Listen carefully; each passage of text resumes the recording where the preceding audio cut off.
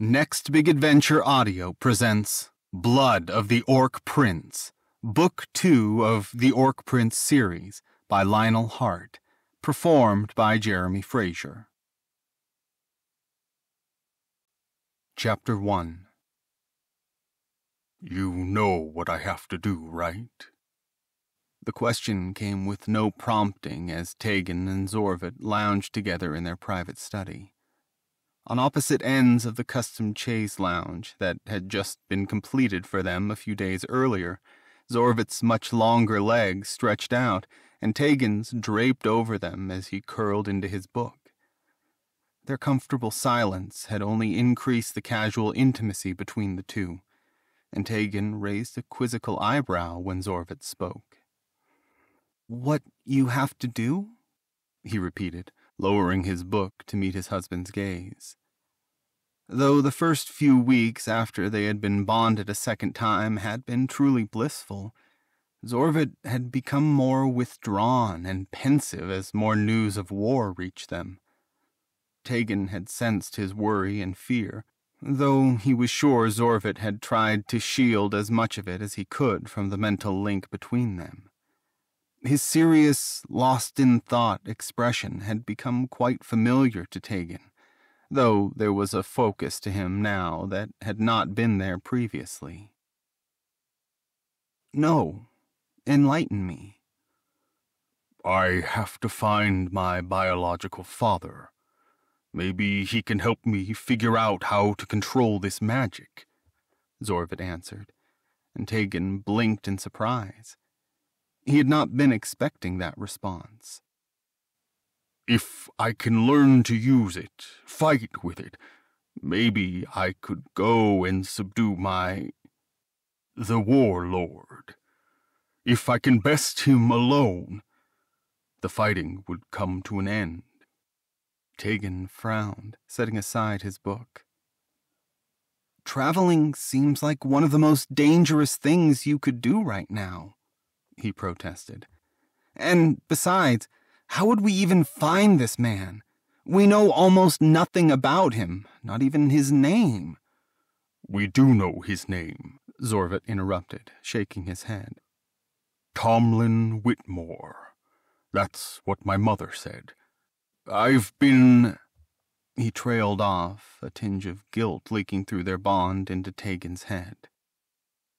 Well, I've been doing some research, you could say. He was a rather well known bard. He even came through Aefraya once, though it was well before I was born. I've found out a few things. Research? How so? Taegan asked. Mostly he was surprised Zorvut recalled the name. There was little of that night he remembered clearly. Well, Bards mainly perform at taverns and inns, right? He replied. So I thought I would ask around the inns in town, and it turns out he had performed at a tavern called the Magenta Marigold once. The owner is an older fellow named Castian, and he told me what he knew. The Magenta Marigold, Taegan repeated, frowning. Yes, I know it. He said the last rumors he heard were that Tomlin Whitmore retired to a human settlement in the south of Altreth around five years ago. A port town, Zorvut continued. He didn't know the name, but I looked over some maps, and I'm pretty sure it's a village called Nymir. Well, you really did your research, Taegan mused, glancing away. He was not certain why the discussion left him feeling so unsettled. I don't know, Zorvut.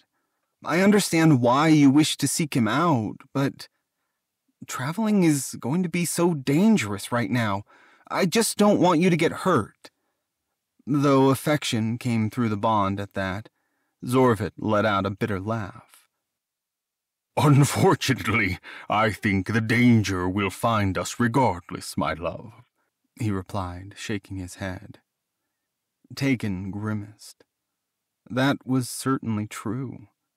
Though they'd been lying low, the war front seemed to draw ever closer to the castle, and even King Reuven appeared unsettled of late. Part of Taegan wanted to protest. After all, who could say if this Tomlin Whitmore could, or would, help them at all? Yet another part of him was loath to run from a fight. But he tamped down the thought and instead managed a slight smile. That's true, he agreed, reaching for his book once more. Maybe we can talk with my father, see if there's a way to get in contact with this mystery human. From the way his eyes flicked away, Taegan knew that was not the answer Zorvut had wanted to hear. But he could promise nothing more than that, and ultimately it would be the king's decision if they could leave the castle grounds at all. He suspected Reuven would not want to let them out of his sight, not now. Shall I read to you? He offered, and Zorvut's expression softened from across the lounge. I would like that he replied, and they settled in closer together as Taegan began to read. Thank you for waiting for me, King Reuven said brusquely as he strode into the meeting hall, where Taegan and Zorvut were sitting. And I apologize for my tardiness. My discussion with the captain went longer than I anticipated. That's all right, Taegan replied. They had only been waiting in the meeting hall for a few minutes careful not to disturb the expansive world map laid out across the large table as they settled into their seats. The king had a pile of papers and books in his arms, but set them down haphazardly on the map, sitting down across from them. His long, dark hair was tied back in a loose ponytail, and he had obviously just pulled a clean robe over a wrinkled plain undershirt.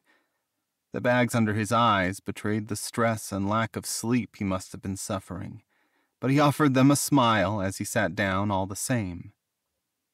I've learned a few things I wanted to discuss with you, the king continued. Taegan glanced over at Zorvut, who briefly met his gaze. He could feel a strange mix of hesitance and anticipation coming from the half orc's end of the bond. He could not say why Zorvut was feeling the way he did, but he himself had been anxious ever since Reuven's manservant had asked them to come speak with the king in the meeting room. Whatever Reuven wanted to talk about privately with them likely was not a positive turn of events. Go on, Zorvut said after a moment as the king appeared to collect his thoughts. Well, he said, looking down at his clasped hands on the table. Orc forces continue to draw nearer to the capital. I had hoped that by keeping the both of you out of the public eye, tensions might ease off a bit, but this has not seemed to be the case so far. We can fight, Taegan interjected, and both Zorvut and his father's heads swiveled to look at him. A pained expression came over the king's face.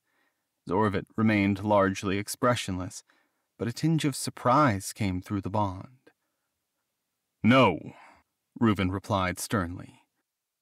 Taegan, I know you want to fight, but I'm not going to risk that.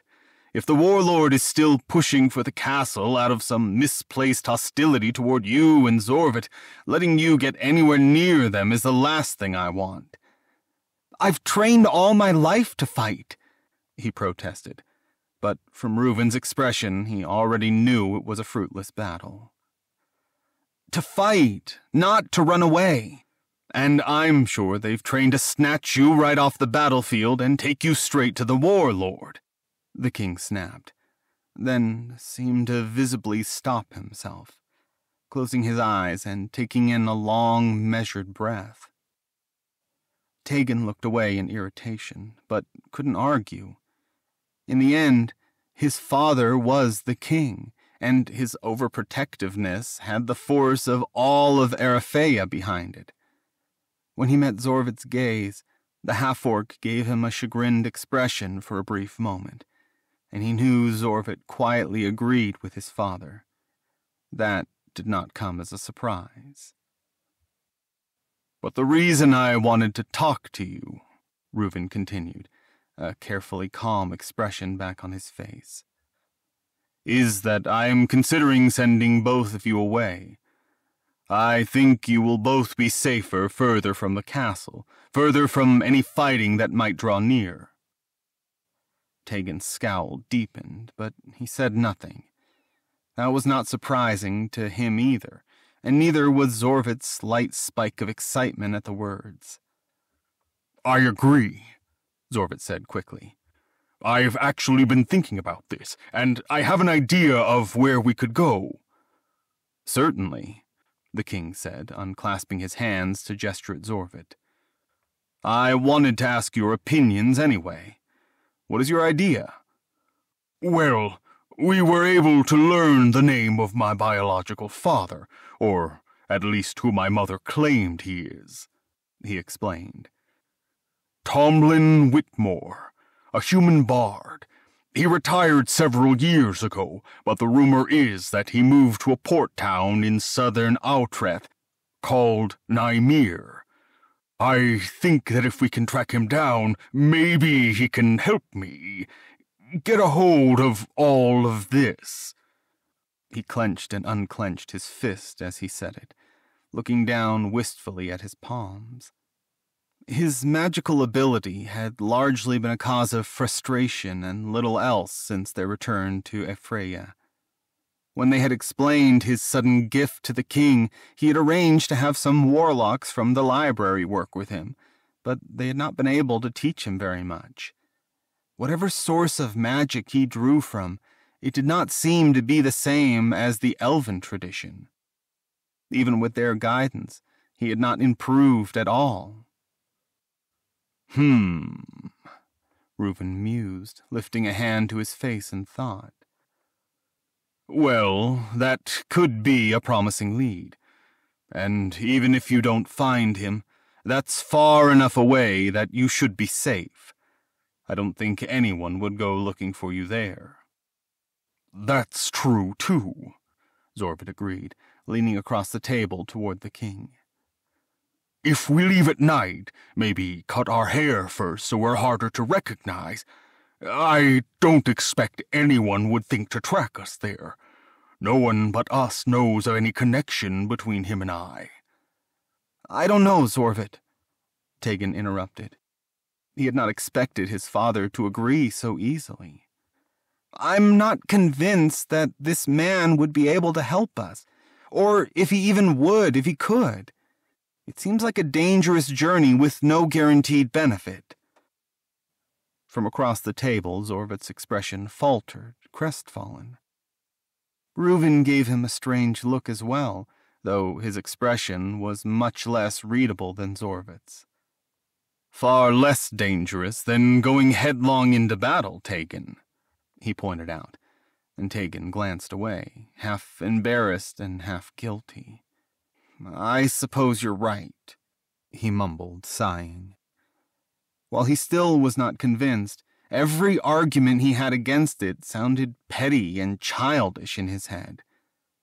Zorvut seemed to sense his lingering reluctance, though, and reached across the table to grasp his hand. It is dangerous, he said softly, meeting Taegan's gaze. But we'll be together, so we'll be safe.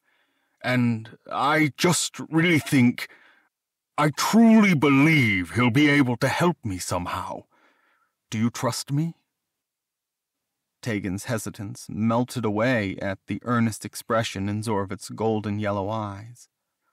The more time they were spending together, the better he could pick up the nuances of his husband's face. Where he had once found the half orc to be expressionless and hard to read, he could now recognize so many thoughts on his face plain as day. He squeezed Zorvut's fingers and nodded, pressing his lips into a tight smile. Of course I trust you, he replied, and took a deep breath before looking back over at the king. And you think this is a good plan, Father? Better than whatever you had in mind? To be honest, I didn't have anything specific in mind yet, Reuben said. I wanted to see what the two of you thought first, and just as I suspected, you already had an idea. And, Taegan, if you are still unsure about traveling so far, perhaps you can remain behind and we can send Zorvut off with an escort. I'm sure one of the land barons would offer you a comfortable place to stay out of the way of everything. Taegan balked at that, giving the king an incredulous expression. Certainly not, he exclaimed, shaking his head. Zorvut chuckled at his theatrics but he felt the same immediate rejection of the idea coming from the bond as well. No, whatever we decide on, we do together. Good, Reuben replied with an amused grin. That's what I wanted to hear. Well, I believe Zorvut's idea of disguising yourselves when you leave would have merit. I think haircuts might be in order for the both of you. Zorvut, can you grow a beard? The half-orc grimaced at that, but nodded. It's not flattering, but maybe that's for the best. Chapter 2 They were on the road within a week, each with shorter hair and plainer clothes, and a patchy dark scruff coming in along Zorvut's chin and jaws. Taegan had been loath to cut his hair, and could only bear to have it cut to his shoulders, while Zorvut's long black hair was now just a short tuft on the top of his skull. He was allowing the sides he normally kept shaved to the skin to grow out a bit as well, giving his head a much rounder shape. He looked almost nothing like the man Taegan married, either the first or second time so it had been a shock when he had returned from the castle barber shorn like a sheep. That had been even more saddening than his own haircut. It's just hair, Zorvut teased as Taegan fought against tears and ran his hands through the short, wiry black strands where there had once been long, luxurious locks. I like how yours turned out. It accentuates your jawline. Don't try to flatter me, Taegan replied, trying to tease back, but he knew the sadness he felt was certainly loud and clear through the bond. This would also be the first journey on his new horse, another bitter milestone. The mare was a tall red dun with a white line running from her forehead down between her eyes. Her summer coat was a lighter tan shade, while her mane was a deeper reddish hue, and a single braid ran down it. Ember, a fitting name, was much more spirited and lively than his gentle moonlight had been, but she rode well and got along with Graxt. Hopefully, she would do just as well on their long trek. They left less than an hour before the sun set, King Reuven saw them off at the back gate, which led out to the less traveled trail that made a wide loop around the walls of the city before reconnecting with the main road further southeast.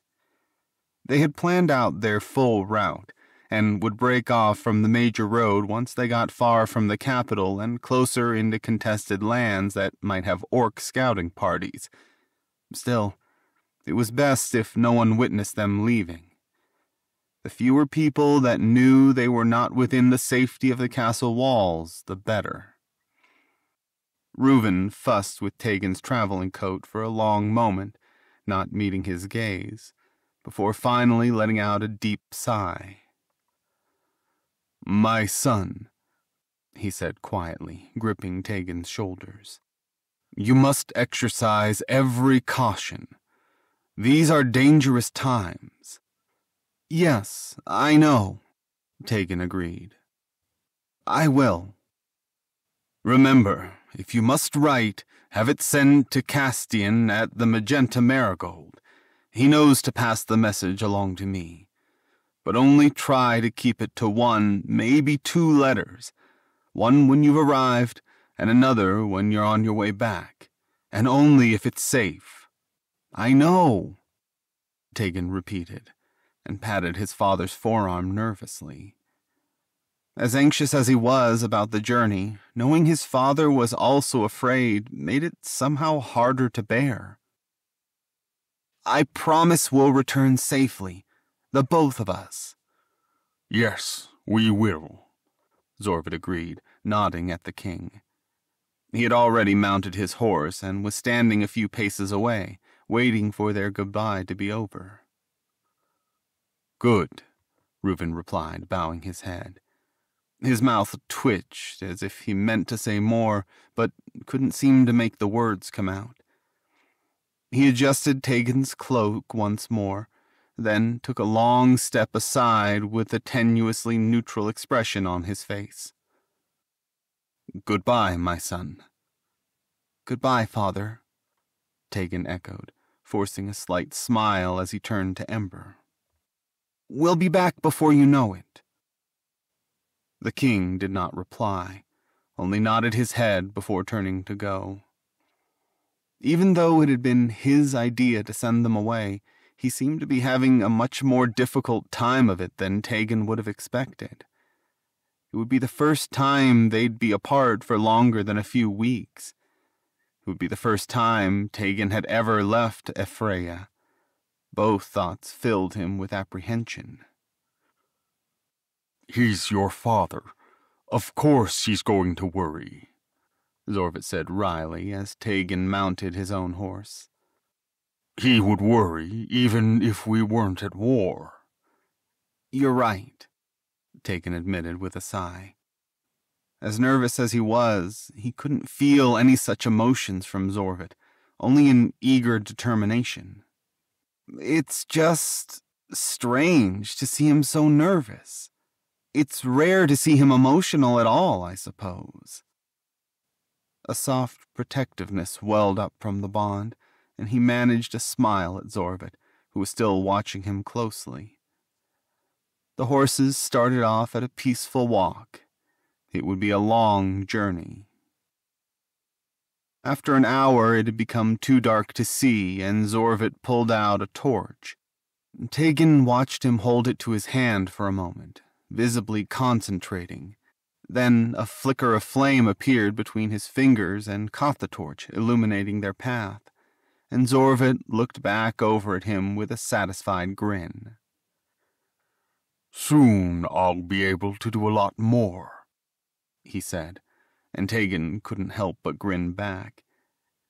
The hope in Zorvut's face would have been apparent even without the echo of it in the bond and he too hoped that would prove true.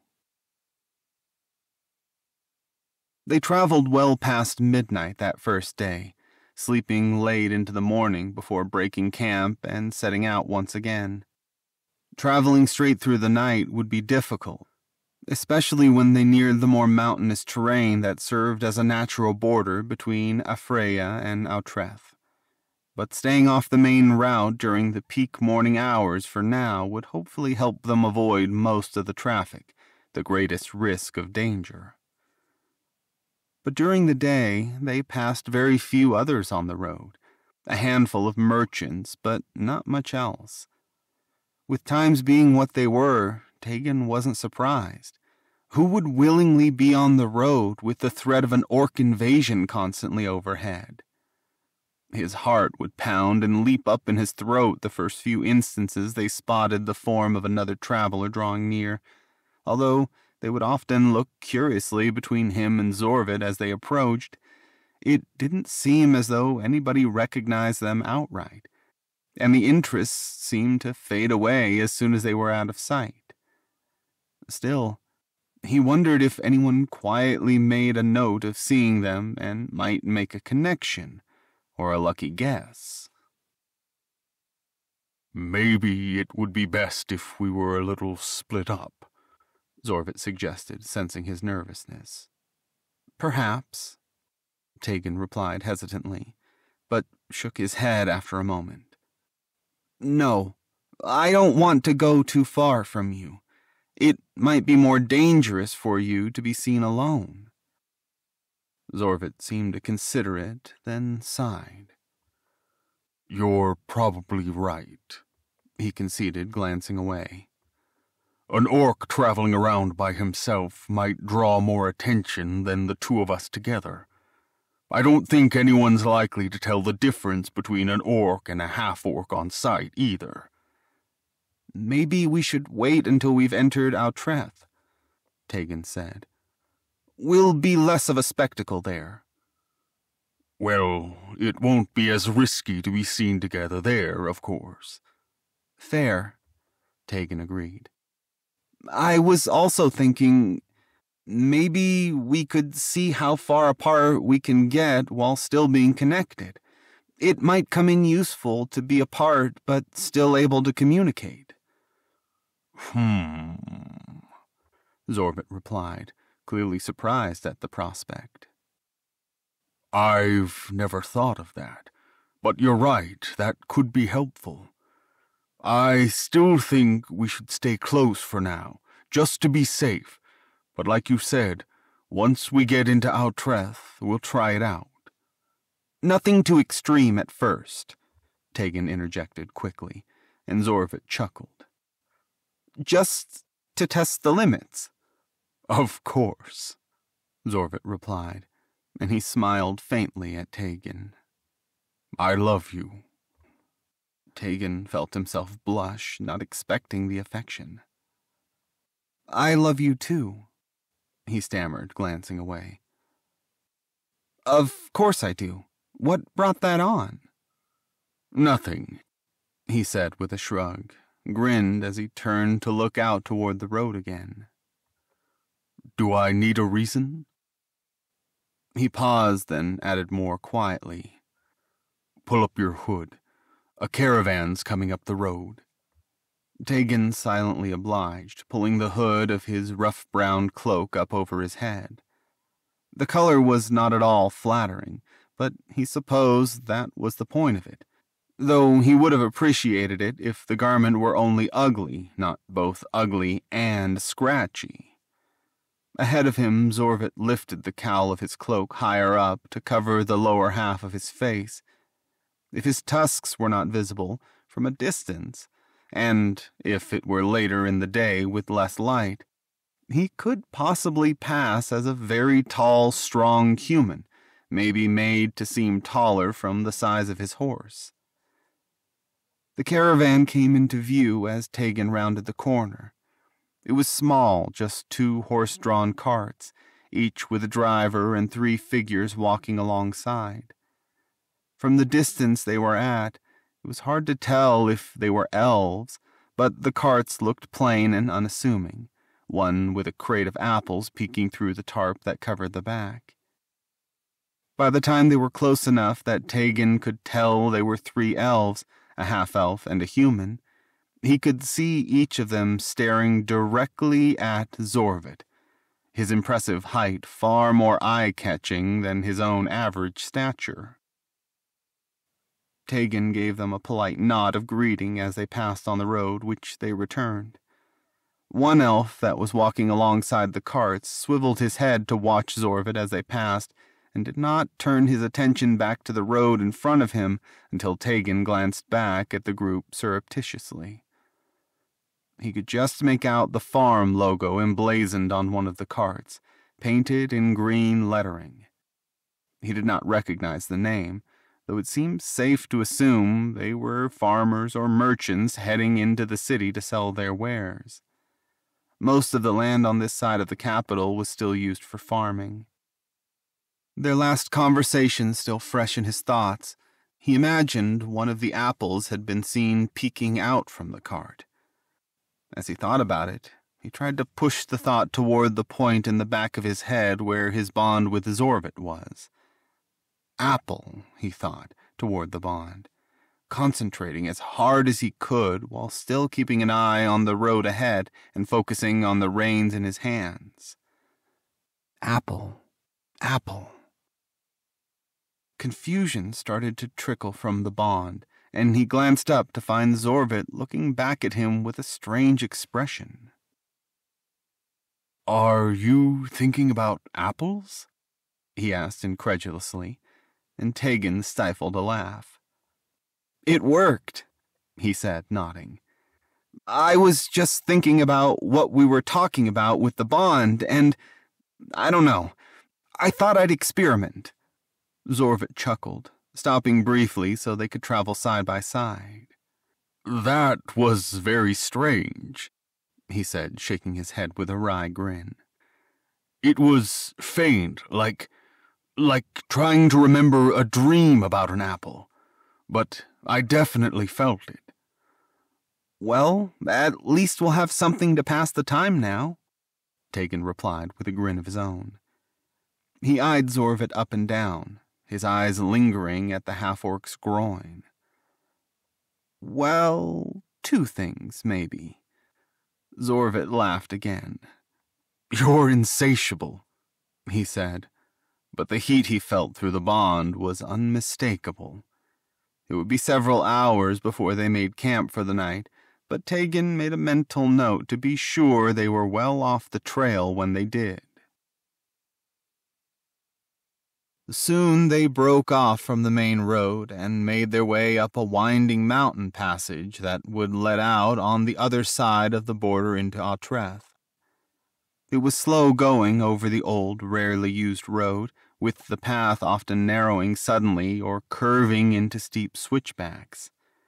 Gracht, in particular, had a hard time with the steeper paths, and Zorvut would often have to dismount and lead the horse if the trail became too narrow. Here it was far more desolate and remote, and they did not see anyone traveling the same road the entire time they traversed the mountain.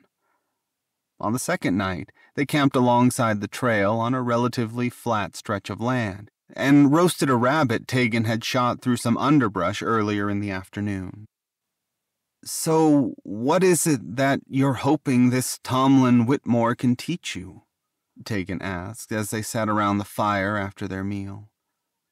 Zorvut glanced at him with a raised eyebrow, the light of the fire flickering across his face. I told you to teach me to use magic, he replied. Well, yes, but what exactly are you expecting to learn? If he's a bard, do you think he could show you anything helpful for fighting? Taegan asked. Zorvut paused, seeming to ponder the question for a long moment before answering. It would be great if I could learn something I could apply to combat, he said slowly, considering his words. But if I could even understand how to control it better, how to conjure more than just a handful of fire, just that would help. And Maybe I could figure out more on my own from there. As it is, I don't even have the basics down, really, so anything beyond that would be a step up. And if he can't teach you, or refuses to? Taegan pressed, leaning closer to the half orc. Then I have met the man who is actually my father, if nothing else. Zorvut replied, sighing. A tinge of exasperation came through the bond as he said it. I understand you have your qualms about this, and in all honesty, they are justified. But I need to know for sure. I know, Taegan said, more quietly this time. I mean, we've already come this far. I'm not going to make us turn back now. Zorvut gave him a chagrined smile. I know, he agreed, reaching over to pat his knee. Thank you for supporting me in this. I know it was not your first choice. You are my husband, Taegan replied. I made a vow to support you, and I intend to keep it.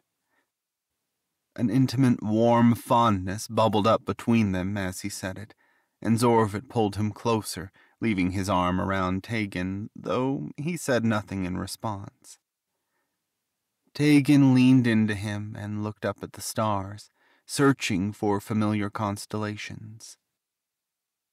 We should try that thing you mentioned, Zorvut said after a few moments of comfortable silence. Testing the limits of the bond, how far it can go. I think this is a safer place for it. Tomorrow, Taegan replied, pressing his head against Zorvut's shoulder. I want to be near you tonight. Tomorrow, then, Zorvut agreed and kissed him. Being intimate on the road had proven to be somewhat messier than Taegan liked, but he could not help the desire that stirred in him at the affection. He could feel Zorvut grin against him, feeling his arousal and pulled away. I told you you're insatiable, he murmured, pulling Taegan into his lap before he could protest.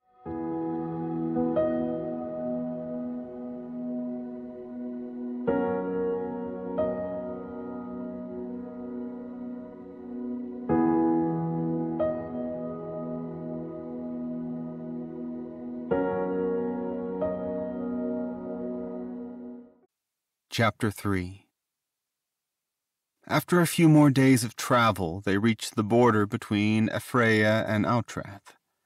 On this mountain trail, there was no marker or indication of the crossing, but when they consulted their map in the evening, they decided they must have descended the mountain enough that they had to be in Outrath by now, and should be able to reconnect with the main road the next morning. They would likely even find a roadside inn to stop at by the following evening. Hopefully they have a good bath, Zorvut teased, and Taegan chuckled. Though he said it in jest, he hoped a hot bath would be possible. The dirt and grime of the road, among other things, was by far the least pleasant part of the trip so far. He could not recall ever having smelled so much in his life. Well, now that we're out of Aefraya, he said, should we try testing the bond like we talked about? All right, Zorvut agreed, then seemed to hesitate. Let's just be careful. We're not that far from the border. Why don't I go on ahead? Part of him bristled at that. He was perfectly capable of protecting himself. But the rational part of him knew that Zorvut's request was reasonable, and it was always a good idea to remain cautious, especially in a place neither of them had been before. So he nodded, pulling back on Ember's reins so she slowed to a stop. Go on, he said, gesturing with one hand. I'll wait for a minute, then I'll follow slowly. Stay focused on me, Zorvut said, and he kicked his heels into Grax's sides, sending them galloping down the road. Taegan closed his eyes and took in a slow breath, focusing on the pinpoint of heat in the back of his head near the base of his skull where their bond lived. He could feel Zorvut projecting something toward him a sense of uncertainty, curiosity, trying something new.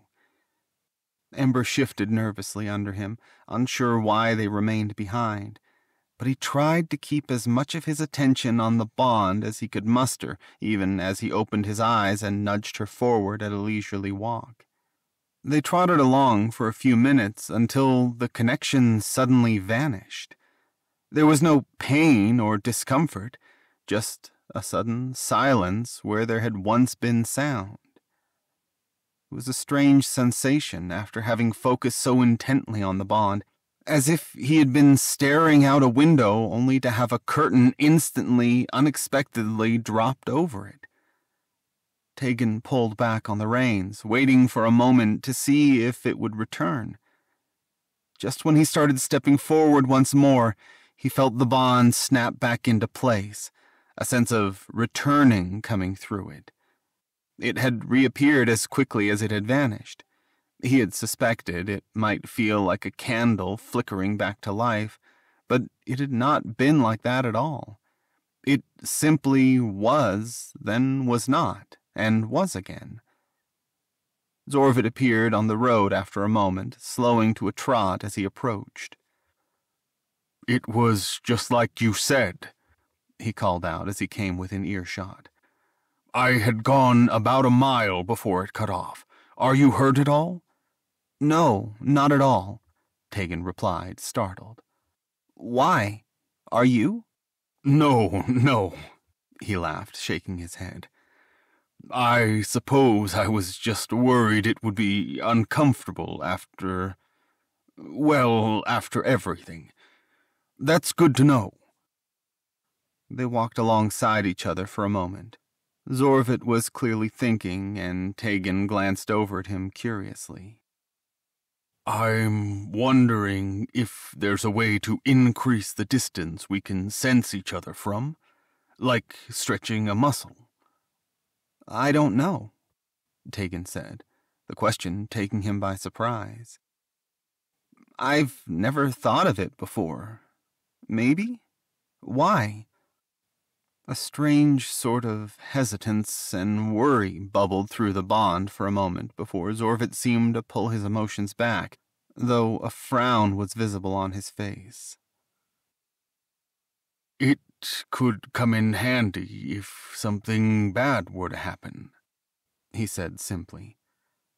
Taegan mirrored his frown, his brows furrowing. What does that mean? he pressed, and Zorvut glanced away.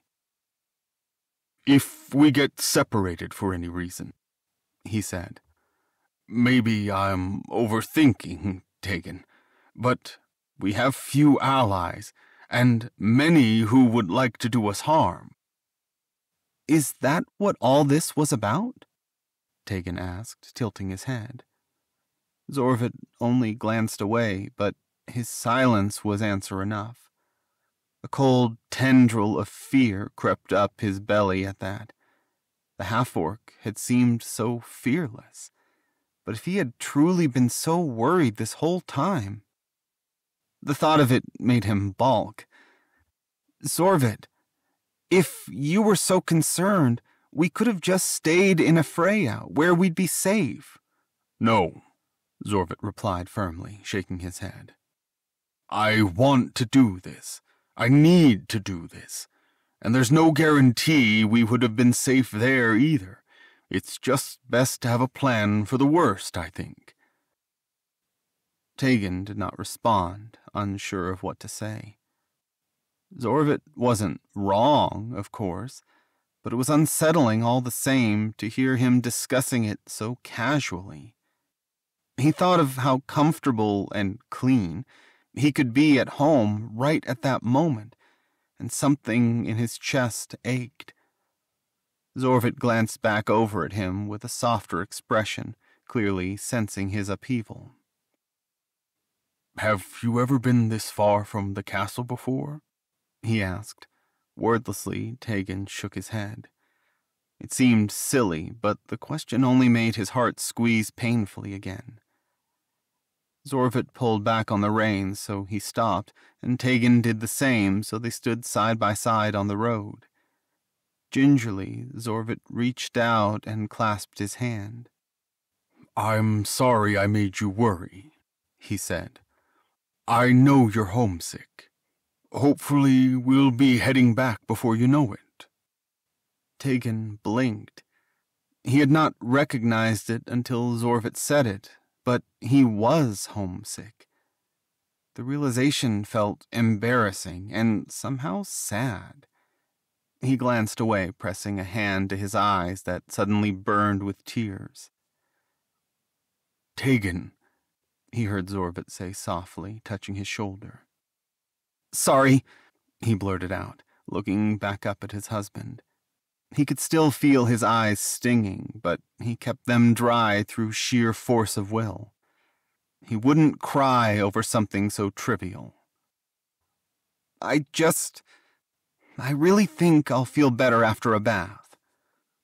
Zorvut paused, surprised, then let out a soft sigh with a knowing half smile and released his shoulder. Let's get a move on then. Maybe we can reach the inn sooner tomorrow if we're fast. With some effort, they made decent time, and the little roadside inn came into view well before sunset the next day. It was a simple two story wood building with a stable on the opposite side of the trail, and the trees had been cleared out around them, but became more dense in the distance. The sight of it made Taegan feel equal parts relieved and nervous, grateful to be off the road even for just one night but anxious that they might be recognized, or worse, now that they would be in the presence of others. Don't be afraid, Zorvut said in a quiet murmur as they approached the stables.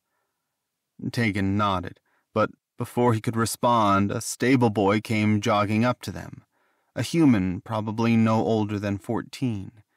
His eyes were wide as he approached, but Taegan could see his gaze was locked on Graxt, clearly in awe of his size.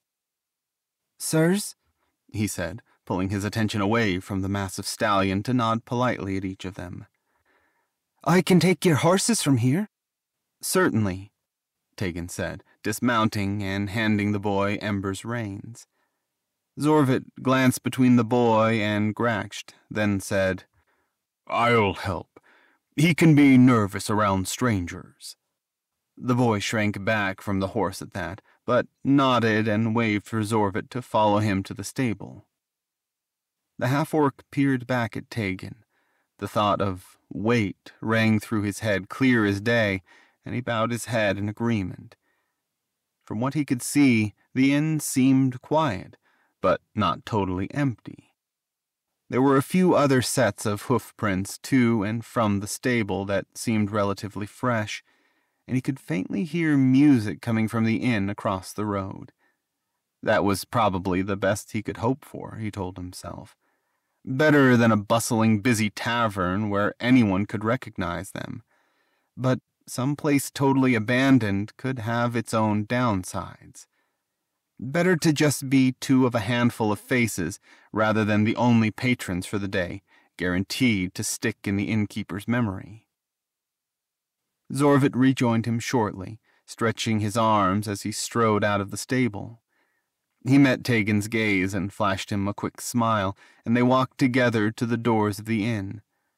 The entrance led to an open dining area with a long bar on the opposite wall with two humans a man and a woman, working behind it. The woman called out to them cheerfully in greeting as they entered. In the far corner to their left, a dwarf perched on a stool, strumming a lute and singing. He looked to be older, with gray hair and a long salt and pepper beard, but wore a coat that was an ostentatious shade of purple. Taegan tried not to stare. He had never seen a dwarf in the flesh before, as they were quite insular and rarely left their homeland of Rabrullalor, far across the eastern seas. But the dwarf paid them no mind, continuing his song. Other than the musician, Taegan saw only one patron in the dining hall at the moment a human man dressed in leathers and furs who glanced up at them as they entered, then back down at his table where he appeared to be fletching an arrow. Welcome, welcome, the woman from behind the bar called out to them. Rooms for the evening? Just one, please, Taegan said as they approached, and the woman nodded, pulling up a ledger and a charcoal pencil. One room, two beds, then? she said, glancing through the parchment. Taegan glanced over his shoulder at Zorvut, who shrugged nonchalantly. But the trickle of amusement that came through their bond made him suppress a grin. Separate beds, he agreed, hoping his bemused tone was not as obvious to the woman as it seemed to him. And if you have baths available, of course, the woman agreed. Let me just get your names, and I can have a bath drawn for you now if you'd like. Taegan blinked. How had they not decided on fake names yet? He could feel a spike of anxiety from Zorvut as well, so he forced himself to open his mouth before their sudden silence became suspicious. You can put it under the name Elaine, he blurted. Very well then, Elaine, the woman said. and Taegan regretted the choice immediately, the sound of his father's name sending a dull ache through him like prodding a scar. I'll have a bath prepared for you now. You're in room 11, which is upstairs at the end of the hall on the left. The bathrooms are down here on the first floor. I'll come get you when the bath is ready. Anything you need in the meantime, you can just ask my husband here, Daniel. I'm Nessie, if you need me. Thank you, Nessie, Taegan said, giving a terse nod. She grinned back and left the bar, leaving behind her husband, who gave them a polite acknowledgement, although his expression was much more bored. He could feel Zorvut watching him, but kept his gaze on the human barkeeper. Something to drink? The man, Daniel, asked, noticing his stare. Wine for me, whatever is your best, he replied, then gestured toward Zorvut. And whatever he'd like as well. Zorvut paused, then came to Taegan's side to sit next to him. Just ale for me, please, he replied, and the man nodded, bending down to retrieve the bottles.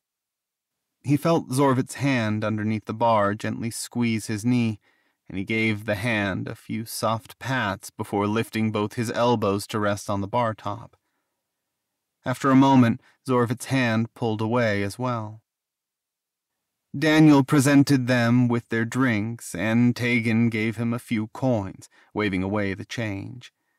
He took a sip of the wine and nearly spat it out immediately with how sour it was. If this was truly their finest option, he couldn't even imagine their common drink. It had no depth of flavor and may as well have been vinegar. He forced himself to swallow, coughing and clearing his throat afterward, before primly pushing the goblet across the bar. Next to him, Zorvut was stifling a chuckle. Not what you're used to, he murmured, grinning down at him. Taegan huffed, glancing away. No, it's not, he said. His cheeks burned with embarrassment, but the other patrons seemed to pay them no mind and the human simply shrugged and took the goblet away, replacing it with a cup of cool water. Taegan took a hesitant sip from that. It tasted like common well water, but it would do. Zorvut downed his own ale effortlessly, then placed a hand on Taegan's shoulder. I'll go to our room and get everything unpacked, he said, and Taegan nodded. Enjoy your bath. Thank you, he replied, and managed a slight smile as the half orc took the bag that was slung over his shoulders. With that, Zorvut stood and made his way toward the staircase, disappearing up the stairs. The barkeeper glanced over at Taegan as Zorvut walked away, a slightly curious lift of his eyebrow, the only expression of emotion he had displayed so far. Awful friendly for a half orc, he remarked. Taegan pursed his lips and nodded, glancing down into his cup of water. The less anyone knew about them, the better. You must be paying him well. Taegan hesitated, then agreed with another nod. Of course. He's a very skilled fighter and has never let me down. The man whistled, wiping clean the wine goblet he had just emptied and rinsed. Oh, I'm sure. Even the most desperate bandits wouldn't want to square up with a big fella like that. That's a good choice, even considering. Well, you know. Of course, Taegan agreed again, though he had no idea what the man was implying. It was a toss up whether he was making some slight against orcs in general, or perhaps the ongoing conflict between orcs and elves.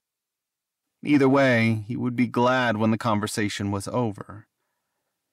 As if answering his silent prayer, Nessie emerged from around the corner carrying a clean towel with her. Mr. Elaine, she said with a cheerful grin. The bath's all ready for you, good and hot, right this way. Thank you very much, he breathed with relief, hurrying after her. We're lucky enough to have a soap maker in the next town over she prattled in the mindless sort of tone that indicated she'd repeated the same thing in the same way a thousand times before. So we've got a few different scent options, and it's not the hard scentless stuff you'd have to order in from the city in bulk. We've got rose, lavender, and spearmint. The spearmint's my favorite, if you ask me. They followed the hallway around a corner to a wooden door which she pushed open, revealing a small tiled room with a decent sized copper bathtub, a shelf stacked with trays of bars of soap, and a table with a few folded towels. The tub was filled to the brim with water and steaming with heat. Now there's a bucket for rinsing, a clean robe for you, and a tray to put your dirty clothes, she continued, pointing around the room. We don't have a full laundry service, begging your pardon, but plenty of guests just wash their clothes in the bathwater once they're done. Any towels or robes you use, you can leave here or in your rooms. We'll clean it up. Now, if your manservant wanted a bath too, I can go haul out the oversized tub, so just let me know. Anything else I can get for you? No, thank you very much, Taegan replied.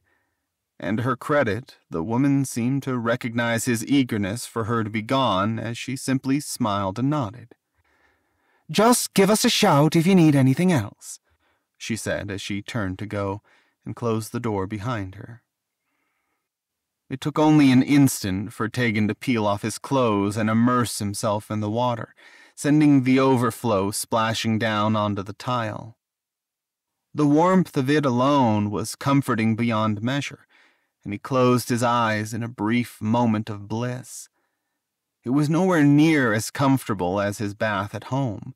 He had to bend his legs to fit so his knees couldn't be fully submerged but he missed the familiar scent of rose water he would often bathe in. But compared to a week on the road with no warm water at all, it would certainly do for now. He reached for the soap, going for the faintly pink tinted bar in hopes the rose scent would be close enough. But even as he brought it up to his face, the floral scent was barely detectable at all. A frown of disappointment crossed his lips as he put it back, instead reaching for the pale green soap. Luckily, the mint was a stronger scent, and he set to work scrubbing away the grime and sweat and dust of the past week. By the time he had cleaned up, though, the novelty of it was wearing off and was replaced with the same bone deep homesickness he had only just been able to put a name to. He missed his own bath he missed his own room, his private quarters, their leisurely walks around the garden. The thought of it was so painful, his eyes welled up with tears, which only made him feel more ashamed. He liked to think he was not spoiled, but the more logical part of him knew that he must be. How could he not be spoiled as a prince, the heir to the throne, an only child at that? He felt so foolish to be upset that it wasn't his bath. But here he was, a spoiled brat crying over a lack of rose water in a too small bathtub. All he wanted was to go home. He tried to pull his thoughts away from the bond, shielding it from his outburst. Somehow it felt even more embarrassing to think of Zorvut sensing his moment of weakness. Taegan let himself hold on to the homesickness for a little longer, until he eventually dunked his head under the water both to wash his hair and also to destroy any evidence of tears on his face. Then he got out and dried off, and after a moment of consideration, plunged his dirty clothes into the now tepid water. It was only a quick fix, but the water was satisfyingly murky when he wrung them out. Wrapped in a plain white robe, he gathered his things and made his way out of the bathroom, up the stairs, and to room 11. When he entered the room, Zorvut was sitting on the floor, but sprang up quickly as the door opened. It was a plain accommodation, with just a small writing desk under a single window in one corner, a chest of drawers, and a clothing rack in the other. Centered on the far wall, there were two narrow beds in wobbly looking wooden frames, which Taegan realized with a slight smile that Zorvut must have pushed together. That was fast, Zorvut said, returning his smile, then hesitating. Are you all right? You seemed, well, upset. Taegan winced. He must not have been quick enough to hide his thoughts. I'm all right, he stammered. Just more tired than I thought, I suppose. And I don't know. I just miss home. Zorvut's expression softened, and he nodded. Me too, he murmured, then gestured toward the beds. I laid out clean clothes for you. I hope you don't mind. Taegan's heart swelled and ached. It was a small gesture, but a comforting one. Of course I don't mind, he said, shaking his head. Thank you. He hung his wet clothes on the rack to dry, along with the robe, and put on the clean trousers and loose shirt Zorvut had set out for him. A bath sounds good to me, too, Zorvut said, watching him dress. The innkeeper said she had a larger sized tub for you, Taegan said as he buttoned his shirt, then hesitated. Don't be too long. I was hoping we could, um. Zorvut raised an eyebrow at that. The walls seem awfully thin for that, Taegan. No, no, he protested, flushing with embarrassment. Not that. I just wanted to. I don't know. Well, never mind. Zorvut tilted his head, seeming to consider his words. Well, I'll still be quick, he said simply, and Taegan nodded. His cheeks still felt warm as Zorvut stepped out of the room. When he was alone, he climbed into one bed and wrapped himself in a blanket, staring out the small window. There wasn't much of a view, just the trees outside of the inn. He watched them sway in the breeze and imagined the towering trees surrounding the castle, the wooded path of the archery range, and the gentle swaying of the curtain of willow branches in front of the tree temple. When he let his eyes lose focus, he could almost trick them into seeing the familiar shapes. He had dozed off by the time the door opened again, causing him to sit up and blink groggily. Zorvut had returned in clean clothes, his short hair still damp and sticking up in some spots, and he carried a tray of food with him as he entered. He grinned at the sight of Taegan, who sleepily smiled back. My love, he said softly as he closed the door behind him. I brought you dinner. I know it's a bit early, but I figured we could turn in early too. That sounds great, Taegan replied, and they crowded around the small writing table to eat. Zorvut set out a selection of breads and butter roasted vegetables and warm meat from the tray. It was all rather plain and unremarkable, but it was more pleasant than the smoked meats and hardtack that made up the bulk of their meals on the road. Are you feeling better? Zorvut asked when they were done. Taegan nodded. I have one more favor to ask, he said after a moment's hesitation. I want. Will you just hold me for a bit? Zorvut smiled, visibly stifling a chuckle. Was that all?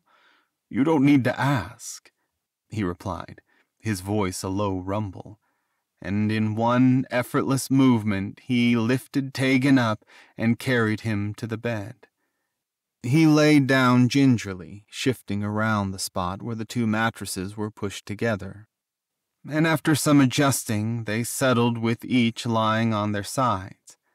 Zorvut's arms wrapped around Taegan, and Taegan's face pressed into Zorvut's chest. Your feet are hanging off the end, Taegan whispered, and he felt Zorvut grin. I'm used to it, he replied with a shrug. His hands rubbed soothing circles along Taegan's back, and he closed his eyes, relaxing into the embrace. After a long moment, Zorvut's voice came again, rumbling through his chest. I'm sorry this has been so hard for you. I know it must be difficult to be away from home, from your father. But I love you very much, and I want you to know I'm thankful you came with me. Taegan nodded, unable to find the words to respond. I don't know if I would have been able to make it here on my own, Zorvut continued. But when you're with me, I feel strong and brave, like I can do anything. You are strong, Taegan protested, pressing himself closer to Zorvut's heart. And brave, even without me. But I. I'm glad I came too. I think I would be much worse off right now if we were apart, so I'll be okay. He felt Zorvut kiss the top of his head in response, and he closed his eyes. The safety of his arms and the even, comforting rise and fall of his chest quickly lulled him to sleep. Chapter 4 Taegan woke with a start while it was still dark. Zorvut must have gotten up to close the window and blow out the candles, and was now sleeping soundly next to him, one arm draped loosely around his waist. He gingerly pushed his arm away and sat up, glancing through the window pane. The faintest hint of sunrise was peeking over the horizon. He crept out of bed and lit a candle before dressing for the day. His hair was a mess. By the time he had brushed it out and tied it back, more light was coming through the window. As the sunrise began to just barely illuminate the room, he heard Zorvut stirring as he was packing his bag. Taegan? His voice came quietly. In the near darkness, with sleep still tinging his voice, he sounded so vulnerable and soft, almost like a child. I'm here, he answered quickly, and Zorvut sat up to look at him, a sleepy smile spreading across his face. The sheer bliss that came through the bond when their eyes met caused Taegan to stop and smile back at him. He had not expected such warmth first thing in the morning, but Zorvut's still waking heart must have been glad to see him. Good morning, my love. Good morning, he answered, stretching. The beds creaked under his weight, and that seemed to snap him into a more alert state as he carefully eased himself over the edge of the bed and stood. You're up early. Well, we went to sleep rather early as well, he replied, nodding. I've just started packing our things back up. I would have brought you breakfast, but it seems I wasn't quiet enough. That's all right, he answered. I'll start getting ready to go, and we can eat together. Taegan nodded and resumed packing. Zorvut dressed quietly, just in the light of the rising sun coming through the window and the faint flicker of the candle Taegan had lit. He meant to continue packing, but couldn't help but watch the half-orc's muscled form as he pulled off his sleeping shirt and dug through his pack for a clean one. He seemed to notice Taegan's gaze and looked back at him with an amused smirk. Taegan glanced away quickly with a flash of embarrassment, trying to return his focus to the task at hand. But soon they were both dressed and packed, and by the time the sun had fully risen and the sky had become a pale shade of blue, Zorvut was pulling back the bed he had pushed up next to the other, and they left the room. Down in the inn's dining hall, it was empty and quiet, save for the woman who had checked them in last night, greeting them with another smile. Early risers, I see, Nessie chirped as they descended the stairs. Me too. Some breakfast before you're back on the road? Please, Taegan answered, and Zorvut nodded in agreement. They were served a simple breakfast of bread and butter, cured meats, and a dish of scrambled eggs mixed with a variety of vegetables that, though rather plain, was certainly serviceable. She offered them drinks as well.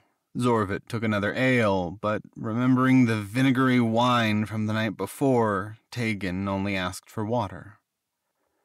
We do have a tea, if that might be more to your liking, she said with a wink, and he chuckled. Tea, then, he agreed, and she brought it to him. As they ate, there came the sound of another person descending the stairs. The stable boy who had helped with their horses stumbled down, yawning and scratching his belly underneath a rough woolen shirt. He gave a slight start as he noticed them and hurried behind the bar with sudden purpose. Go on, go on, the woman chided as he snatched a roll of bread from her grasp. Be a dear and get our guests' horses ready once you've had your breakfast. Yes'm, um, he said quickly, even as he shoved the roll into his mouth and darted out the door with the lanky awkwardness only gangly teenagers could manage. So, where are you two headed? she asked idly as they watched him hurry toward the exit. Not many elves and orcs getting along with things being what they are. No offense meant, of course just that it must be important if you're working together. Well, Zorvut said quickly, sensing the spike of nervous energy the question elicited in Taegan. I'm a half-orc. Oh, my apologies then, she said, looking him up and down. My, you're one of the biggest half-orcs I've ever seen then. Gods, what are you, seven feet? That's exactly how tall I am, he replied with a grin. There was some bitterness to it that only Taegan could feel. If you'll believe it, though, I'm usually head and shoulders shorter than most orcs I've known. Goodness! she exclaimed, and the topic seemed to distract her enough from her original question that she did not pursue it. We don't get any full orcs around here, at least not on the road. That must be a fearsome sight, then, if they're that much taller than you, sir. Oh, yes, Zorvut agreed, nodding. He regaled her with a story of an orc battle that Taegan was certain he was embellishing for dramatic effect. Not that he could quite blame him for the effort. As he talked, Taegan sipped his tea quietly. While he, of course, considered Zorvut to be quite charming, he had not seen him working so hard to be this overtly charismatic before. But the woman seemed rightly impressed, her eyes wide and focused on him, nodding along to the cadence of his tale. Well, by the gods! I hope you two stay safe out there, then, she exclaimed as Zorvut seemed to wrap up the story. I've never seen an orc raiding party this far south before, but there's a first time for everything, isn't there? And you, sir? She met Taegan's gaze, and he raised a surprised eyebrow at her. I suspect you to take good care of this fellow. I know what the stereotypes are, so it's good you're able to see past it. He seems like a very capable and strong worker. Taegan gave her a wry smile. If only she knew. Yes, he is. I believe I was just telling your husband yesterday that my friend here is one of the most capable and reliable men I've ever known. He did not need to look over at him to know Zorvut's mouth had spread into a shy grin at that. Their breakfast done, she took their dishes and wished them safe travels, and they made their way out to the stable. Taegan could already see Ember saddled up and tethered to one of the several poles outside the stable, but the boy seemed to struggle with Gracht. The massive horse was stamping the ground nervously as the boy, visibly just as anxious, struggled to get the saddle adjusted correctly over his impressive frame. Let me, Zorvut said, and the boy jumped, noticing them. He took the saddle from the human's smaller hands and set to work, easily getting the horse outfitted. My apologies, sir, he said nervously, eyeing Zorvut up and down with no small measure of visible fear in his gaze. Taegan pursed his lips, watching silently. While the woman had been pleasant enough, he supposed not all humans would be as outwardly comfortable in Zorvut's presence. Whether that was because of the boy's youth or some silent prejudice, he could not say. Ready? Zorvut asked, glancing over at Taegan and shaking him from his thoughts. He nodded and mounted Ember as Zorvut got onto his own horse. Safe travels, sir, the boy said as they trotted out to the road, and Taegan gave him a curt nod of acknowledgement but did not respond. When they were a little way down the road, Zorvut glanced back at him with a curious expression. You didn't like that boy, he remarked simply, and Taegan sniffed. He didn't like you, he said. To his surprise, Zorvut laughed aloud just once, a sharp and bitter laugh, but a laugh all the same. She was a child, he said with a shrug. It is not surprising to me that a child would be afraid of the unknown. You heard it from his mother. They've never seen full orcs. I doubt he's met many half orcs either. Taegan scowled, but he couldn't argue with that. You are much more forgiving than I would be, he replied, and Zorvut's amused grin softened somewhat. Well, if I wasn't, I would probably just be sad instead. So I'd rather forgive and forget, he said with a shrug, and turned back to look toward the road ahead of them. Taegan glanced away, but gave a relenting nod of agreement, even though Zorvut could not see him. Although they were out of the mountains, it was still a rocky, unpleasant trail through the last of the foothills. They would not see any more signs of civilization until reaching a farming village on the edge of the foothills at the end of the day. From what Taegan remembered of the map, they were around five days out from the port of Nymir, where Tomlin Whitmore was rumored to have retired. They had already survived a week. He could manage another five days. The rest of their journey was largely uneventful but they saw signs of life more and more often along the road the further into Autreth they traveled. Though the first roadside inn had been quiet, the next farming village was a little more lively, and they began to pass people occasionally on the way to the next town, largely merchants coming to trade their wares for food and sundry items. They were able to spend the night at inns for the following three days, which was a welcome respite as well. Though they still occasionally received stares, it seemed mostly unremarkable for an elf and a half orc to be traveling together. For that cultural norm, Taegan was thankful. Most of the major nations had claimed and reclaimed Autreth at various points in history due to its central location and expansive landmass, and so it boasted a vast range of cultures and races within it. For the most part, they seemed to live in harmony, and here at least it was a matter of rote normality for the races to intermingle. It was uncommon to see a half orc, but not any more uncommon than any other half race, and they were mostly left alone as they traveled. The foothills gave way to slight valleys and grasslands, and they followed the main road for a few days before breaking off to a southern trail that would eventually lead them to Nymir. When they left the main road, they passed fewer and fewer people on the trail once again. Where there had once been at least one or two other travelers passing by them every hour or so, it slowly dwindled down to just a few a day, then to almost none.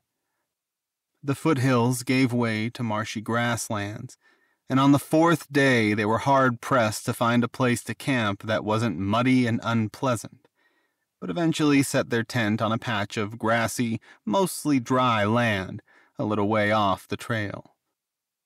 Taegan's bedroll was still damp when he woke up the next day, though, much to his chagrin. Now that they were out of the mountains and the landscape was considerably more flat, There was little of interest as they walked, other than the new range of wildlife in the marshes and lagoons they passed, and Taegan spent most of the time keeping an eye out for small game, shooting down a few waterfowl and two rabbits. Zorvut did not seem interested in joining him. He seemed to be pulling his thoughts away from the bond for most of the day, but occasionally Taegan would feel faint tremors of anxiety coming from him. But even if he could not feel it, the expression he wore when he thought Taegan wasn't looking at him did just as well to reveal his thoughts. It was understandable. He would be nervous too if he were only a day away from potentially meeting his biological father for the first time. He tried to project calmness and compassion through the bond, and Zorvut glanced back at him with a wry smile but did not respond. Finding a place to camp was a struggle that evening as well, as their best option being a small patch of less muddy land surrounded by soggy grass. It's the last night, Taegan said with a sigh as they started to unload their gear. There'll be an inn tomorrow. We can wash everything then. Zorvut gave a nod of agreement, but his gaze was distant as he started setting up the tent. Taegan tethered the horses to a tall bush. Trees had become few and far between here, and watched him quietly holding their bedrolls in his arms. His movements were mechanical, tired, slow. His thoughts were evidently far from the task at hand. With a sigh, Taegan carefully set the bedrolls onto Ember's saddle and came up behind him, placing a hand on the small of his back. Zorvut gave a slight start and stared down at him with a confused expression. Everything all right? Zorvut asked, clearly surprised. Taegan moved his hand in a slow circle, rubbing his back gently. I should be asking you that, he said. You've been on edge all day. Let me help you set this up. Zorvut sighed, glancing away with a hint of embarrassment in his face. Okay, he agreed, and Taegan helped him stretch the tent over the poles the half orc had already placed. I am feeling nervous, he admitted as they worked. It's just unsettling to think that by this time tomorrow, I don't know. I'll either know who my father is, or we'll be heading back already. Taegan nodded. That's understandable. Truth be told, I'm rather apprehensive about it, too. But at least we'll have some answers, either way. I hope so, he sighed, glancing away. He might not even be here any more, if he ever even was at all. It was only a rumor I had to go off of after all. Taegan hesitated. A small part of him that wanted to return home more than anything else perked up at the thought but the rest of him was ashamed for even feeling anything remotely like joy at that prospect. Well, then we'll just have to find the next rumor and follow that, he said. Zorvut glanced at him with a wry expression, and Taegan knew immediately that he sensed it was all bravado, but he seemed to appreciate the gesture anyway. You're right, he agreed with a nod. Although maybe we could check in with the king first. Perhaps, Taegan said, recognizing the peace offering, though he was not sure if the prospect of going home only to immediately set back out on the road was much better. I suppose it would depend on where the rumors lead us, but we don't know either way yet, so no reason to make any plans. True, Zorvut sighed, grimacing. Though that's harder said than done. I keep telling myself there's no point in worrying about tomorrow for today, but. He shrugged, turning his attention back to the nearly finished tent. Taegan could all but feel his mind flitting from one thought to the next. but whatever he was ruminating over seemed to be too difficult to put into words. I know, he said, more softly this time.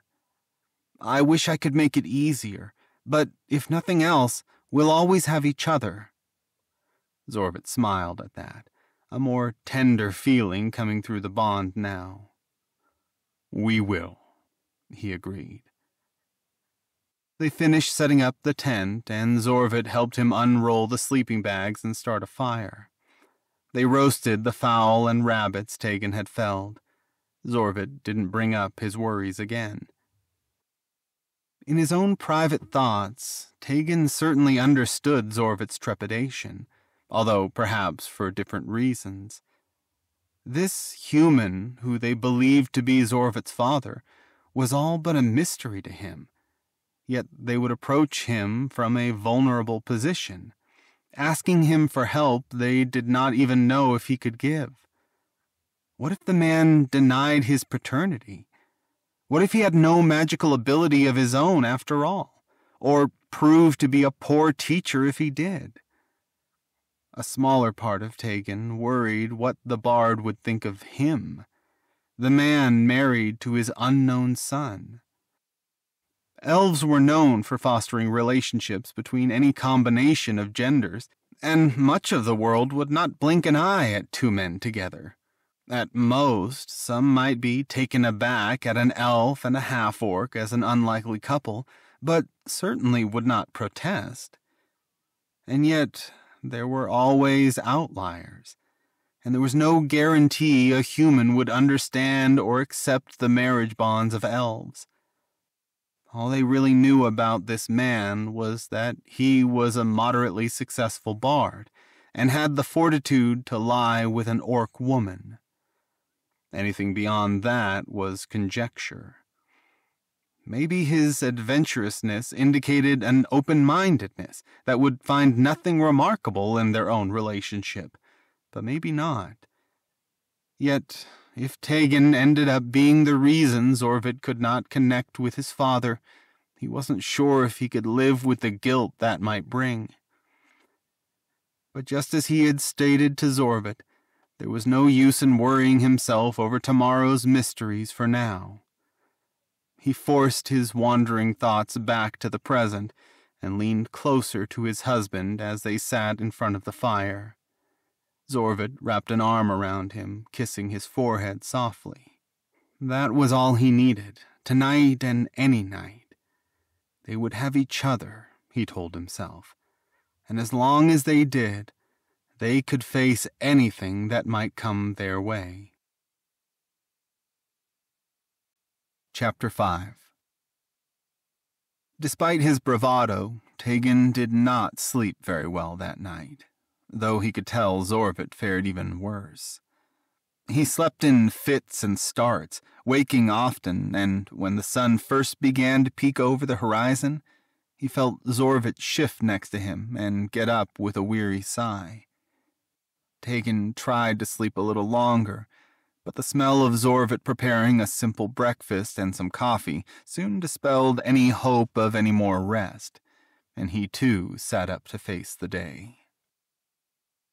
Good morning, Zorvut said, noticing him stir. Already, Taegan could feel the heated tremor of anxiety from his end of the bond. He came up beside Zorvut wordlessly, wrapping his arms around the half orc's waist and they held each other silently for a few moments. The coffee's going to oversteep, Zorvut murmured, finally breaking the silence, and with a wry laugh, Taegan released him. They set about breaking down the camp after their light meal, and were leading the horses back onto the road less than an hour after sunrise.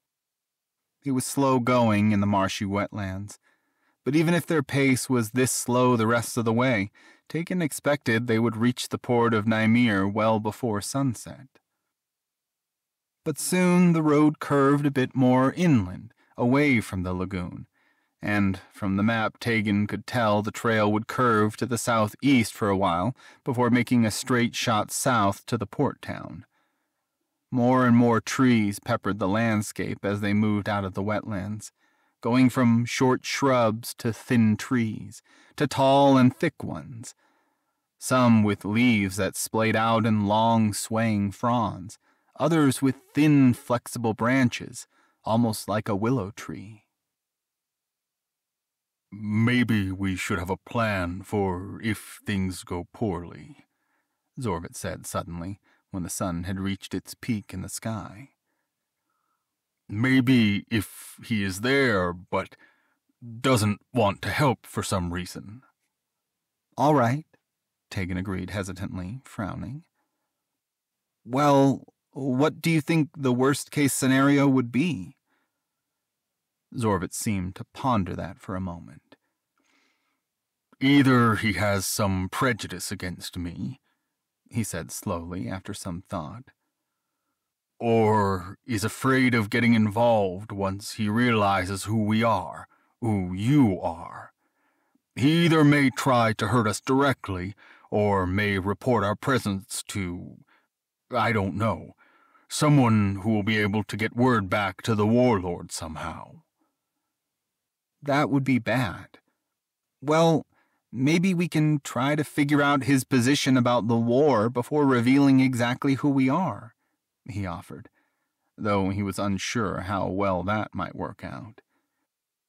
If he tries to hurt us, well, I think that would be more unfortunate for him. I'm not worried about us being able to defend ourselves. If he is afraid of somehow being targeted by our enemies, we can promise him protection. Or if he casts us out, it would probably be best to simply leave without protest. But I think he would suspect who we are the moment he might know we're married, Zorvut sighed. Elves and orcs aren't exactly known for getting along, even here in Outreath. I don't think elves would be particularly interested in a half orc. Well, you're probably right about that, Taegan admitted with a grimace. That was one stereotype about elves that was unfortunately well informed by reality. Kelvan's words echoed in his mind elves should be with elves. But he certainly had not been the first or only elf he had heard voice such sentiments. Maybe we can pretend not to be married. Maybe we're part of an adventuring group, or we're just friends, and I'm helping you out. But if he agrees that he's my father, then he would know my mother is the warlord's wife. So then why would I not be with the clan? he pressed. If I had been cast out before, would I not have tried to seek him out sooner? I don't know how well I could keep up a string of lies like that. Then we just don't offer the information unless he asks, Taegan said. Zorvut still seemed unsettled, but did not reply, instead looking distantly toward the road ahead. If he asks why we're traveling together, we're friends, and I agreed to help you find him. If he asks how we became friends, we met when the war was over, and when it resumed, we left for our own safety. That's technically the truth, after all. Technically, Zorvut sighed. Maybe it would be best just to be forthcoming. If things go well at first, it would be hard to backtrack on our story. And if he has some prejudice against us, I don't know if I would want to spend any time learning from him, even if he were to offer it. That was understandable, though it elicited some mixed feelings in Taegan. He would be ashamed to have come all this way only to turn back of essentially their own volition. But if he were the one in Zorvut's place, he would certainly struggle to accept help from someone who did not accept his husband, too. I don't know if we can really have a solid plan that will account for everything, Taegan finally replied. I think maybe it would be best if we just hold back a bit until we're able to get a better grasp of his intentions, his character. And I'm sure that if you open the conversation with you being his son, it will be a while before he gets around to asking about me or us. Zorvut chuckled, glancing back over at Taegan. I think you're right, he said. Thank you. That makes me feel a bit better. And if he does prove to be a problem, he continued, and made a slashing motion through the air with his hand. Zorvut laughed aloud at that, shaking his head with a grin as he turned back to face the road. Taegan stifled a smile, though he was sure Zorvut felt the amusement and affection through the bond. They kept traveling, and eventually the path curved more to the south again. On the horizon, the image of buildings began to rise up, slowly growing larger and taking on a more defined shape and color. Another faint spike of anxiety came through the bond once the city was within sight, though it was much less than the nerves he had felt from him previously. There was no proper gate to the port, just an open archway surrounded by a low fence. A single guard stood posted at the archway, but he only gave them a bored nod as they neared it on their horses. Clearly, they had no concerns about who was entering the city.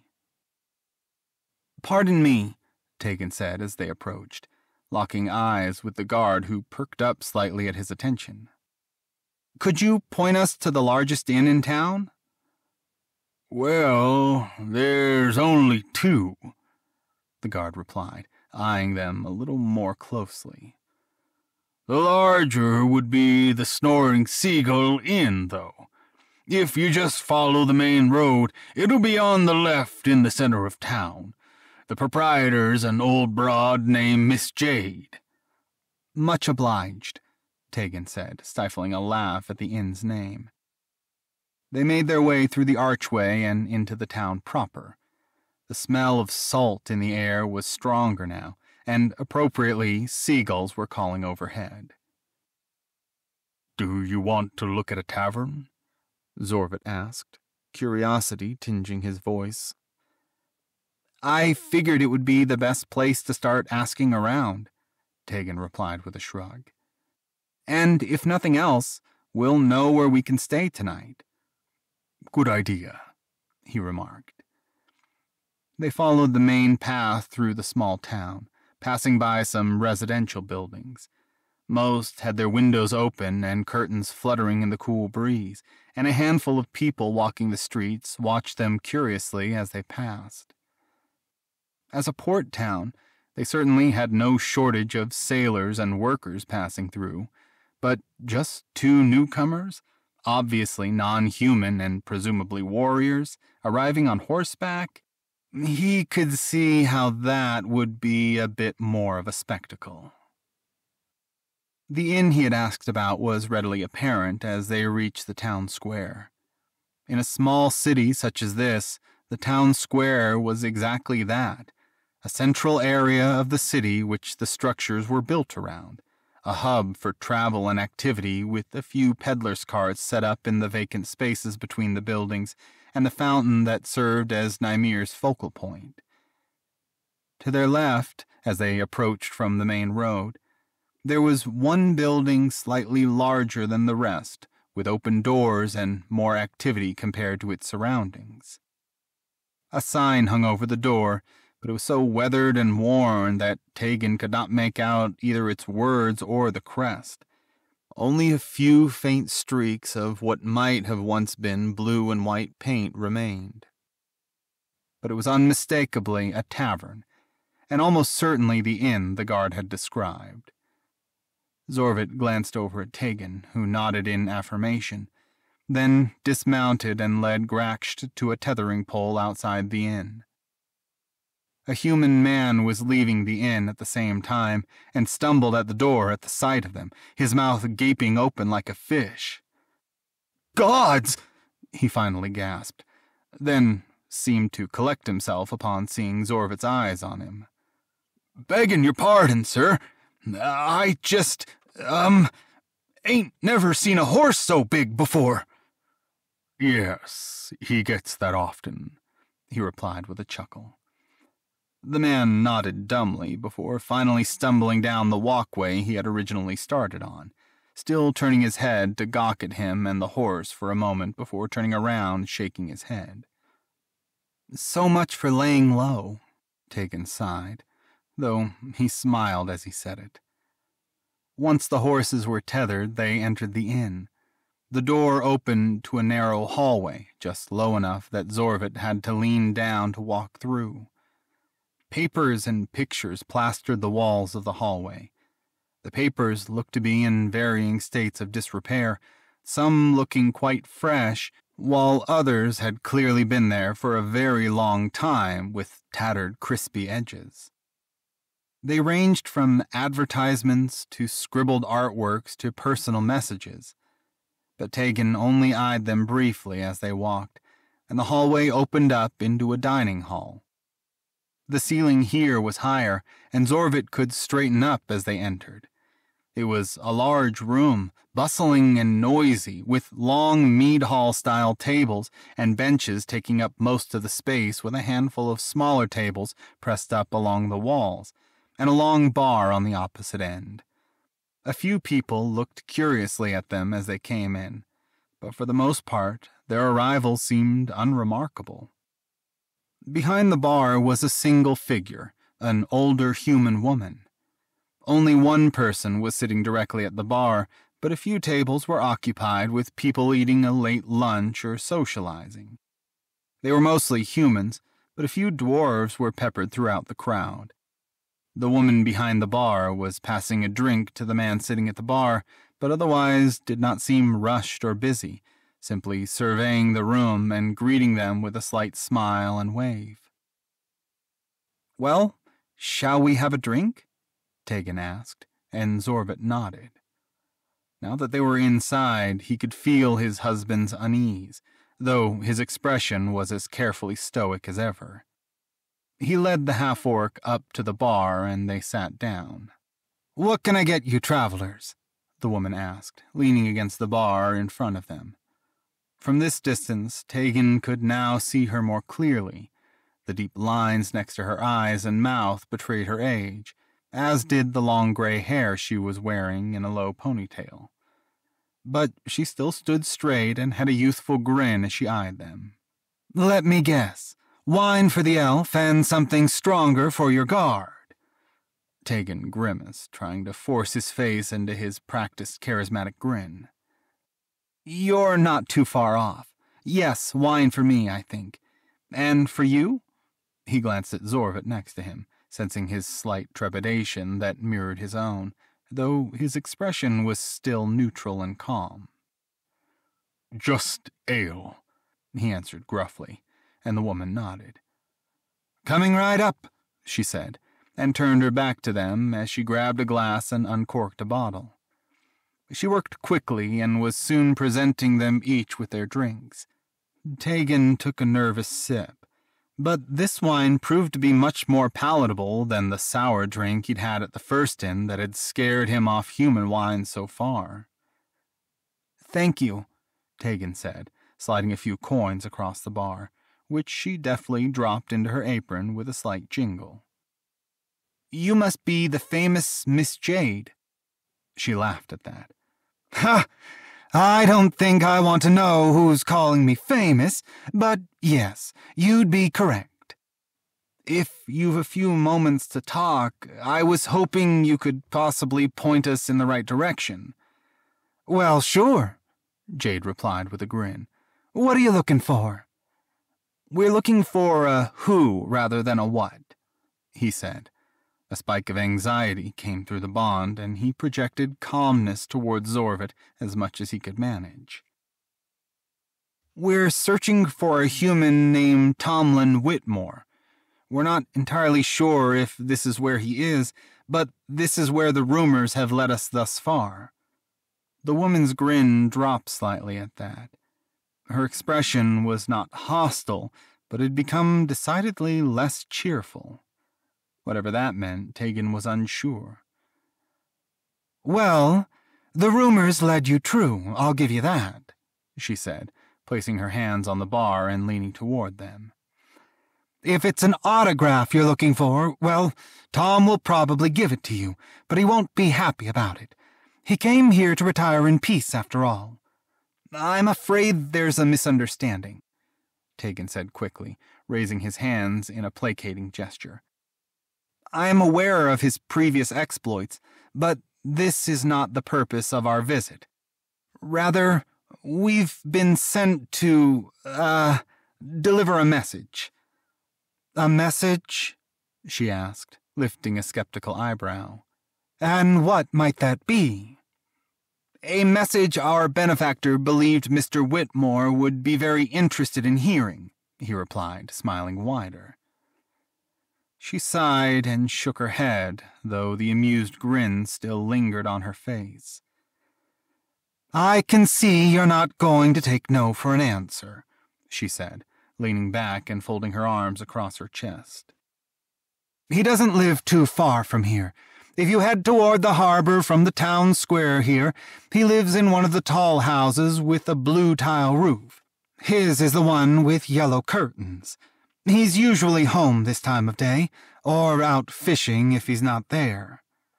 Much obliged, Miss Jade, Tegan replied graciously, letting his face relax into a more natural smile as he handed her another coin. She raised an eyebrow at him again, but took it without comment. Yes, well, she sighed, rummaging idly behind the bar before retrieving a rag with which she began to wipe down the bar top. I remember how it is to be young and adventurous. If you didn't hear it from me, you'd go bark up a different tree, and maybe this way I'll at least get some more of that coin you're so generous with by renting you a room. Zorvut laughed at that, the first obvious reaction he'd had in their entire conversation, and Jade chuckled in response. Look at that! Made the tough guy laugh, she said, more to herself than to them. Taegan met Zorvut's gaze, and the half-orc managed a slight smile. Well, if we do end up needing a room for the night, we know where we'll find one, Taegan agreed. In fact, if you have a stable where we can keep our horses, we might just take advantage of that now. Certainly, she agreed, and leaned her head around the corner of the bar to yell up the stairs for a stable boy. Vance, Come down here and help some customers with their horses. An irritated looking boy of about sixteen emerged from the stairs a moment later, with dark wavy hair that flopped into his face. Yes, ma'am, he said in a monotone voice. It's the biggest horse on the tether, plus the little red dun next to him. A stallion and a mare, Zorvut said. The boy hesitated at his appearance, then nodded. You'll know them when you see them. They stayed just long enough to finish their drinks. Zorvut was sipping his slowly, nervousness still simmering occasionally through the bond. But when Taegan downed the last of his wine, it seemed to kick him into action, and he too finished off his drink in a few long gulps. Shall we? He asked as he slammed the now empty ale mug onto the bar, and Taegan raised his eyebrows in surprise. Let's go, he agreed simply, and Jade waved them away as they stood. Good luck, she chirped, a wry grin on her face. Taegan wondered what Tomlin Whitmore must be like for her to have such obvious schadenfreude at the thought of them approaching him. They walked out to the town square and along the southern path toward the coast. The glimmer of the ocean was visible on the horizon, and on the widest parts of the street Taegan could make out the shape of the harbor and some boats. As they got closer to the harbor, most of the houses had a deep blue tile roof, just as Jade had described, a pleasant contrast to the white stone the rest of the buildings were made of. It gave a decidedly nautical atmosphere to the cobblestone street. On the right side of the road, the buildings were taller and more narrow, and one had a set of yellow curtains fluttering through an open window in the cool breeze. That must be it, Taegan said, pointing to it, and Zorvut nodded. He paused, hesitating, and Taegan turned to look at him. His brows were furrowed and his gaze was locked on the narrow blue roofed home. Let me do the talking, Zorvut said. Of course, Taegan agreed, nodding. Though he had been the one to act as their spokesperson for most of the trip, it only made sense for Zorvut to take the lead now. Taegan might have been the more chatty one between them, but ultimately it was Zorvut's quest for them to have ended up here at all. Zorvut took in a long, steadying breath and resumed walking toward the building, striding up a few stone steps to the door of the house with the yellow curtains. The door was wood, painted white to match the building, but streaks of pale brown were showing through where the paint was weather-worn and chipping. Here we go, Zorvut said, barely above a whisper, and raised his fist to knock on the door. Three solid knocks in rapid succession. Coming! A voice called from inside. It was clearly a man's voice, deep and melodic even as he simply spoke. Taegan raised a comforting hand to give Zorvut's back a few gentle pats before pulling away as the door unlatched loudly from the other side.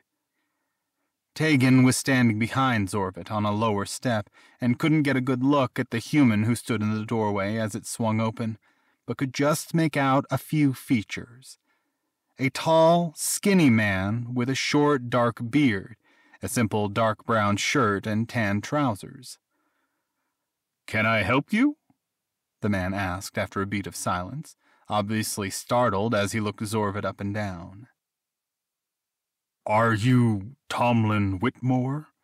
Zorvut asked, and his voice was even and calm despite the steady staccato rhythm of stress coming from him through the bond like the tapping of a drum. The man's tense stance visibly relaxed at that, and Taegan heard him chuckle faintly. I am, he answered. I take it you're here for an autograph? Let me find a pen. No, we're not, Zorvut interrupted, and the man stopped halfway, ducking back into the house. I. We're here to deliver a message. May we come in? A message? he repeated, sounding surprised. From who? Zorvut glanced back at Taegan nervously for a brief second before looking back at the human. May we come in? he asked again, lowering his voice slightly. Something in his expression must have pushed the man into action, for he hesitated for just a moment longer before stepping back, pulling the door open wider. Sorry, I didn't see you back there, he said, leaning around Zorvut to catch Taegan's gaze. Now that he could clearly see the man's face, he was taken aback at how much like Zorvut he looked. The shape of his eyes and mouth, though of course scaled down on the human's smaller face, were identical to Zorvut's own. His hair had clearly once been dark, but was now mostly gray, as was his beard, both of which were short and tidy. He was on the taller side for a human, and classically handsome, with brown eyes that shone with an amber tint in the sunlight. Taegan shook himself back to reality before his silence went on too long. Not a problem, he answered, with as gracious a smile as he could manage, and the man smiled back instinctively, though his confusion was still apparent in his eyes. Taegan followed Zorvut into the house, and the human closed the door behind him. Why don't you have a seat? he said, brushing past them and leading them into a small kitchen on the left, where the window with the yellow curtains was located. There was a small dining table as well, but with only two chairs. It might be a bit small for you, my tall friend. I apologize. Have a seat, please, and I'll bring in another chair. Something to drink? No, thank you, Zorvut answered as he carefully sat down. As Tomlin said, the chair was decidedly too small for him and creaked under his weight. Taegan sat as well, and they waited in an awkward silence for a moment. It was a comfortable looking kitchen, with white tile flooring and blue accents of dishes and wall art to mirror the white and blue motif of the surrounding buildings. A few fresh flowers were in a vase of water on the table next to them, and the stove was off, although the kitchen was a bit warm and had the aroma of a meal recently prepared. Tomlin Whitmore emerged from the entryway with a stool which he placed opposite them on the table and perched on, a smile on his face, though his posture was nearly as tense as Zorvut's. Well, what's this important message then? he asked, looking between the two of them. Taegan glanced over at Zorvut, who was looking at him, and nodded encouragingly. Well, Zorvut replied slowly. My name is Zorvut the Relentless, from the clan Bonebreaker. I came here to tell you. My mother is Nadie, wife of Hrul Bonebreaker. But I learned not long ago that the warlord is not my father. She says that. that you are my father. Taegan's gaze had been on Zorvut, but once the confession was in the open, he glanced over to the human. His brows had raised incredulously, and for a drawn out moment he was perfectly still until he finally leaned back in his seat, very slowly, and lifted a hand to cover his mouth. By the gods! he breathed, his eyes locked on Zorvut. I didn't. I mean, yes, I remember Nadie, but I had no idea. Gods! He rubbed his beard nervously and finally let out an incredulous laugh. I'm sorry. I don't know what to say. Of course, Zorvut replied, sounding just as nervous. I, um, I only found out a little while ago. It was a shock for me, too, certainly. A son, Tomlin said, shaking his head. I have a son. Gods! How do you say your name again? Zorvit? Zorvat, he answered. Zorvat, the human repeated, and he laughed again. Wow! Well, to be honest, this has never happened to me before, all the stereotypes about bards aside. Although I can't say I'd be surprised if there are a few more of you. None have ever come to find me like this. Well, it's good to meet you, Zorvut. May I? He stood and extended his arms. A rush of incredulous surprise flooded the bond, but slowly Zorvut stood and took a step closer to the human. They embraced awkwardly for a brief moment the human's arms not quite able to fully wrap around Zorvut while he patted Tomlin's back carefully. Once they stepped away from each other, Tomlin looked up at Zorvut with his hands on his hips. How long will you be in town, then? I'd love to get to know you, maybe go on a bit of a fishing trip. Ah, oh, well, he started, then trailed off anxiously. I came here for another reason, too. Around the same time I learned about you, I, uh, discovered some latent magical ability. Most orcs don't really have much in the way of magic, and I haven't been able to find a suitable teacher, so. We traveled here in hopes you might provide some guidance, or even just point me in the direction of someone who can. Magic! the man exclaimed, surprise overtaking his face again. And there was a tinge of delight in his voice now that had not been there before. Well, magic definitely runs in the family. My father had some ability with the arcane, as did his father.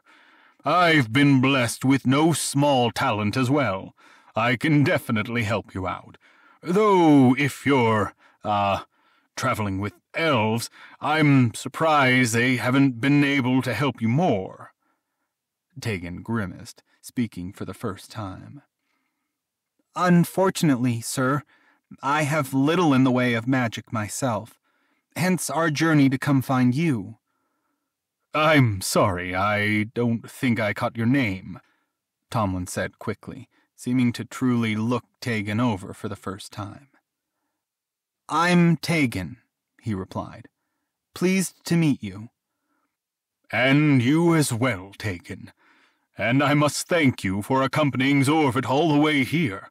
I'm sure it was a dangerous journey, things being what they are in the world. He chuckled, nodding. The man didn't know the half of it. I'm happy to help. But as far as magic, sure, Tomlin said, turning back to Zorvut. I don't know how good of a teacher I'd be, but I'd be happy to help however I can. Do you have a place to stay? We have a room for the night at the Snoring Seagull, Taegan interjected quickly. Ah, well, Miss Jade is a lovely woman, Tomlin chuckled. I can prepare rooms for you if you'd like to stay with me for a bit after tomorrow.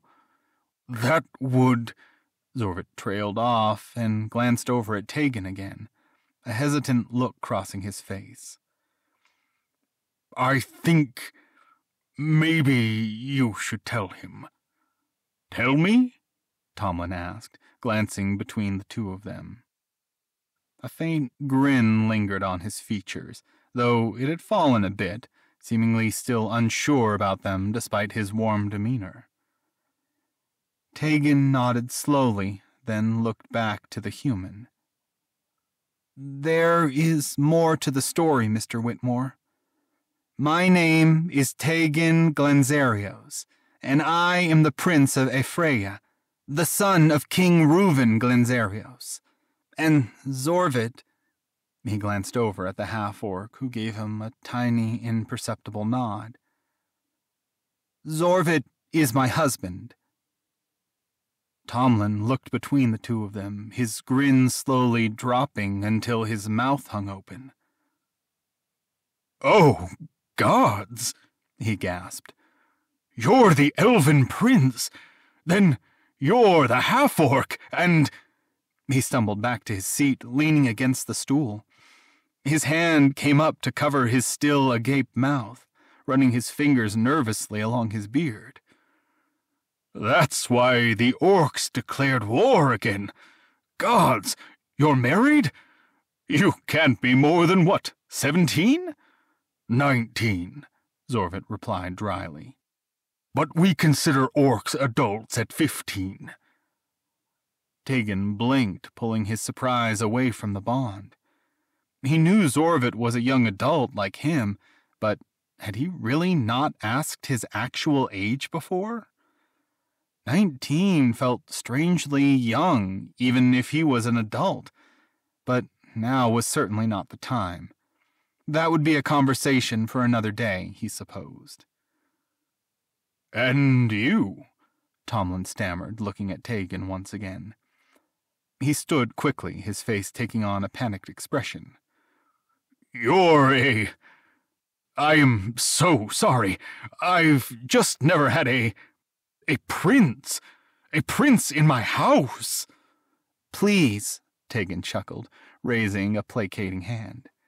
It's quite all right. And, you know, Zorvut is a prince as well, by extension. The baffled human looked between the two of them for a long moment, then burst into a loud, nearly hysterical laugh before covering his mouth with both of his hands and sitting back down. I have a son, he whispered, seemingly more to himself than to either of them. I have a half orc son, and he's a prince, and he's married to the prince of the fucking entire elf kingdom. Gods help me. I understand it's a lot to take in, Zorvut offered cautiously, still sitting with his back stiff and straight in the too small chair. He had hardly moved during the entire exchange. Taegan could feel trepidation coming from him more than anything else, though he was certainly feeling a wide range of emotions all at once. Like Taegan said, we'll stay at the inn for tonight, and you can think everything over. Then we can come back tomorrow and decide what you'd like to do. Of course, of course, Tomlin answered, nodding without meeting his gaze. I mean, you can certainly stay here, and I'll do whatever I can to help, but you're right. This is a lot for one day. He ran a hand through his hair and shook his head rapidly, as if trying to clear his thoughts before looking at Zorvut again with a weak smile. Despite the tension that had just been on his face, his smile was instantly charismatic, the stereotypes about bards must have had some kernel of truth to them, Taegan thought. Zorvut, thank you for coming to find me. It couldn't have been easy. Zorvut managed a slight smile, clearly disarmed by his words. Uh, of course, he stammered. Truth be told, I was very nervous going into all this. We didn't know if you would be open to this, or if you would want to help me at all, or if you wouldn't want to get involved with, well, all this. I should be thanking you. Right, of course, Tomlin said, suddenly frowning again. Is it. It's safe for you to be here, right? You're not being chased down or anything? I don't know much more except the orcs and elves are at war again. Are you in trouble? No, I don't believe we've been followed, Taegan said, interjecting as Zorvut seemed hesitant. It is an unfortunate possibility, but one we have taken many steps to avoid. If we believed we were bringing anything dangerous to town, Mr. Whitmore, we would not have let it to your doorstep. Please, you can both call me Tom, he said with a wave of his hand. And that's good to hear. I mean, I would still want to help, certainly, but. Well, I wouldn't want to endanger anyone either, of course. Of course, Zorvut echoed. I agree. There were no signs we were being followed. In that case, please, I'd love to host you here for a little while, he said, then started laughing again, shaking his head in disbelief. What a day! By the gods, I have a son! A son! The discussion began to fizzle out from there, both of them unsure of what exactly to say to the other. That was understandable. How often would anyone have a conversation with a father they've met for the first time? And learning he had an adult son must have been a shock for Tom as well, and his wide eyes seemed to continually dart back and forth between the two of them. Taegan watched their uncertain interactions as they tested the waters with each other with a faint smile on his face. Taegan watched with uncertain interactions as they tested the waters with each other, with a faint smile on his face. Despite their awkwardness, there was a clear magnetism between them. Now that they were facing each other and speaking, the resemblance between them was only more apparent, which still amazed Taegan. Eventually, they sat in awkward silence for a long moment at which point Taegan decided he needed to guide the conversation. I must thank you again for your hospitality toward us, Tom, he said, standing up. You certainly did not owe us anything, but you've been exceedingly generous. I think I can speak for both of us when I say we truly appreciate it. Of course, of course, the human said, standing as well, his back stiffening. He was clearly even more unsure how to act around Taegan, despite his reassurances. It's been a shock, certainly, but I'm glad to have you here. I'm glad to have met you, both of you.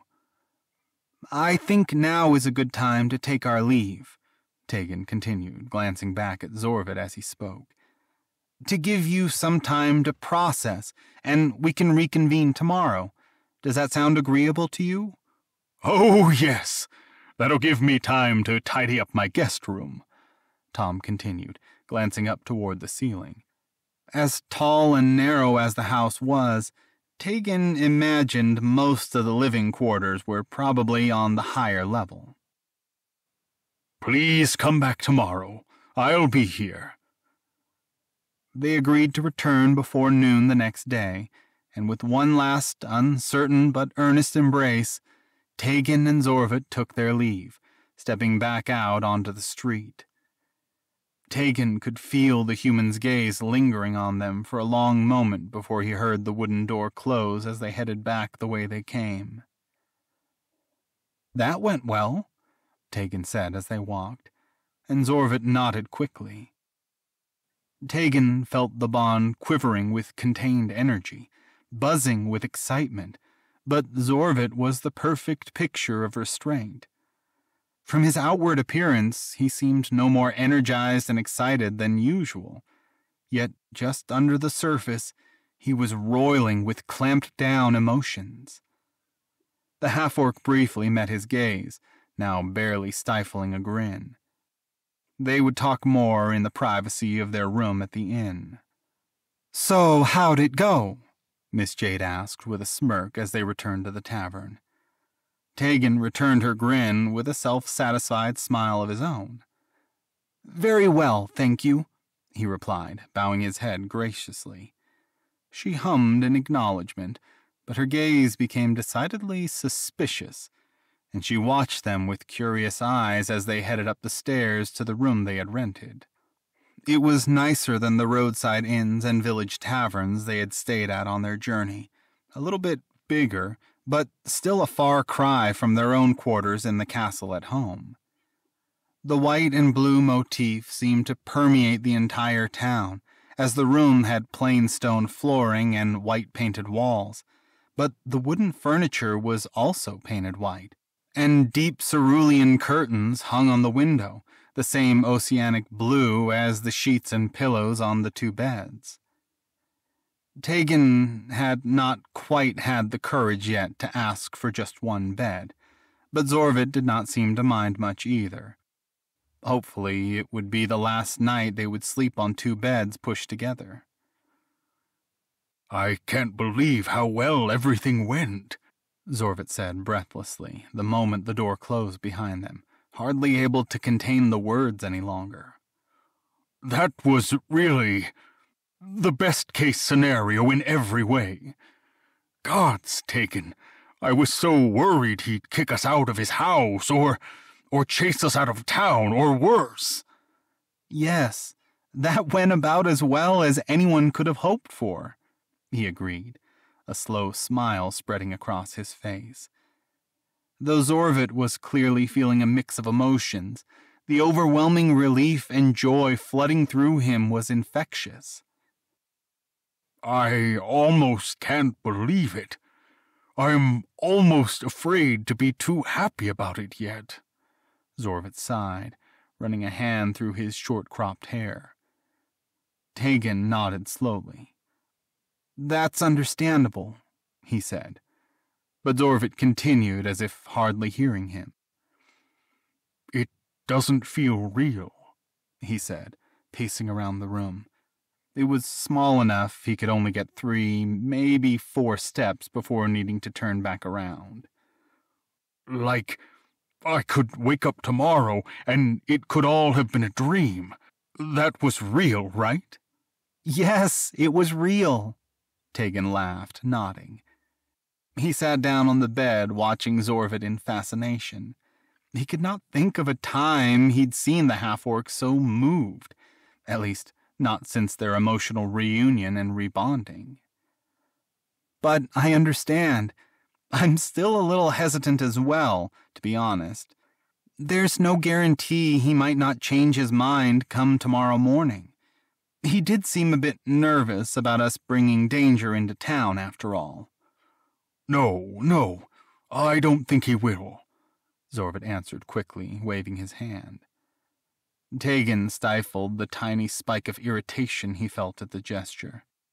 It felt too much like being waved away, but he told himself Zorvut was just excited, eager. Could he blame him for that at a time like this? He seems like a man of his word, and if he can teach me more magic, I'm sure he can hold his own. Well, I hope you can learn much from him, Taegan replied, and when Zorvut met his gaze, his eyes softened into a more tender smile. Everything else seemed to melt into the background when Zorvut looked at him with the eager, hesitant smile that curled around his tusks, brightening up his golden yellow eyes like a beam of sunlight. This entire trip will have been worth it if you can learn something worthwhile. Thank you for coming with me, Zorvut said breathlessly. He stepped toward Taegan and fell to his knees, wrapping his arms around the smaller elf and pressing his face into Taegan's lap. Thank you, thank you. You don't need to thank me, my love, Taegan chuckled, gently stroking Zorvut's hair and trailing his fingers along his cheek when he glanced back up at him. But I did want to ask you, are you really only nineteen? There was a beat of silence between them. Then Zorvut laughed aloud, the tension in his muscles all suddenly breaking at once as he leaned harder into Taegan affectionately. Yes, he said, shaking his head incredulously.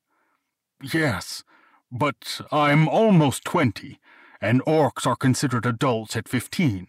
I promise I wasn't a child bride. Well, that only makes me feel a little better, Taegan teased, chuckling. I can't believe I never asked you something so basic before.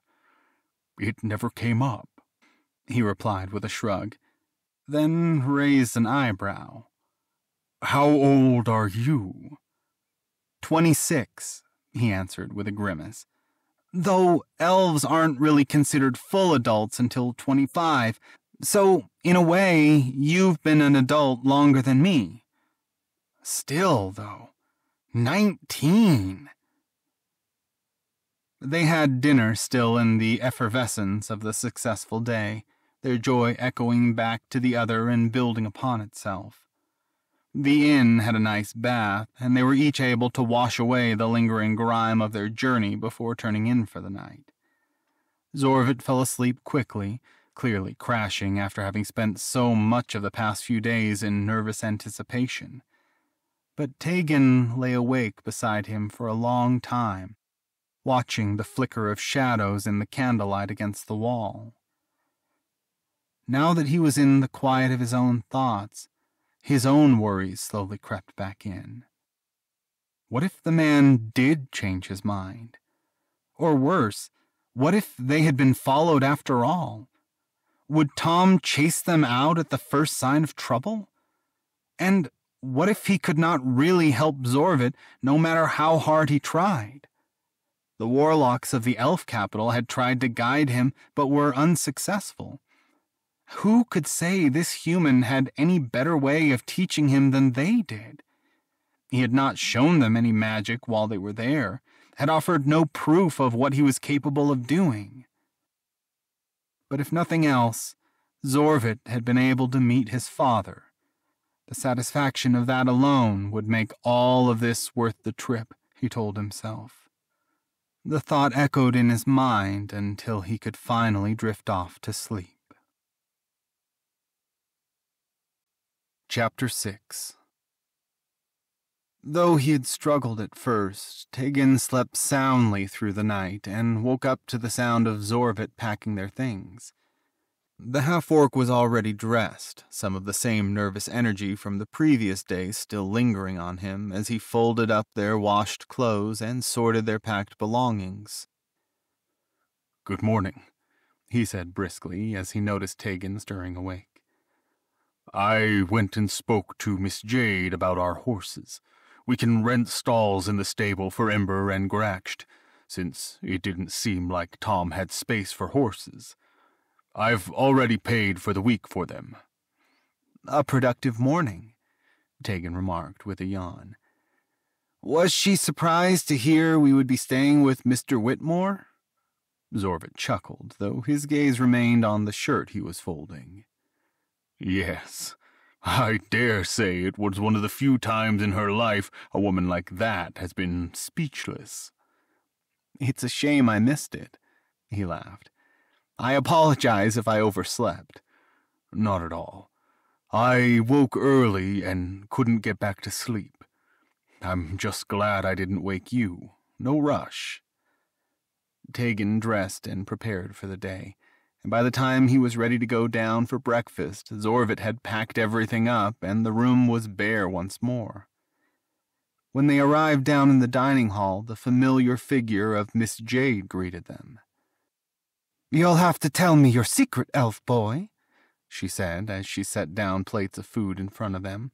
What appeared to be steamed fish atop a bed of rice and a light vegetable broth. How did you sweet talk old Tomlin into letting you stay with him? Taegan gave her his most honeyed smile, dripping with over the top insufferable charisma. Our benefactor is nothing if not persuasive, ma'am, though Mr. Whitmore has extended his offer out of the kindness of his heart. Psh! She snorted at that. Just as likely he owes you. I always figured a man that well traveled in that lifestyle for so long. Of course, he's got a past that would catch up to him eventually. Taegan narrowed his eyes as he maintained the same smug smile.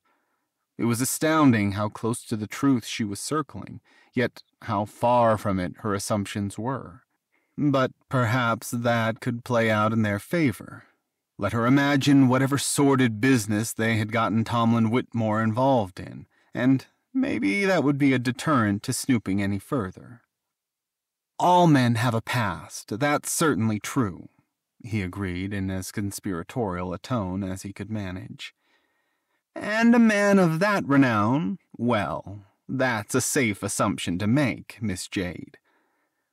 But you're not going to tell me why you're here, are you?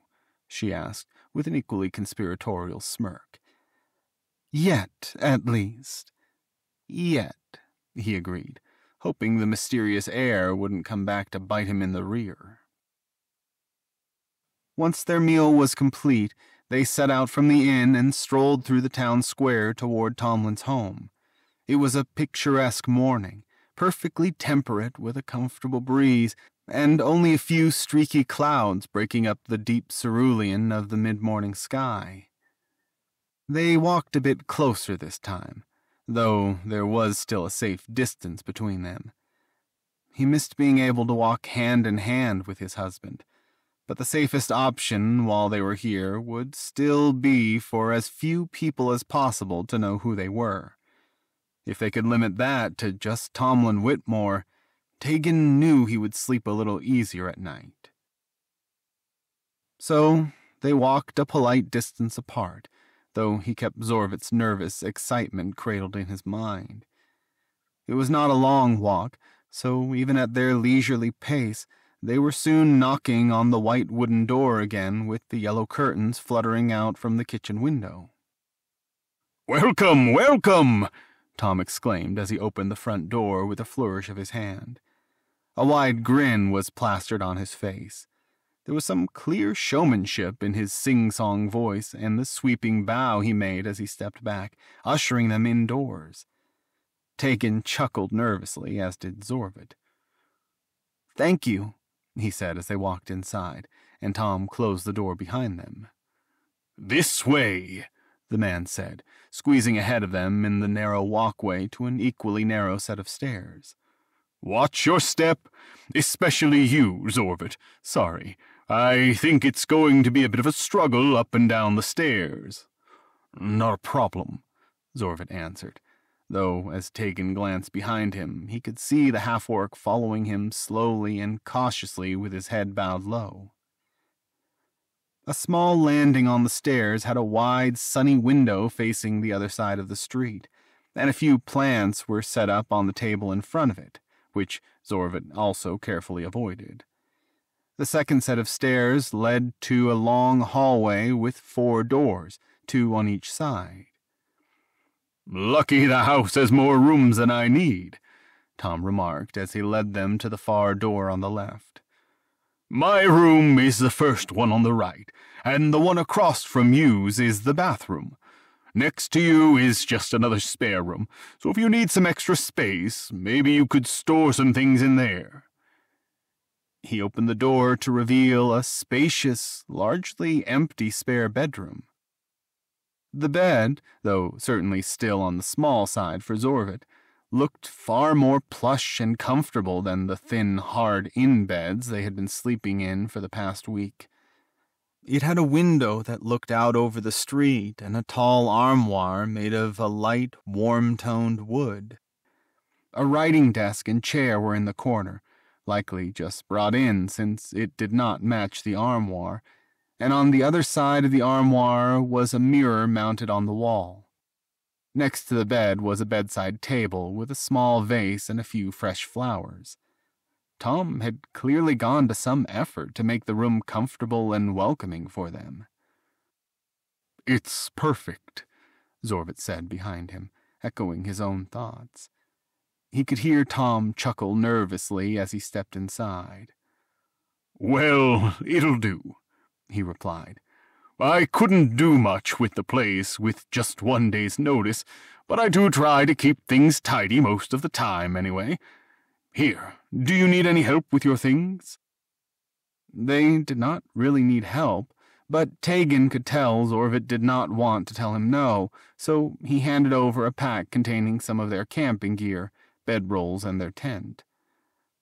The room was feeling decidedly cramped with the three of them in it, though. You know, I think I have a storage space downstairs that might be better for this, Tom said after a moment of them shuffling around each other. Why don't I go take this, and once you're both settled in, Zorvut, we can get started. Getting right to it, then, Taegan remarked with a raised eyebrow. That's fine, Zorvut said quickly. Yes, we shouldn't be long. Taegan carefully unfolded and hung his clothes, but Zorvut was done with his own pack swiftly, clearly eager to get to training. Go on, Taegan said, waving him away with a slight grin as the half-orc hesitated next to him. I don't need help. I'll find you both when I'm done. A nervous smile spread across Zorvut's face, and he knelt down to kiss Taegan, taking him a bit by surprise. I love you, he said softly, his forehead pressed against Taegan's own. There was a rush of heat between them, the moment unexpectedly tender. After all, he was sitting on the floor with a travel cloak in his hands. I love you too, he replied breathlessly, starting to lean closer to Zorvut, but the half-orc pulled away with the same expression, though perhaps looking a bit more smug now. Don't be too long, he said as he got back to his feet and moved toward the door. Taegan shook his head, flustered, but chuckled despite himself. He was glad Zorvut was in such a good mood. It was infectious, even without their bond. And it was a relief to see him cheerful after so many days of anxious uncertainty. His own reservations were still a nervous cold knot deep in his stomach, but he could keep them firmly pushed away for now. Zorvut was happy, he told himself, and for now, that was all that mattered. Everything else could be figured out later. Once his clothes had been hung up to his liking, though many still had an inordinate amount of wrinkles, not that there was much he could do about it without a hot iron. He peeked his head out of the doorway. Neither Zorvut nor Tom were upstairs, though he could very faintly hear their voices.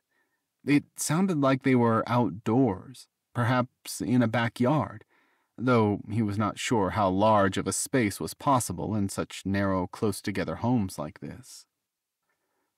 He was in no rush to get downstairs, and instead padded across the creaky wooden floor of the landing to inspect the bathroom.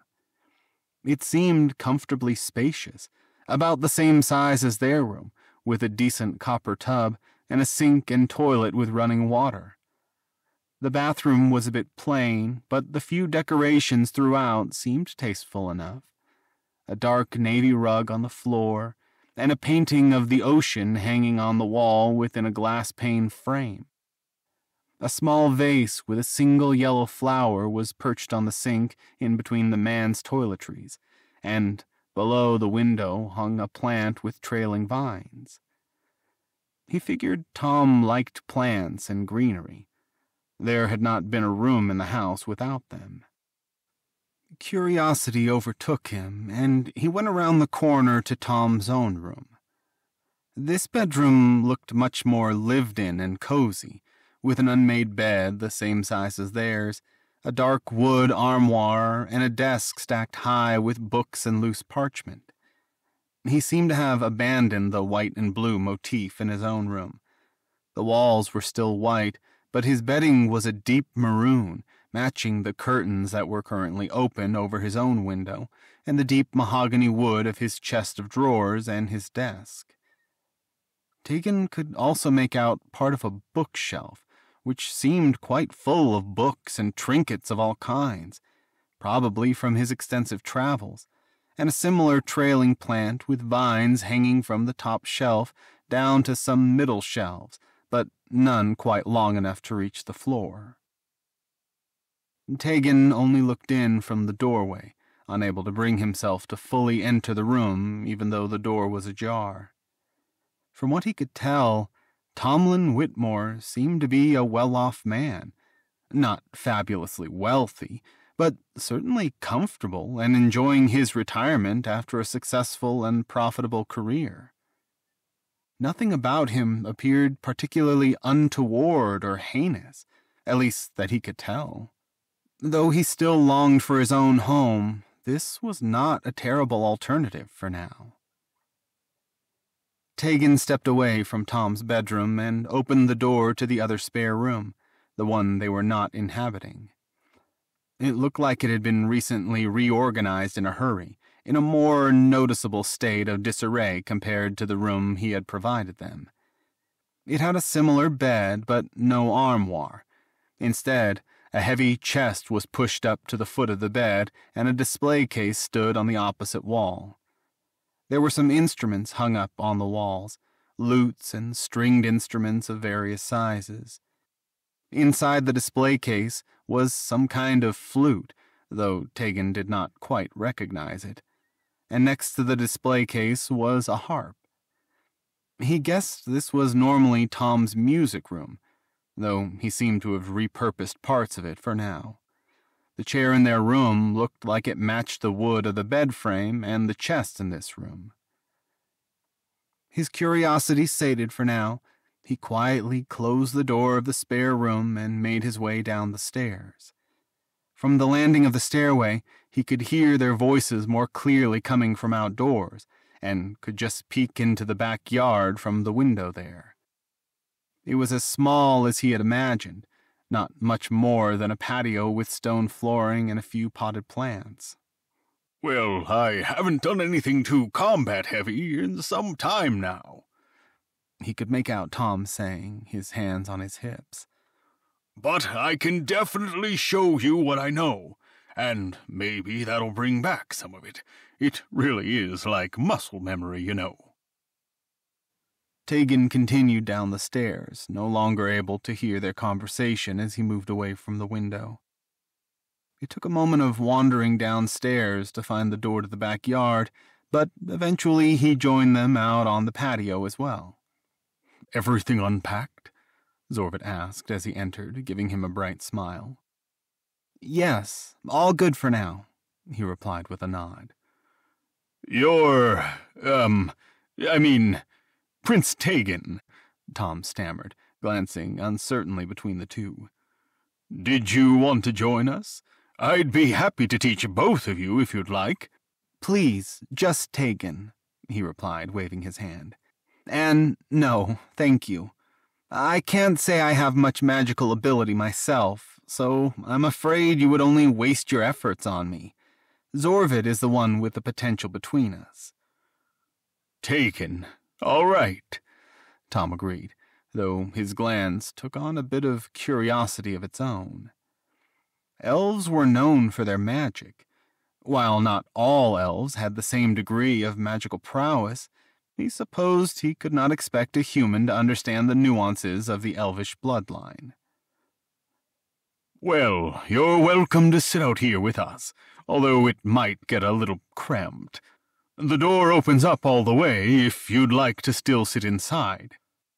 He opened his mouth to say he had no need, but he met Zorvut's gaze and felt a faint tug at the bond, wordlessly hoping he would stay. A smile played at his lips as he glanced away. I'll bring up a chair, he said, and went to pull one from the kitchen. A trickle of gratitude came from the bond as he did so. When he returned, chair in tow, Tom and Zorvut had switched places, Tom closer to the open door now, and Zorvut nearer to the gate. Taegan set up his chair just inside the doorway, leaning back to watch the both of them as the cool ocean breeze ruffled his hair. First, let's see what it is you can do, Tom was saying, making a gesture with his arms for Zorvut to proceed. Right, he agreed, though his brows were now furrowed in visible concern. The half orc seemed to ready himself, his stance widening slightly then he extended a hand. After a brief moment, a flickering handful of flame appeared in it as if he were holding a candle. Not bad, not bad, Tom said, mimicking the gesture and quickly summoning his own handful of flame. We can work on responsiveness. There was a bit of a delay. How far can you extend it? Extend it? Zorvut repeated. Though his expression was blank, Taegan could feel his nerves mounting. I'm not sure what you mean. I was able to throw it once, the first time I used it, but since then I haven't been able to do much more than just summon the flames. I see, Tom said, rubbing his chin. Let's focus on that first, then. You said you threw it, but it helps me to think of it less as something I'm throwing and more an extension of my own hand. So try just extending it like you're reaching your hand out instead of throwing it. Watch me. With a flick of his wrist, he summoned another small fireball in his hand and pointed at a slab of stone fencing in the alleyway between his patio and the building behind them. With a slow and deliberate movement, more like tossing a coin rather than throwing a weapon. The flame burst forth from his hand and streaked through the air to hit the stone wall, where it flickered into embers before dissipating entirely. Now you try. Zorvut nodded, looking toward the stone Tom had aimed for. He shifted his stance awkwardly, trying to get into the same position Tom had used, before summoning the small flame in his hand and making the same gentle tossing movement. This time it stayed lit once it left his hand, but did not quite make it to the wall, soaring only a few feet through the air before sputtering out in a puff of smoke. But the bond still flooded with excitement and awe, and Zorvut looked first at Tom and then back to Taegan with a wide grin. That worked, he said breathlessly. Thinking of it more like that, it worked. Even practicing with the warlocks back at the castle, I couldn't get it to last. Thank you, Tom. Very good, Taegan said, letting his pride filter through the bond. Zorvut had struggled with his magic for so long. It was heartening to see even a minor success now. I'm glad that helped, the human replied with a self-satisfied grin. We'll work on that for today. Let's see if you can get it to reach all the way to that wall. For most of the afternoon, they took turns throwing small fireballs at the wall, Luckily, whoever owned the fence either seemed to never notice or care, for no one came out of the building it was attached to. Taegan sat and watched for most of it, occasionally getting up to bring them some water or stretch his legs, but he did want to give Zorvut as much support and attention as he needed. It took a while, with Tom frequently moving to adjust Zorvut's stance, guiding him in the exact motions he had used, but eventually the half orc's own smaller flame lasted long enough to sail through the air and strike the stone wall in a shower of sparks. Yes! Tom exclaimed, clapping his hands. Excellent, excellent! It will take some practice, but you're a quick learner. Very good. Thank you, Zorvut replied, panting. He was sweating now, between the heat of their fires and the effort of practicing for so long. He glanced at Taegan with a slight grin, which he returned. I think we're done for the day, then, Tom said, wiping his own brow. I don't know about you, but I could go for a nice cold drink about now. Do you have a preference? Ale, Zorvut replied, following him back into the house. Taegan pulled his chair away from the door and closed it behind them as they headed for the kitchen. Dark, light, any. Well, that's something you didn't inherit from me. I'll get a cold pint of my favorite dark ale for each of us. Did I show you the ice cellar? Here, it's this door in the kitchen.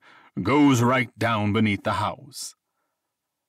By the time Taegan had caught up to the kitchen, they had gone through the cellar door, and he could hear their faintly muffled voices coming from below.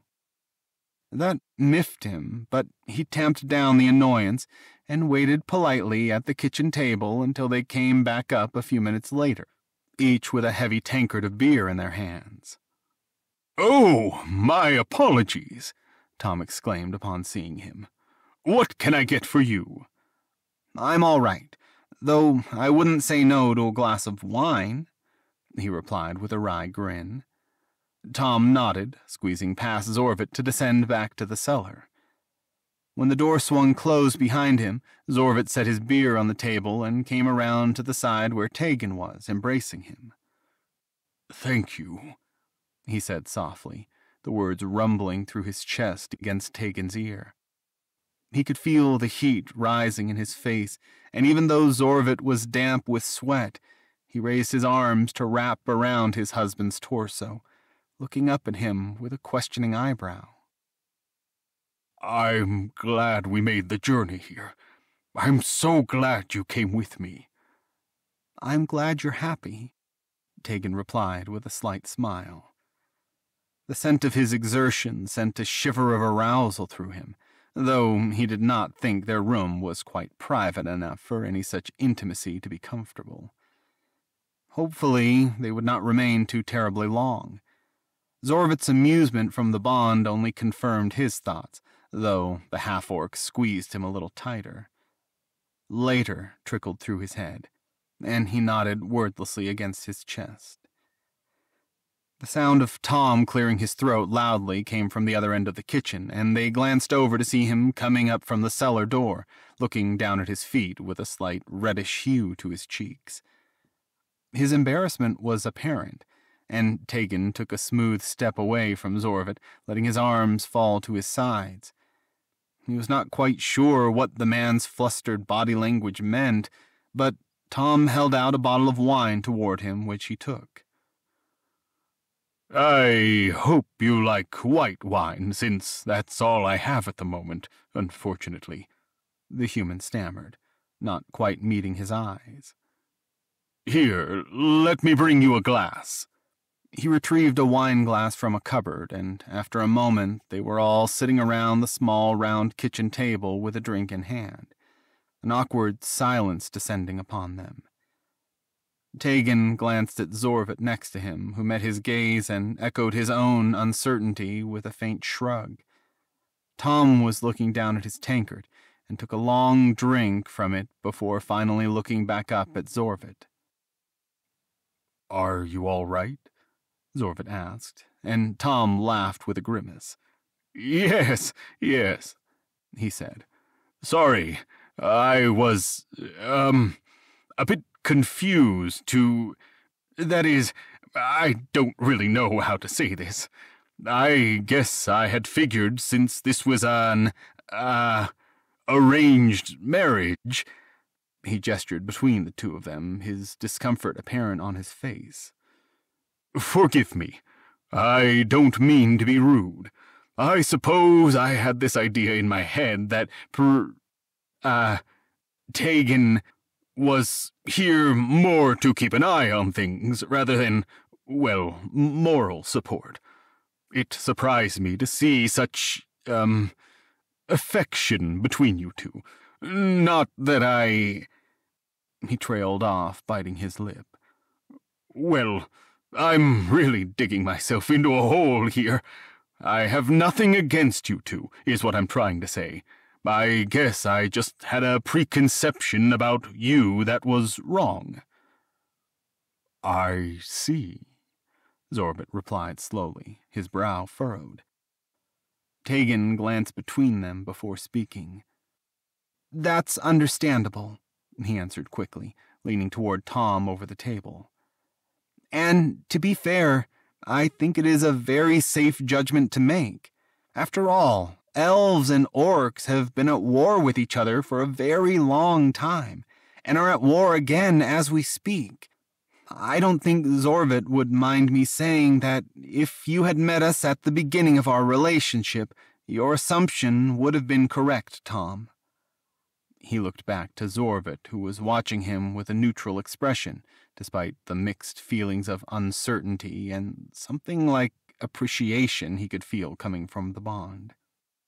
But Zorvut and I found we are much more compatible than I think anyone would have anticipated at the time the peace treaty was drafted. He has my heart, and I'm thankful for the circumstances that brought us together. Zorvut's lips slowly twitched into a faint smile, and he nodded in agreement. Taegan glanced back over to Tom, who was watching them with an expression of surprise that he quickly masked when their eyes met. I understand the mating customs of elves can be seen as unusual by humans, but I hope you can look past that to see that we are indeed happy together.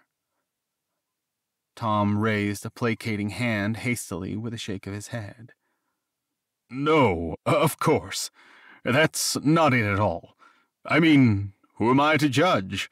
I've known a handful of elves in my day, and I have some understanding of your customs.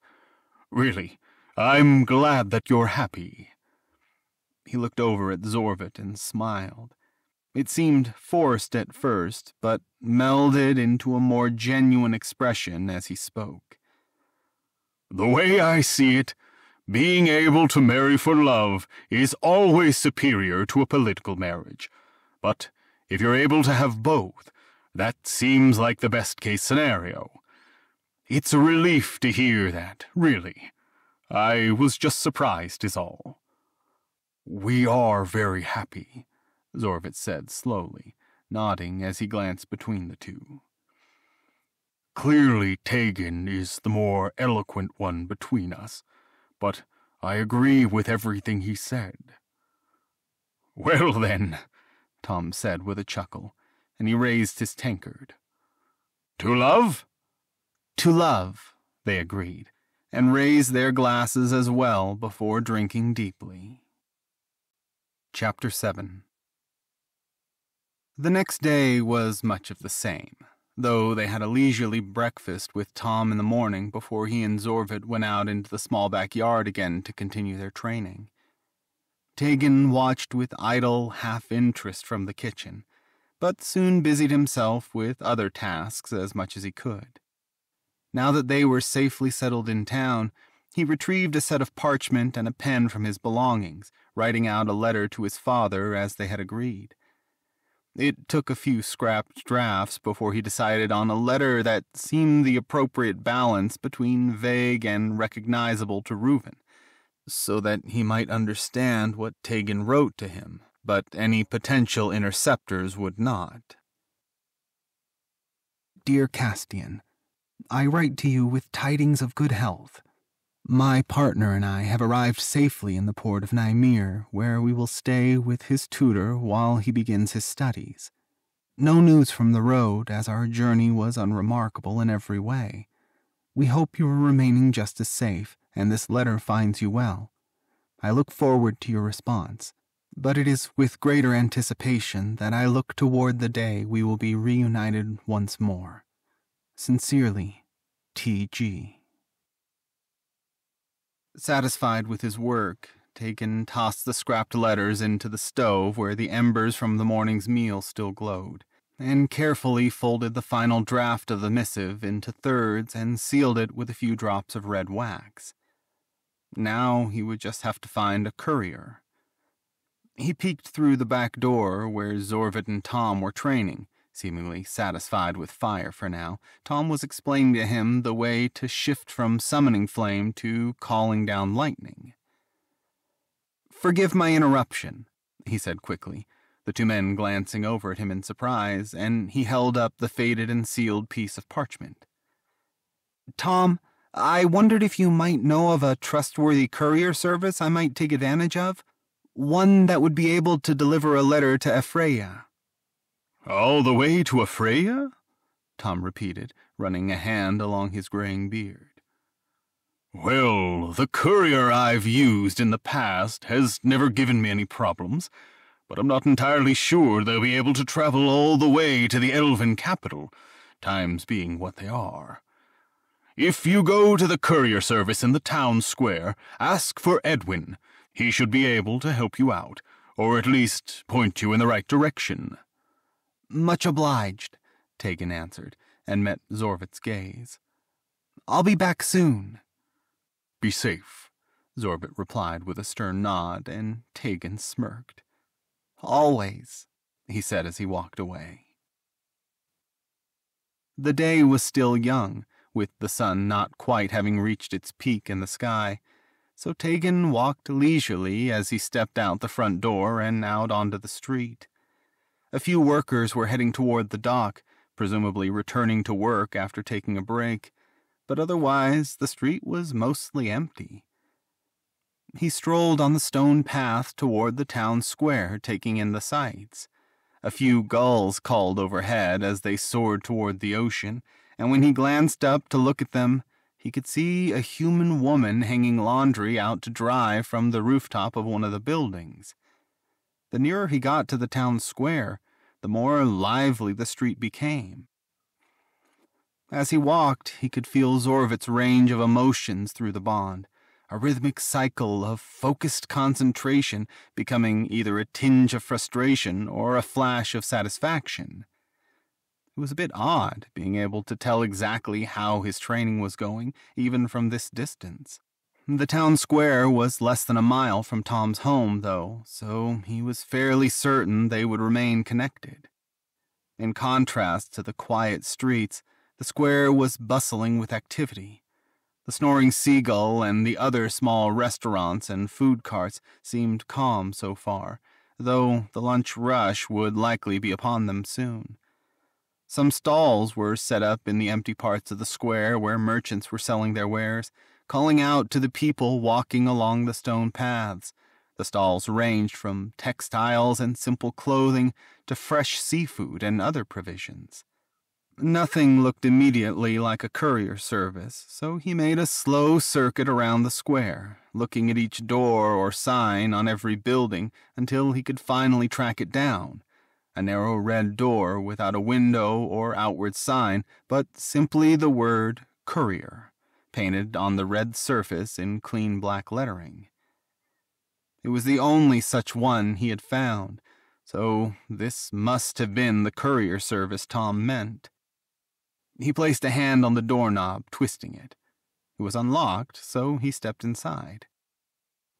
The shop was a narrow and long room with the few austere decorative items on shelves, but rather empty save for the long counter that stretched along the right hand wall, a dark wood that went pleasingly with the dark forest green paint on the walls. Behind the counter was a tall, gangly human man with a clean shaven face. neat brown hair parted on one side, and large spectacles that gave him the appearance of some kind of very long insect. Welcome, the human said, looking up from some papers on the countertop in front of him as Taegan entered. How may I help you?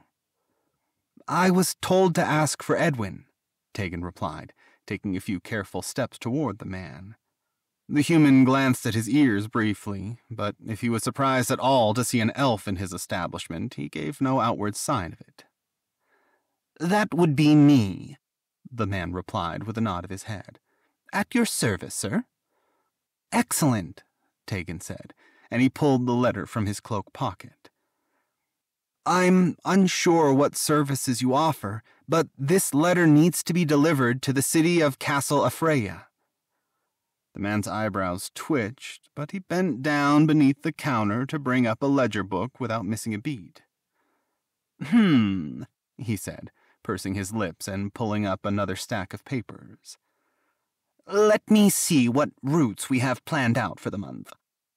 He shuffled through the papers and brought out a few maps, some of which Taegan recognized and others which seemed to be more local and narrow in scope, that he could not pinpoint. Each had a few routes highlighted in red with small notes scribbled next to them. The maps he did recognize Aefraya in did not seem to have any highlighted routes. Unfortunately, sir, times being what they are, we don't have any regular line going to Aefraya for the foreseeable future, Edwin said, folding his arms across his chest as he met Taegan's gaze again. I can arrange an independent delivery for you, but it's much more expensive than going on the regular routes. Money is of no concern, he replied with a wave of his hand.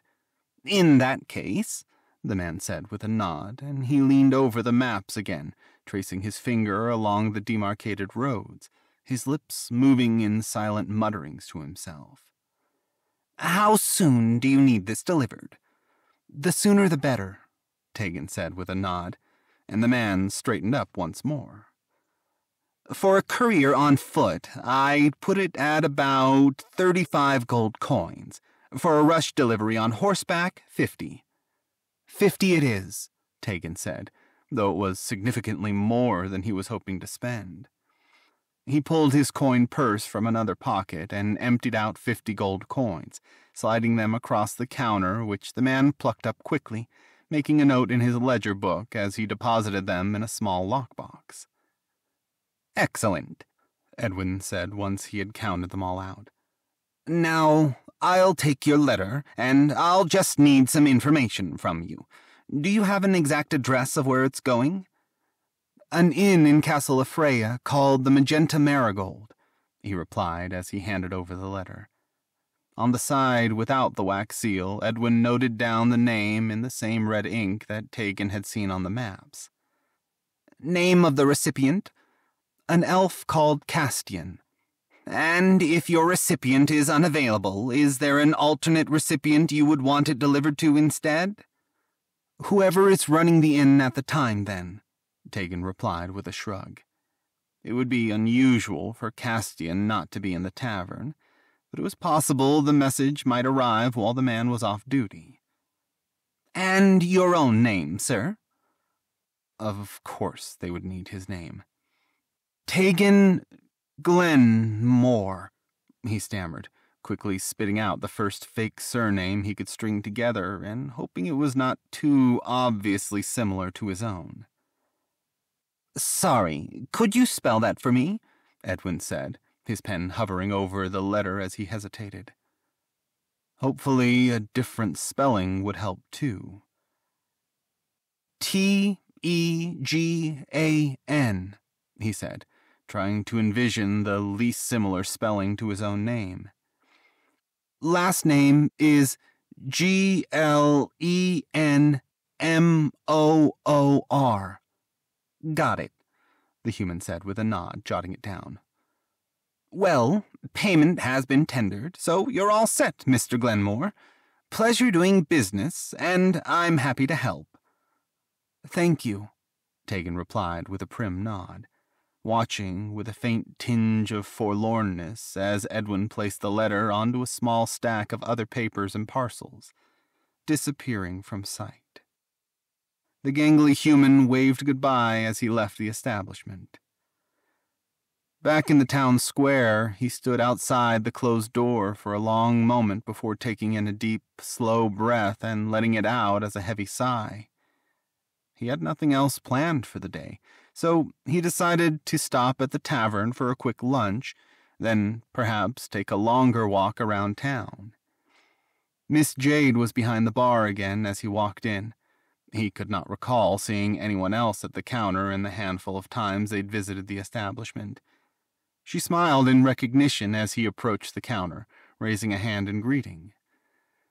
Back so soon? she said wryly. Just for lunch, he replied with a chuckle, glancing around the dining room before taking a seat. There were only two other people sitting at the bar, both of them visibly dock workers on a break, but a few small groups were sitting at the tables spread evenly throughout the hall. What do you have available today? Lunch specials today's clam chowder and an ale for four silver coins. No substitutions on the drink, sorry, she said, winking. I know how elves are about their wine, but we've got what we've got. I suppose I can try branching out, he said with a sigh, though his slight grin certainly betrayed him. She nodded as he set down the coins, and a moment later he was presented with a large stone bowl filled with steaming creamy soup and a mug of cold ale. The soup looked perfectly rustic, with big chunks of root vegetables swirled throughout and a generous sprinkle of pepper dotting the surface. He could not recall having a soup made with fish before, or any kind of seafood but on the first taste found it quite pleasant and finished his bowl without complaint. I don't think I ever quite caught your name, Mr. Elf, she remarked idly as he took an experimental drink of the ale. At first sip, it was much more light and refreshing than he would have guessed. Your tall and handsome companion was the one who arranged everything with your horses, if I recall. Taegan almost choked on his drink, though he did not disagree. He had never heard someone else refer to Zorvut as handsome. Humans really were known for their adaptability and affable natures, though, he supposed. He was so caught off guard, he couldn't even come up with a lie. I'm Taegan, he said once his coughing fit had subsided, though she was still laughing at him as he spoke. Is it that surprising to hear he's the handsome one between you? she teased, shaking her head. Well, I can't speak for every lady, but sometimes all it takes is being big and strong, though he's certainly a looker, out of the half-orcs I've seen in my day. Oh, I take it you've seen quite a few half-orcs? he asked. Oh, yes, she agreed. I got my start as a barmaid all the way out in Genemond. That's the capital of Altreth, if you weren't aware. And as the capital, we got all sorts. Oh, all sorts. A half-orc wouldn't cause anyone to bat an eye when there were half-dragon merchants from the northern tribes hawking in the town square, and a Vilken in all the gambling halls. I see, Taegan replied slowly immediately regretting giving her his name. A well traveled human was far more likely to be a well informed human, and the last thing he needed was to be recognized by the woman who owned the biggest inn in town. Anyway, Miss Jade continued, all that to say, I know a handsome half orc when I see one. So you should keep a close eye on your friend, especially if he takes after old Tom. If he had been surprised before, his heart had all but stopped now. I. I beg your pardon? he asked, hoping against all hope that maybe he had misunderstood her. Well, I didn't connect the dots at first, she said, pointing at him with a wine glass she had been wiping dry. But the more I thought about it, and when I saw him for the third or fourth time when you were checking out, it all just clicked. I can definitely see the resemblance, and for you to come looking for Tom only to end up staying with him, what else would it be? I know Tom pretty well, though, and fucking an orc woman wouldn't even top the list of the most scandalous things he's done in his wilder days. Probably in the top five, though. When she met Taegan's eyes again, she smirked, clearly taking his speechless expression for confirmation. Very kind of you to help your friend track down his father. Yes, well, he stammered, though he had no idea what to say. It was a hunch, but, uh, a gamble that paid off.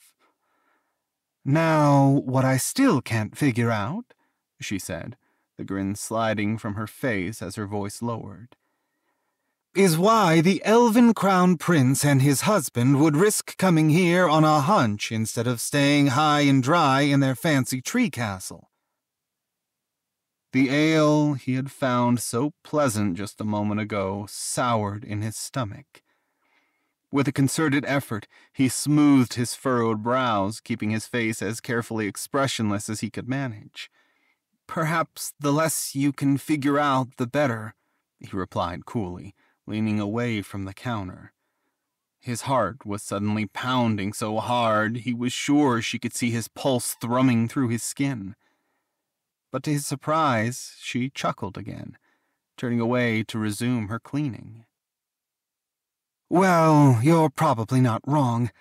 I haven't gotten this far in life by sticking my nose where it doesn't belong, after all. She glanced back at him, seeming to read the anxiety in his eyes perfectly despite his neutral expression. Don't worry. I won't be sharing your little secret, though you don't seem too good at keeping it to yourself. Your discretion would be appreciated, he muttered, then took a long drink from his ale. Was it that obvious? Well, an elf and a half-orc traveling alone together is a bit unusual even in Outrev, Miss Jade said, shaking her head with an incredulous grin. Just that by itself wouldn't have tipped anyone off, though, and your plain clothes would throw most people off the scent, too. But maybe don't tell people you have the exact same name as the elf prince married to an orc if you don't want people to know you just so happen to be that same elf. Taegan is a perfectly common name, he said with a shrug. In fact, it's quite frequent for the names of newborn royals to see a spike in popularity amongst elves in the year or two after their naming. Many elves around my age would be named Taegan or some variation of it. That would probably work with most folks, she responded with a wry grin. But, well, I suppose I'm not most folks. No need to worry, though, like I said. I don't stick my nose where it doesn't belong, and I don't go blabbing about someone's business that isn't my own. A large group of sailors entered the tavern then, thundering through the doors as one was singing a bawdy drinking song, and the others were laughing uproariously, pulling chairs up to all sit at the same table around the singer with his lute. Begging your pardon, she said with an overly sweet smile, and she left the bar to take their order. Taegan watched her for a long while as she greeted the group smiling amicably at them, and even laughing and smacking one man's shoulder when he gave her a flirtatious grin, though he could not make out the words. But eventually he shook himself out of his stupor, downing the rest of his ale and leaving an extra gold coin on the counter, though he partly trusted her word. Buying her silence couldn't hurt either. He left the tavern before she could return to the bar, hurrying past the group without looking toward her. The crisp ocean air would do well to clear his thoughts. He made his way through the town square, heading closer to the harbor, but down a different street, one that led out closer to the strand rather than the docks. It was a touch warmer, the sun a bit higher in the sky, but still pleasant and breezy. This street was a touch more narrow, the residential buildings he passed a bit more cramped. Two children human girls of no more than ten were kicking a ball between them in the street and watched him curiously as he passed. But otherwise, this street seemed just as calm and clear as a street Tomlin Whitmore lived on. The town square was just over a mile away from the coast, so he reached the beach before long. It was close enough to the docks that there were not any idle beachgoers in the near vicinity, since the noise of dock workers shouting, the loud wooden creaking of ships, and the hammering of repairs were all still quite loud. He found a cluster of dark, craggy rocks that would have made a pleasant vantage point if it weren't for all the noise, and sat down to look out at the sea. He had seen the ocean a few times in his life but could certainly see the appeal of wanting to live somewhere it could be viewed at any time. Even with all the background noise, there was a soothing quality to the rhythmic, unending rise and crash of the waves, the calling of gulls occasionally breaking through from the clouds above. When his head felt clear enough that he could actually think, he focused his thoughts on Miss Jade and their conversation. She seemed like a smart and insightful woman, but he could not trust that others he might come across in town were not just as intelligent. He had let his guard down and paid for it immediately. Though part of him did not truly think she would break her word to him, it was still now a risk he had to consider. He wondered briefly if he should try avoiding her altogether, but it seemed the safest place to keep their horses, so they would have to return to the inn at least once again, if not more. And it might seem more suspicious if he suddenly appeared to be going out of his way to avoid her. Perhaps it would be better to play it off as of little concern to him, like he had nothing to hide, so she had nothing to think too hard about. Though that certainly had the risk of backfiring, and she might try to wheedle more information out of him. Or Someone else in the tavern might also make the connection and act less discreetly. But he had to tell Zorvut, though he felt a slight trickle of shame at the thought. Maybe he would have a stronger idea of how to handle what had suddenly become a loose cannon in their hands. He had kept his emotions mostly pulled away from the bond, and luckily it felt as though Zorvut was still preoccupied with his training. So Maybe any stray thoughts that had gone through had not been noticed. He supposed there was only one way to find out. You gave her your name, Zorvut said to him flatly when he returned from his walk later that afternoon, sitting across from him at the kitchen table. After their training, the three of them had gathered around the table once more for a round of drinks, Taegan winced at the flash of frustration that came through the bond at the words, and even Tomlin's raised eyebrows were a fresh stab of guilt. It's not that uncommon of a name, he protested, though the excuse was weak to his own ears. But, yes, although she suspected it even before. Zorvut took in a long, slow breath looking down at his drink pensively. Whatever he was feeling, he was shielding it from the bond, but Taegan felt he could safely guess the half orc was more frustrated than anything.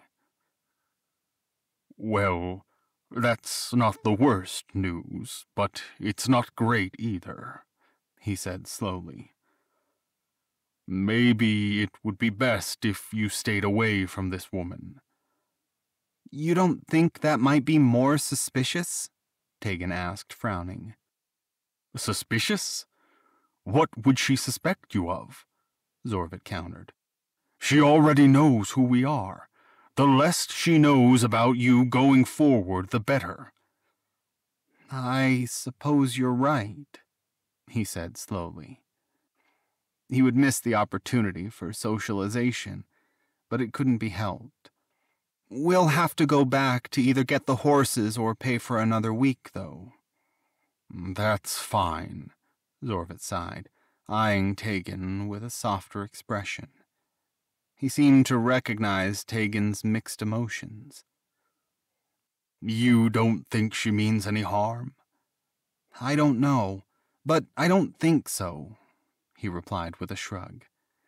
She seems more curious in a way, like she just wanted confirmation of what she already suspected. I know Miss Jade, Tom said. He had not added to the conversation yet, but now both Taegan and Zorvut swung their heads to look at him. She likes knowing people's business, but she also knows when to keep her mouth shut. I'd bet money she has more than a few other people's secrets that she'll take to the grave. I don't think the, uh, gravity of the situation would be lost on her in this case. Avoid her if you think that's best, of course, but I think the risk of her spreading any rumors is rather low. For a long moment, all three were silent, considering. Taegan's eyes flickered nervously between Tom and Zorvut, whose end of the bond was still muffled and distant.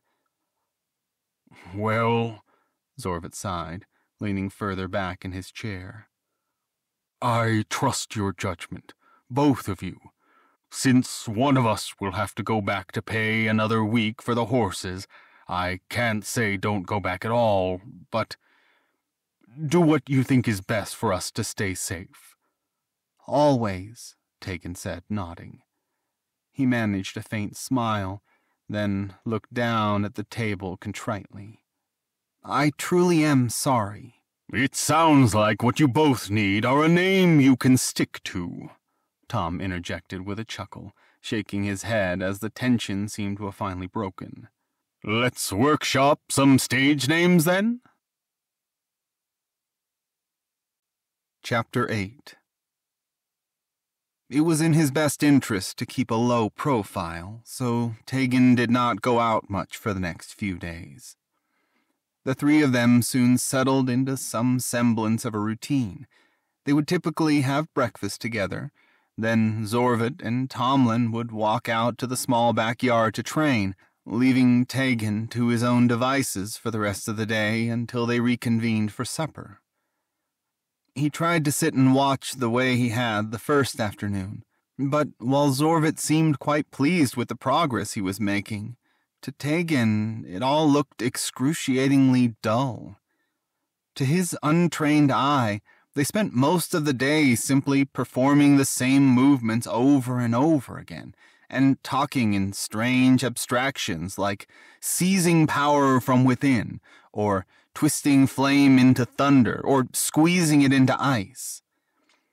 It all may as well have been another language entirely for how little he understood it. Watching Zorvut train made him miss his own archery practice, but there wasn't anywhere in town he could safely use his bow, and he was not confident enough in their safety to go far from their home base, where their bond would not extend to. So he organized and tidied their belongings, reread the two books he had brought with him, and puttered around the house, reading whatever else he could find on the shelves. It had been a long time since he had been so well and truly bored. By then, it had been two days since he'd sent off his letter and had his unsettling encounter with Miss Jade, and it seemed to him that leaving for a walk along the beach would be safe enough. So he poked his head through the back door to tell Zorvut where he was going and set out. It was a pleasant, breezy day, as every day in Nymir had been so far. A few streaky clouds dotted the sky, but it was mostly an unbroken, pristine blue. And as he approached the harbor, the line of the ocean on the horizon was a similar, darker shade of cerulean. It was picturesque. He tried to commit the image to his memory, knowing he was unlikely to see anything quite like it elsewhere. Aefraya had only a small border with the sea, its most northeastern point where the land dropped off in sharp craggy cliffs and the waves crashed below. It was a stark contrast to the calm wind and sand of the coastal town here, and he doubted he would ever return to Nymir again. After all, elven kings were not exactly known for being world travelers. He moved a little further away from the noise and commotion of the docks, toward the quieter part of the beach where a few people were relaxing and swimming, though still a safe distance from them all. Carefully, he removed his shoes and took a few steps toward the waves. When the water lapped up to his ankles, it sent an icy shiver up the backs of his legs, but it was bracing, refreshing even. Glancing over at the more populated section of the beach, he watched a child leaping into the waves, while her mother looked on in amusement and occasionally called out with encouragement. If it was suitable for a child to swim in, surely he could give it a try. The men he could see in the water were shirtless, so he returned to the sand, meticulously removed and folded his light linen tunic, and placed it gingerly atop his shoes. Then he turned back to the water and took a few more steps into it until the spray came up to his knees. Ah! he exclaimed, as an errant wave reached all the way up to his waist, smacking his bare belly with a cold shock. It left his trousers wet and clinging to his frame, making the cool breeze even colder on his damp skin. So he went a little further in, sucking in a sharp breath as the water came up first to his groin, then his hips, then his abs, and finally his chest.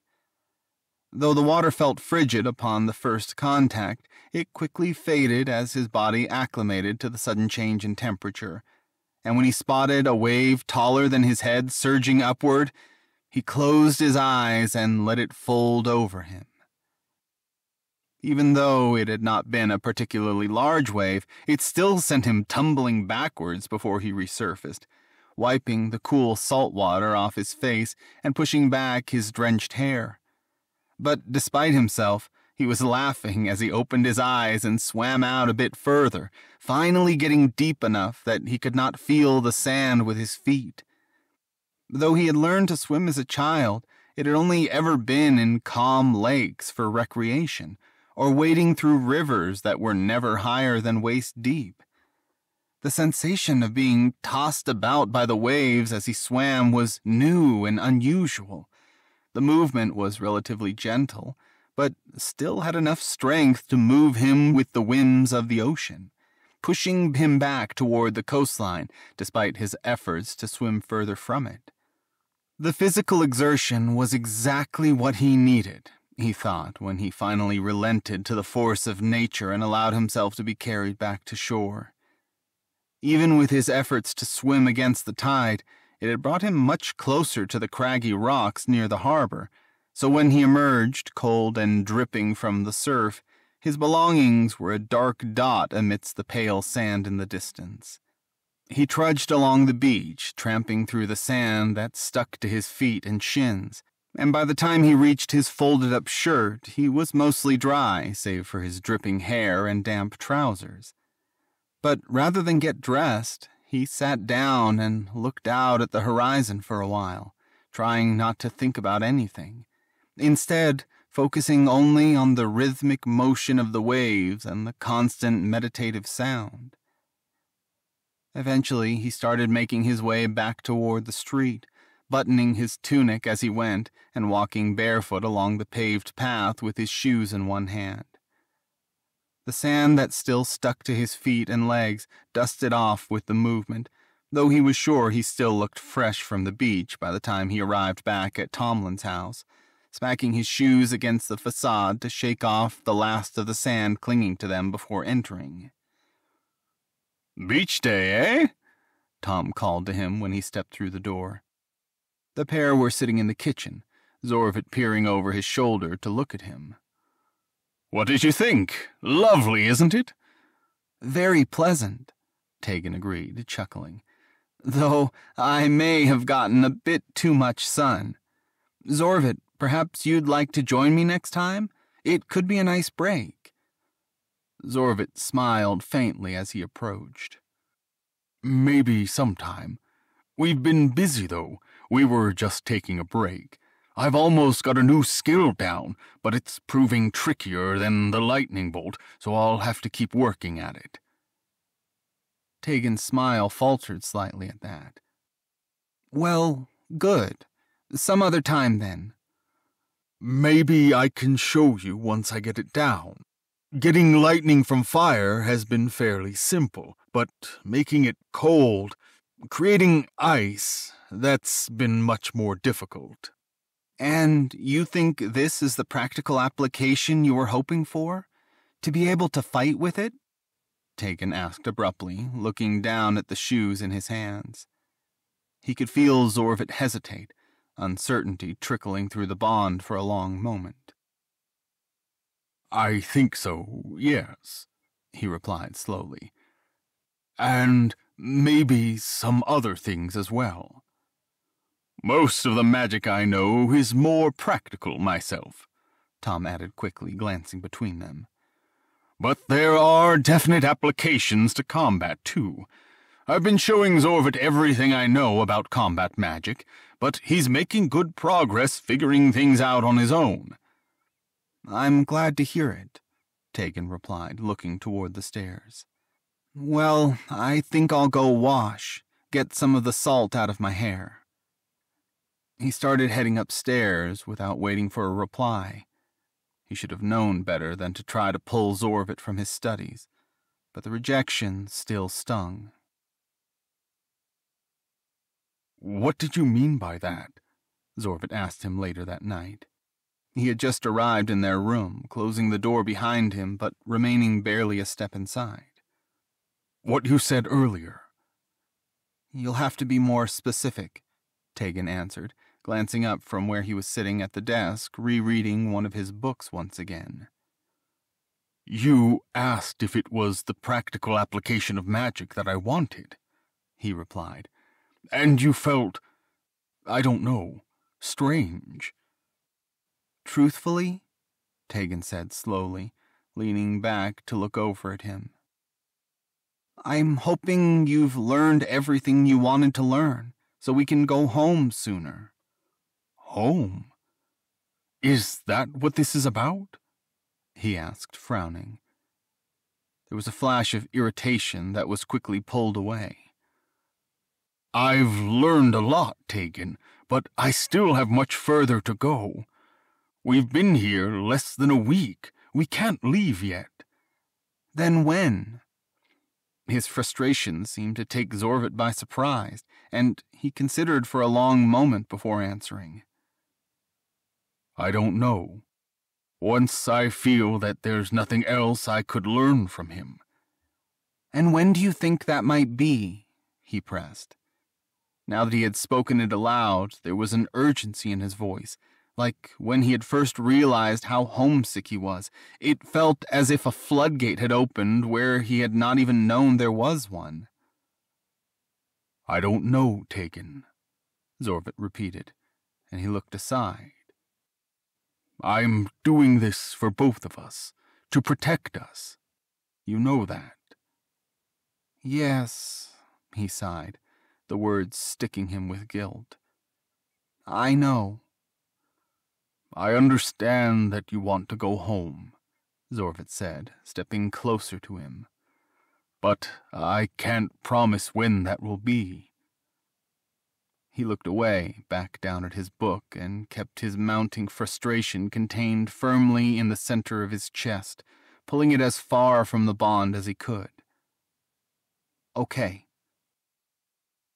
Zorvut waited for a moment, as if expecting more, then sighed and wordlessly moved to the wardrobe where he pulled off his shirt and hung it up. He blew out the candle next to the bed and laid down, his feet sticking out from underneath the blanket and hanging over the edge of the mattress. Taegan stayed up reading for a while longer, but eventually silently went to bed as well. The next few days were much of the same. There was some distance between them. Taegan could clearly feel Zorvut's frustration, but it did little to assuage his own. Tom seemed to sense their conflict too, His smile in the morning was a bit more forced and plastered on than it had been in the previous days, though he didn't pry. He ended up leaving the house shortly after breakfast most mornings, and not returning until supper. Mostly he walked around town, though he did enjoy going down to the beach in the heat of the afternoon to swim. There were only a few taverns in Nymir. The largest was certainly Miss Jade's, but there was a smaller tavern near the docks that was only a pub without an inn. Sailors and dock workers who didn't want to walk further into town for food and drink on their breaks were its most frequent visitors. He did not particularly like this tavern, but the patrons were always interested in talking with him to share stories about their travels, and he rarely saw the same person twice, which was a relief. The proprietor was a quiet, older human man with a bald head and a short gray beard who watched the goings on in the bar with an intensity that distinctly reminded Taegan of a bird of prey. Taegan was not even sure what his name was, but the man did not ask questions, and the wine was decent, and for now, that was good enough. A new routine developed. He would eat breakfast quietly listening to conversation between Zorvut and Tom with rare interruptions, then go for his walk, making a long circuit around the perimeter of the town. Then it would be getting toward the middle of the day, and he would swim in the ocean to cool off and exercise. Once he was sufficiently dry, he would walk to the tavern on the docks and have a drink and a light lunch. Sometimes he would leave soon after, but other times he would linger for a while, chatting with other tavern patrons, or just sitting and watching idly as workers filtered in and out of the bar throughout the afternoon. Eventually, he would leave to take another walk, this one shorter as he circled through the town square, occasionally doing some shopping before heading back to the house. Luckily, there was a bookshop in the town square, so even though the selection was not nearly as expansive as he would have liked, he still had something new to read. At the end of the week, he finally ventured back to Miss Jade's to pay for another week of boarding the horses. Pay ahead for two if you can, Zorvut said before he left. Or more if they'll let you. He was already in the door frame, so Zorvut did not see his sour expression at the words. I will, he called out behind him but heard no response before the door closed. He kept his usual morning routine of walking and swimming, but this time he walked to the center of town to find the inn afterward. The stable was behind the inn, facing away from the town square. There was a girl he did not recognize on duty, and she jumped up as he approached. She looked just as young as the other stable boys they'd encountered, though with the awkwardness of a teen as she moved. He guessed she was thirteen or fourteen at the most. She was wearing trousers that she had clearly outgrown, an inch of her bare ankle showing between where the pants ended and her shoes began. Retrieving your horses, sir? she asked, seeming to recognize him. He supposed the stable workers had doubtless talked about the massive horse belonging to the unlikely pair of an elf and a half-orc visiting town. No, he replied, holding up a hand before she could dart inside. I'd like to pay for another week of boarding. Oh, sure, she said, sounding a little relieved. Graxt was probably twice her height, so he couldn't blame her for dreading the idea of saddling him. Just one week? He hesitated. Yes, just a week, he said with a nod. That's five silver pieces each, so one gold total, she said, and he tossed her a coin. Thank you, sir. I'd like to see my horse, though, if that's all right, he said, and she nodded, gesturing for him to enter as she moved back to the small table where she had been sitting and dropping the coin in a small lockbox. The door swung open easily, and he stepped inside, quickly spotting Graxt at the end of the stable. It was not especially large, with five stalls on each side, so room enough for ten horses, maybe more if they could double up a few stalls. But with a cursory glance, he could see that there were just a few horses boarded at the time, with only half the stalls occupied. He stepped toward Graxt and found Ember in the stall across from him. When she saw him, she started wickering, tossing her head eagerly as he approached. He did not realize how hard he was grinning until he was up next to her, patting her nose as she tried to nuzzle his face. Sorry, girl, he whispered, running his fingers through her mane. It was not braided the way it had been when he'd left her here, though it looked like it had been recently brushed and cleaned. It'll be a little while yet. He could hear her stamping her hooves from the other side of the wooden door, and for a moment he considered taking her out of the stall and just leaving. If he really wanted to go home, he could. He didn't need a chaperone. He was not a child. He could just go the urge to leave was almost overwhelming. He caught himself as his fingers toyed with the latch on the stall door. What was he thinking?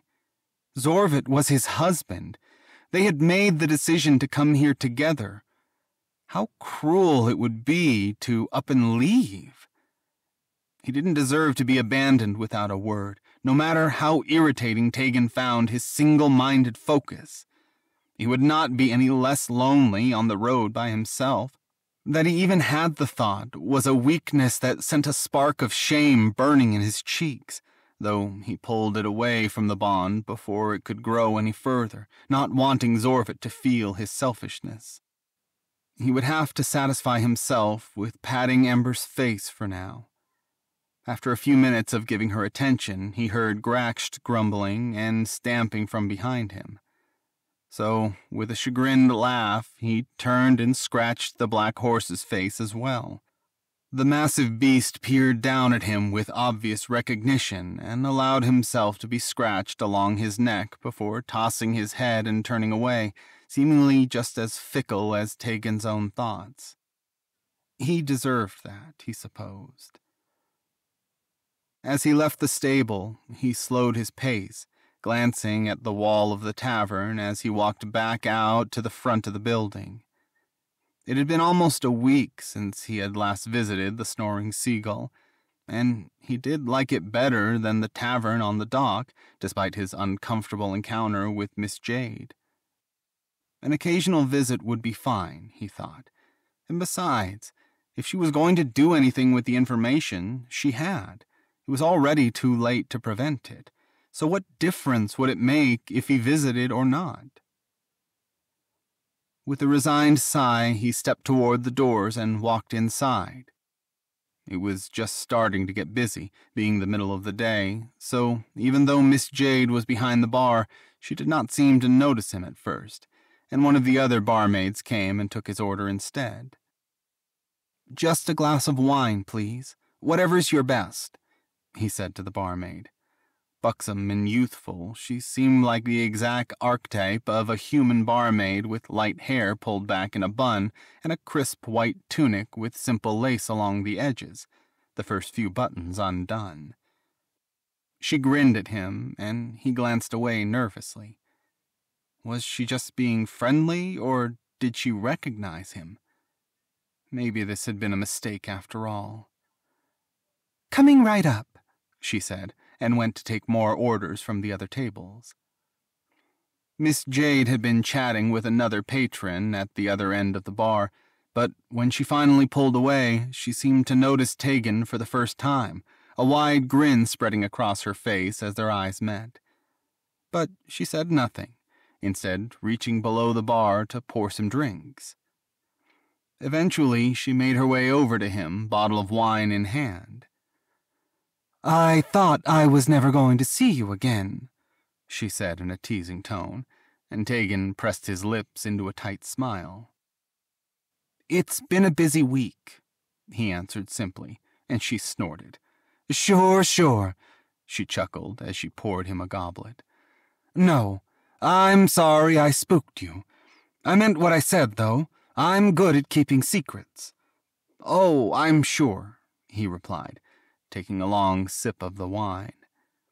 It was much better than the wine at the other tavern. Well, frankly, yes. I did want to stay away for a bit after our last conversation, but then I had the thought what's the point? You already know, and staying away isn't going to keep you from telling someone else if you really wanted to. And the wine's much better here anyway, so maybe it's best to come back more often and buy your silence instead. She laughed aloud at that, throwing her head back. and they say elves don't have a sense of humor. Well, my friend, if you've got coin to spare, I'm happy to get you as much of your fancy elven wine as you can drink. How about something to eat? Today's special is the steamed bass, if that sounds appealing to you. He grimaced. I think I'll just have the vegetable platter, please. Maybe it was the alcohol, but he had a surprisingly easy conversation with her as he ate and her more friendly demeanor this time assuaged whatever lingering concerns were still in the back of his head. With the lunch rush, they spoke only sporadically at first, but he had nowhere to be, so he lingered at the bar for a while. When the rush died down, she came to stand near him again, chatting as she cleaned. So, how are you liking Nymir? I don't think you have any beaches like this where you're from, she asked with a wink, and he nodded. True, he said. I am enjoying the ocean. It's quite novel. Nothing like it in the world, she agreed.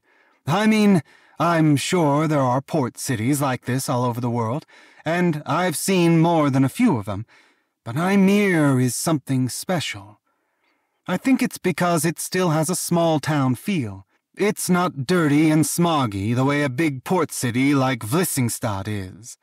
There's enough trade for people to live comfortably, but not so much that it's strangled out the life of the town, if that makes sense. I understand, Taegan said. Elven cities typically disturb as little of the natural topography and flora as possible, so I know what you mean. There is something that happens when a city becomes so large that you can't see the traces of nature still in it. We strive to never let that happen to our own civilizations. That's admirable, Miss Jade sighed, leaning back with a faraway glance. I'm happy to live out the rest of my days here, but sometimes I think there's still so much of the world I've never seen, and what a waste not to see it. I don't think that's a waste. There's only so much that can be accomplished in one lifetime, Taegan said with a wry grin. But I can tell you a bit about some of the elven tree cities if you'd like. Those tend to be the places tourists prefer to go, partly because they are so unique, but because they are very beautiful too. I'd love to hear it, she said, and leaned closer to him, propping her head up with her elbows on the bar. He stifled a laugh at the girlish pose, but she grinned widely, knowing full well the juxtaposition of the youthful body language and her world weary face. He spent longer than he realized telling her about the old elven tree cities in the southwest of Aefraya, eventually shifting to stories about the capital, the temple tree, the ancient customs of elves that had led them from their treetop dwellings to the castle built of stone and wood.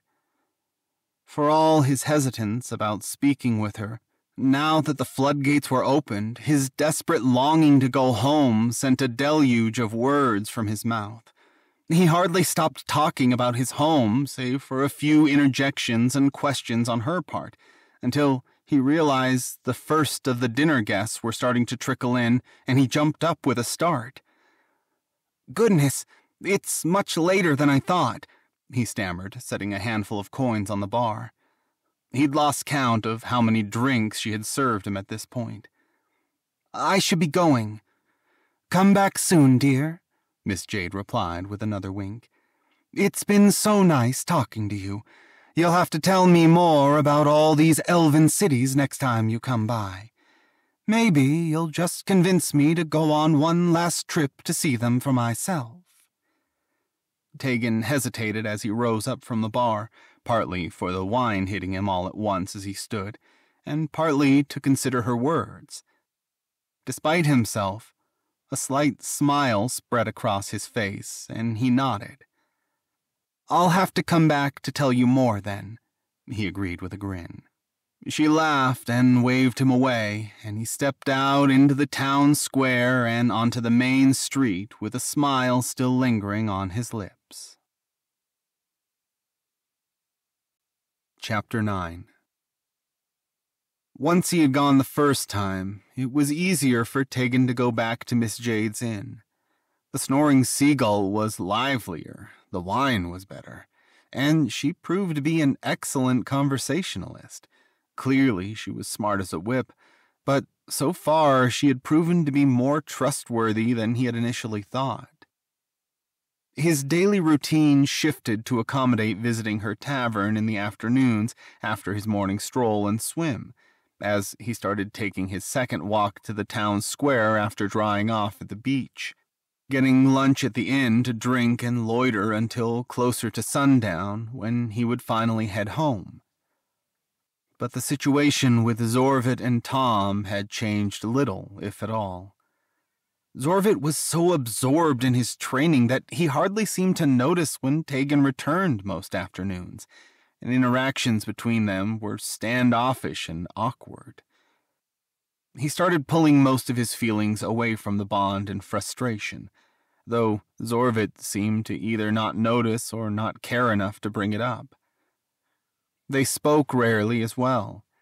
They would exchange a few words over breakfast some days, maybe over dinner when Taegan returned. But Zorvut was often so tired from the day's exertion that he would go right to bed once they had shared their evening meal. It was just as well, Taegan supposed. If they were not talking, they were not fighting. And they were not really fighting at all. He could not even say that he was angry with Zorvut, just idle and irritated. But words could certainly start to boil over if they were exchanged, so perhaps it was best they were circling around each other. It was not sustainable, but everything had been so pleasant when they were on the road together that Taegan was not especially concerned. Once they went home, things would be better. He was sure of it. But the more they trained, the more Taegan suspected it might take longer than he had initially hoped.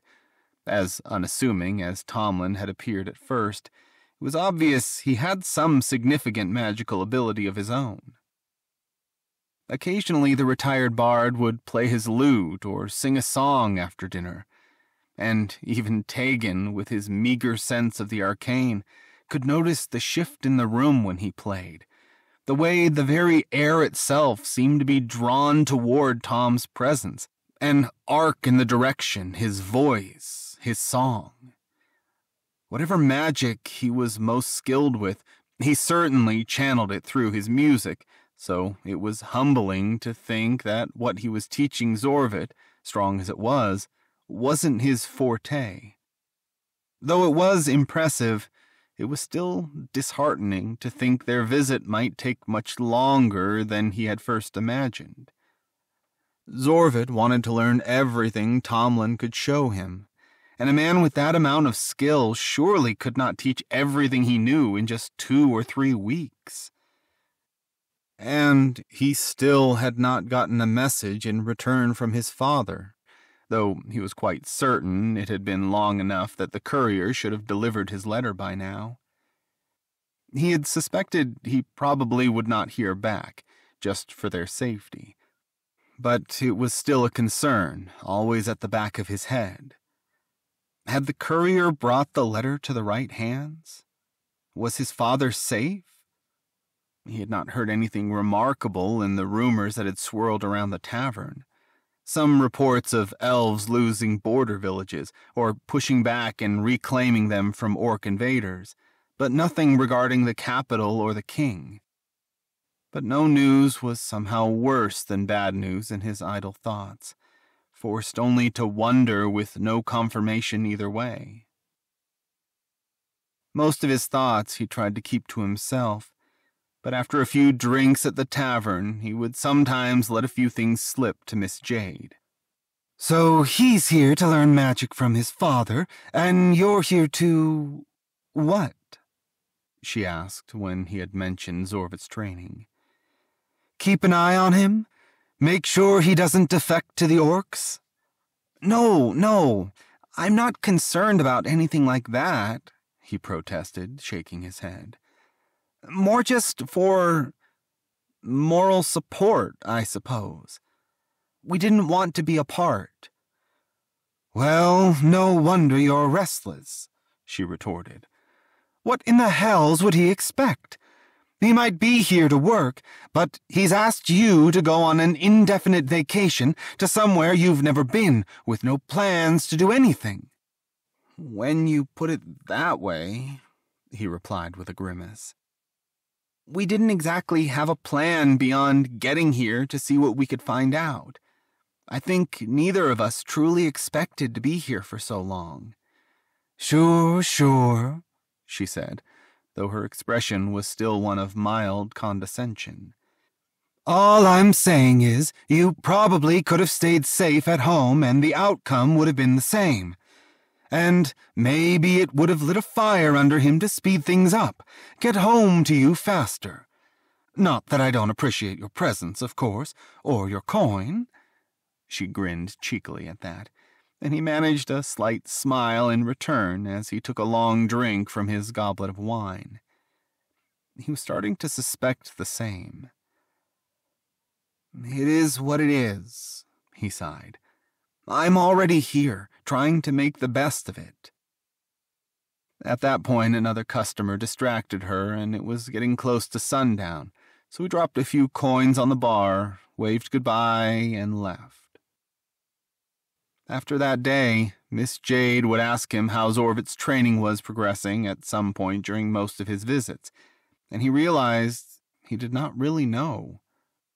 It must have been going well, he assumed for Zorvut always seemed tired and drained at the end of the day, but Tom appeared pleased with his progress. The last he had seen was when he had mastered creating both fire and lightning and had been working on creating ice. Hopefully, he had accomplished that as well, though Taegan wasn't sure what the goal was beyond that. It was just so boring to watch he sighed.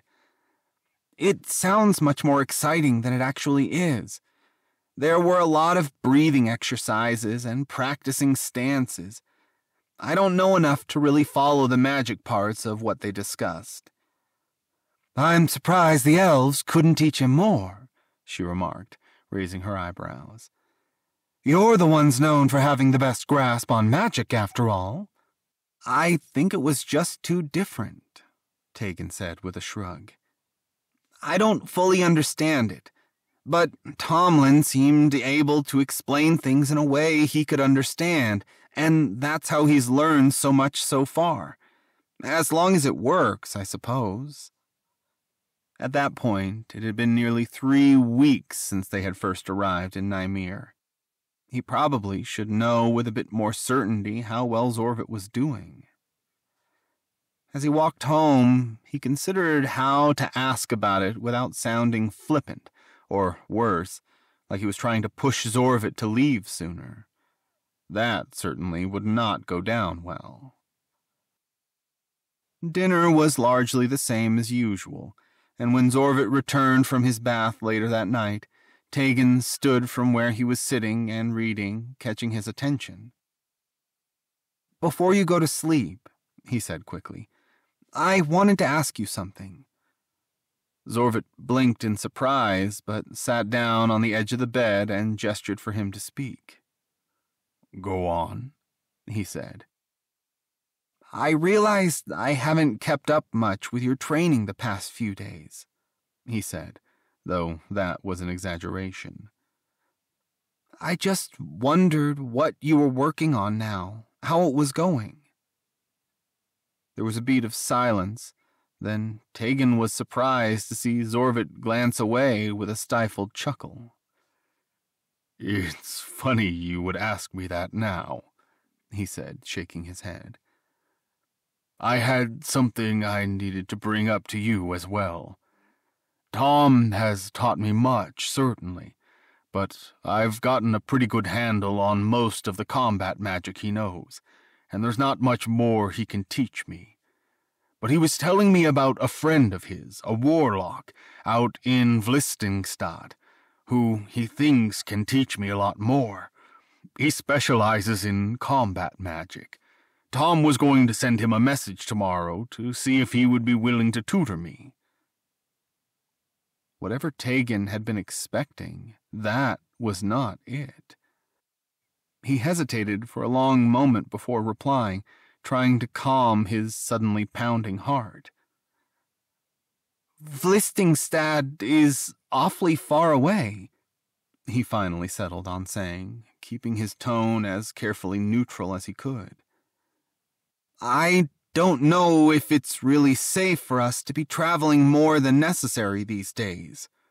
But I can protect us much better, too, he interjected.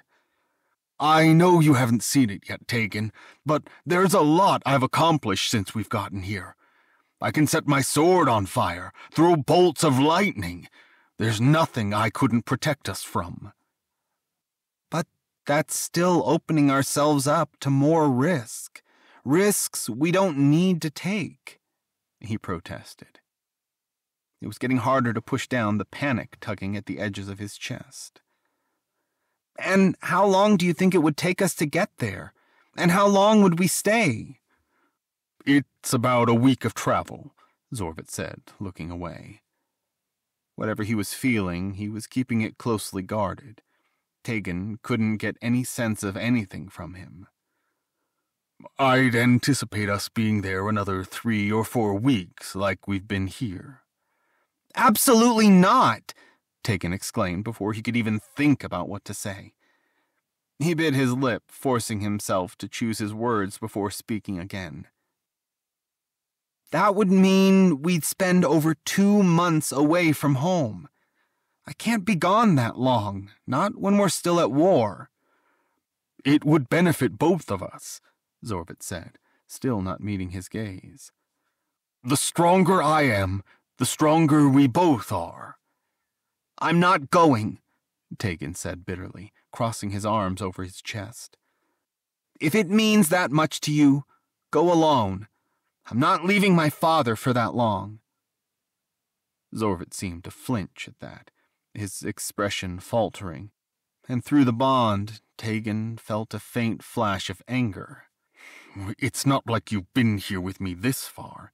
Don't, Taegan stammered, lifting a finger in accusation before biting down the words and clenching his hand into a fist, lowering it to his side. I came here in support of you. And now you don't support me, the half orc said flatly.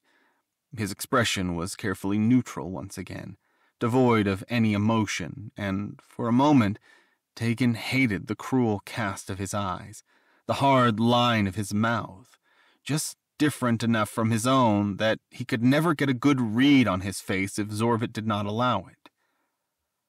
That's not true, he protested. But my father, my nation, our nation, needs our support as well. There's only so much we can do from afar. Stop, Zorvut said, lifting a hand. This isn't about them. This isn't about anyone but us.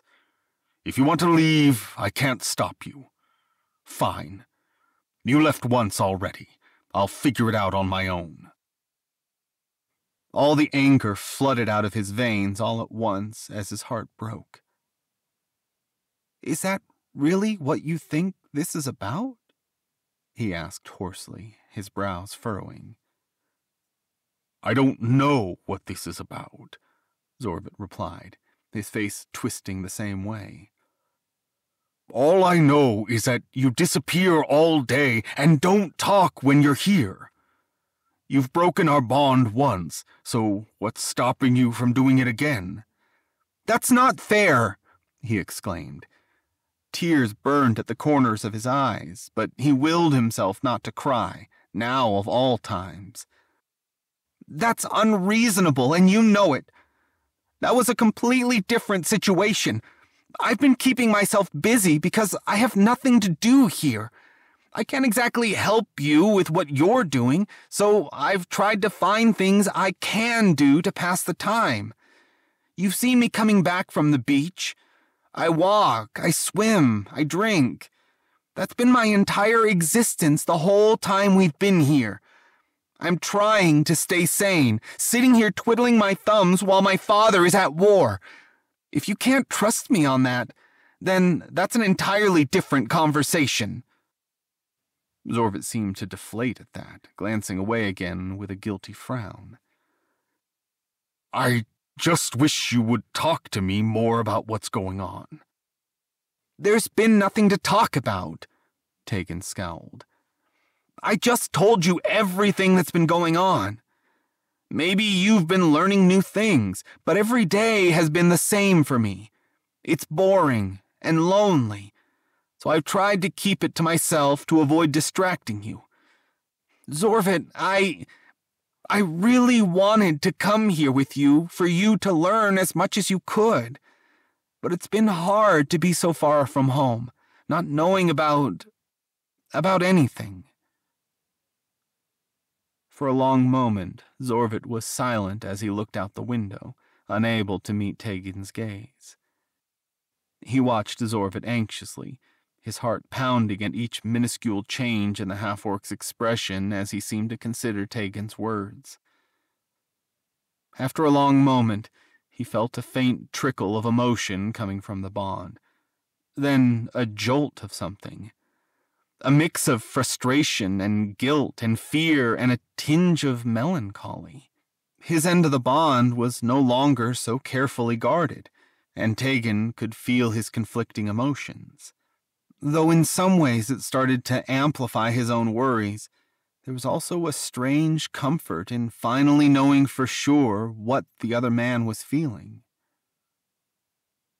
I'm sorry, Zorvut said quietly not quite meeting his gaze, but looking down at his hands which were clasped in his lap. I suppose I let my emotions cloud my judgment. You were having this hard of a time, and I didn't realize. I apologize. I understand, Taegan said, unsure what else to say. His hurt still lingered, but the anger he had initially felt at Zorvut's words had faded, burning out as quickly as it had flared up. I'm sorry, too. I don't mean to make this about myself. We came here for you. Don't apologize for that, Zorvut said sharply, shaking his head as he finally looked back over at Taegan. Just because we came here for me doesn't mean you don't get a say. I'll tell Tom not to ask that warlock. We won't go. I'll finish my training with him, and then we can head back. I would appreciate that, Taegan said. And despite how his relief was tinged with guilt, he managed a tiny smile, which Zorvut hesitantly returned. I realize now that my training is probably not as exciting for you as it is for me, Zorvut said slowly. Since you haven't had much to do, maybe we can set aside a bit of time in the evenings to spar? To help keep you a bit more active, and I can show you a bit of what I've learned, too. Taegan chuckled. I think that sounds pleasant. Although I still think you should come with me to the beach one of these days, too. It's very nice. Do you know how to swim? A little, yes. You're right. Let's go tomorrow. Tomorrow? He laughed. I'm envious of how quickly you can change your mind. I might still be grumpy with you tomorrow. That's fine, Zorvut said, and held out his arms.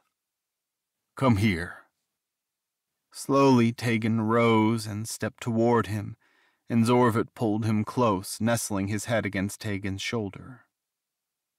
I love you, he breathed, and Taegan wrapped his arms around the half orc's neck, kissing the top of his head. Truly, I am sorry. I don't ever want to lose you.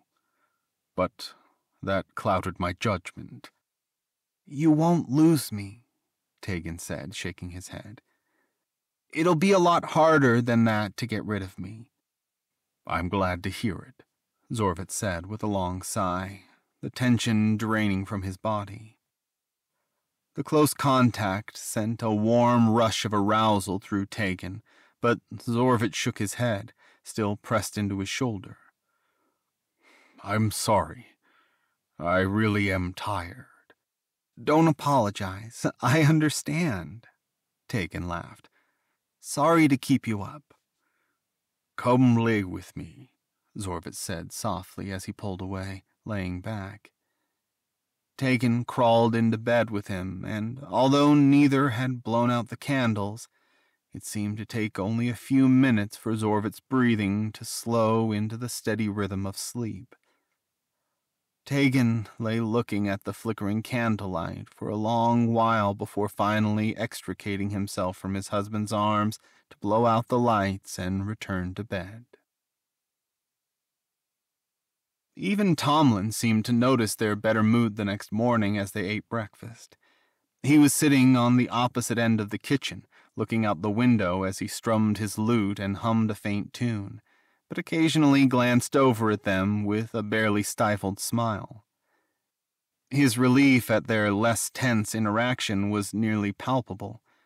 When Taegan met Zorvut's gaze over the cup of coffee he had brought to his lips, he could not help grinning as well at the look of recognition they shared. Tom, I was thinking we could end early today, Zorvut said after a moment. I decided I should take Taegan up on his offer to visit the beach, so we'd like to go later this afternoon. That's fine, that's fine, the older man said, waving his hand dismissively. You've learned just about everything anyway. A half day or two won't do any harm. He winked at them from across the room as he strummed his lute again. And Nymere's known for its harbor and the beaches, so it'd be a shame if you didn't spend some time down there while you can. I agree, Taegan said with a slight grin, and Zorvut only nodded in reply, although he too had an amused smile on his face. He still went on his usual morning walk, but returned to Tomlin's home when he would normally go to the beach. It was as beautiful a day as all the others had been so far, with the sky clear and blue, no clouds blocking the sun from shining down on them. When he returned to the house, Zorvut and Tom were still working in the backyard, but when Zorvut noticed him, they seemed to quickly wrap up, and he came back inside, finding Taegan packing a small lunch for them to take. I'm ready to go, he said, and Taegan grinned up at him.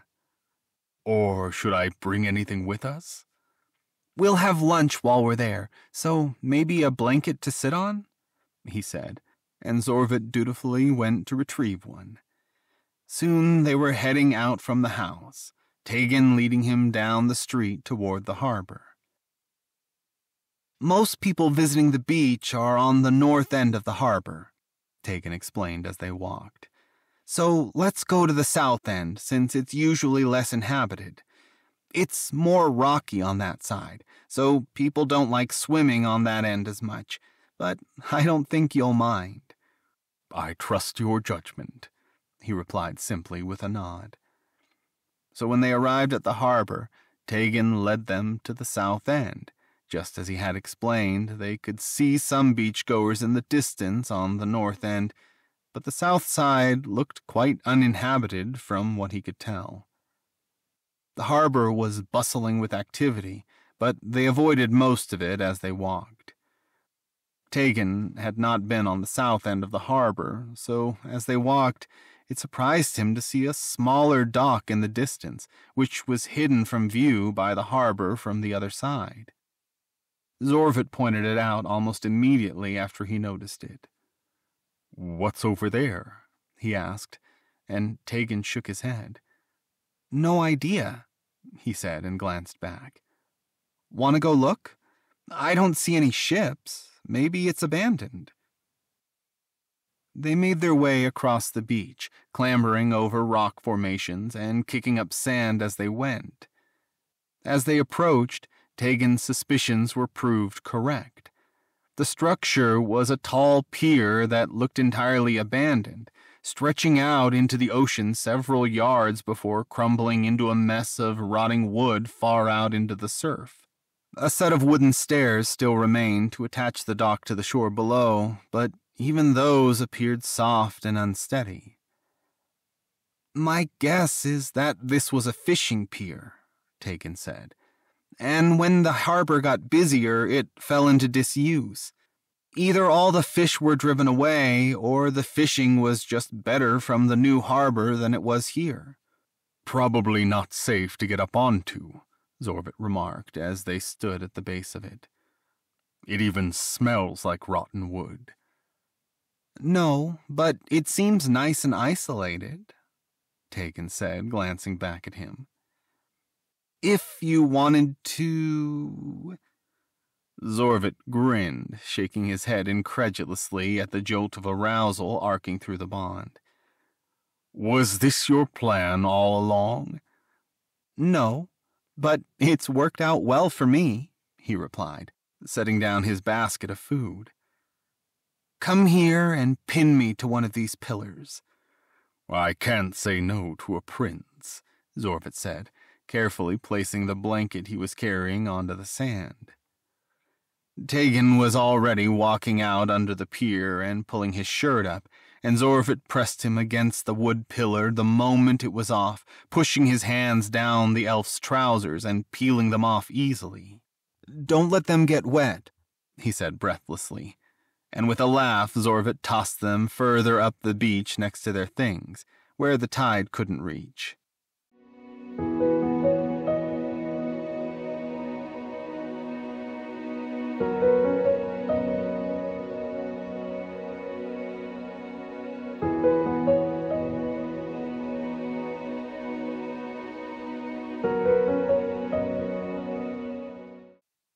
Go put your clothes back on, Taegan laughed, and Zorvut only winked at him as he walked up to where their belongings were on the sand.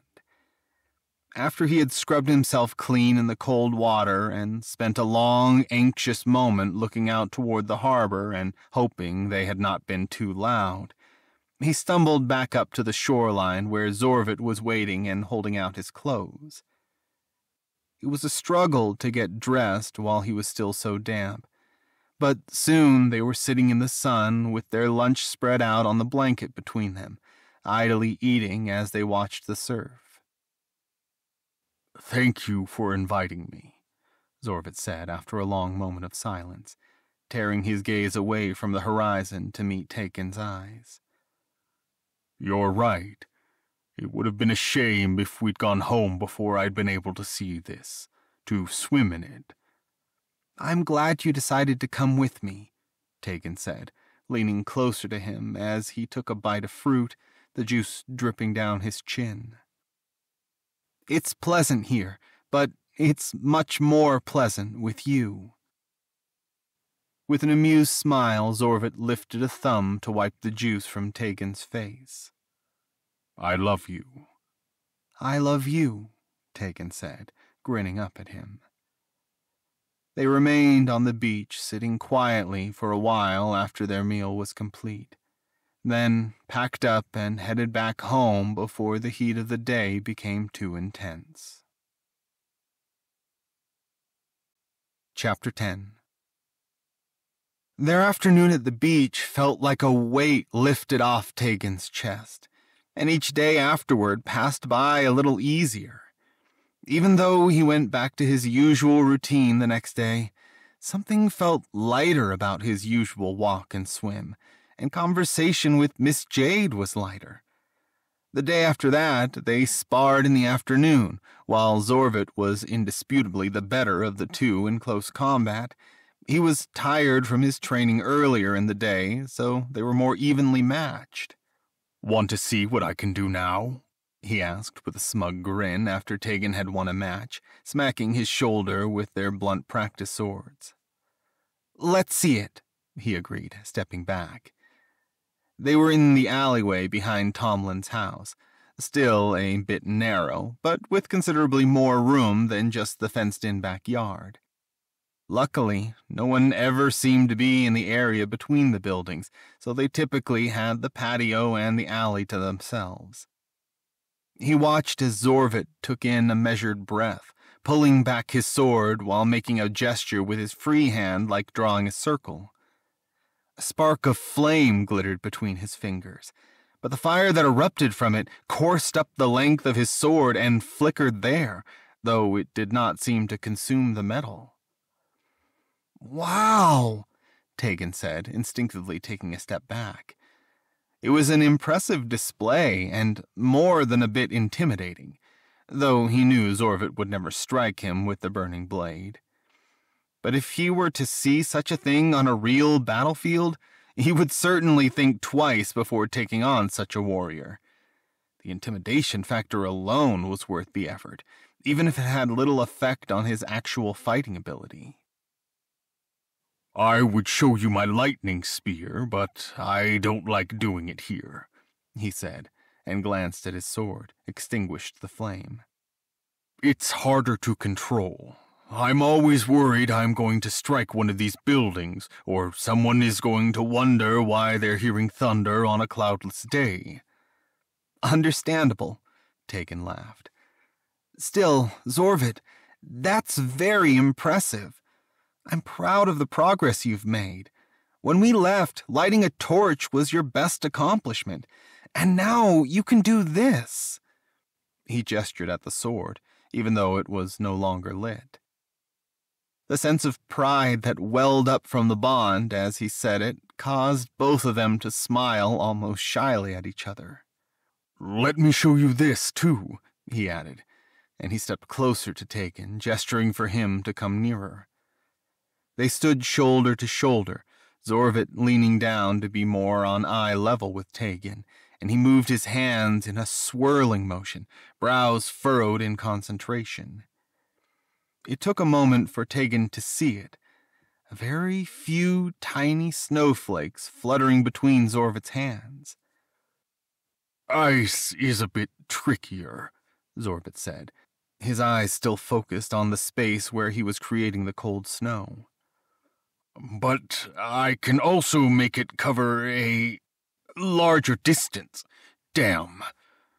The whirling snow suddenly faltered and fell from his grasp, most of it melting away before even hitting the ground.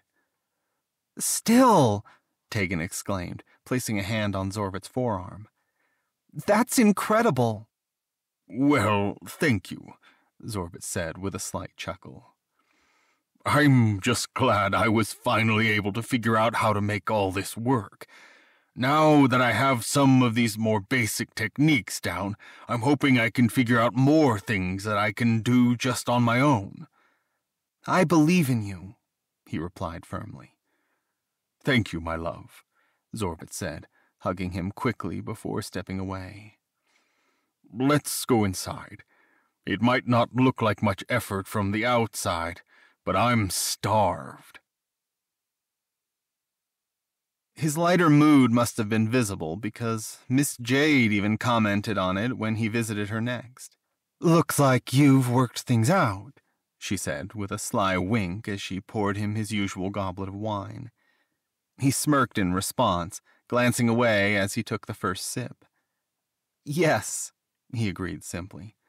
We've certainly, uh, cleared the air, if you will. She snorted at that, not even trying to hide the grin on her face. Say no more, sir.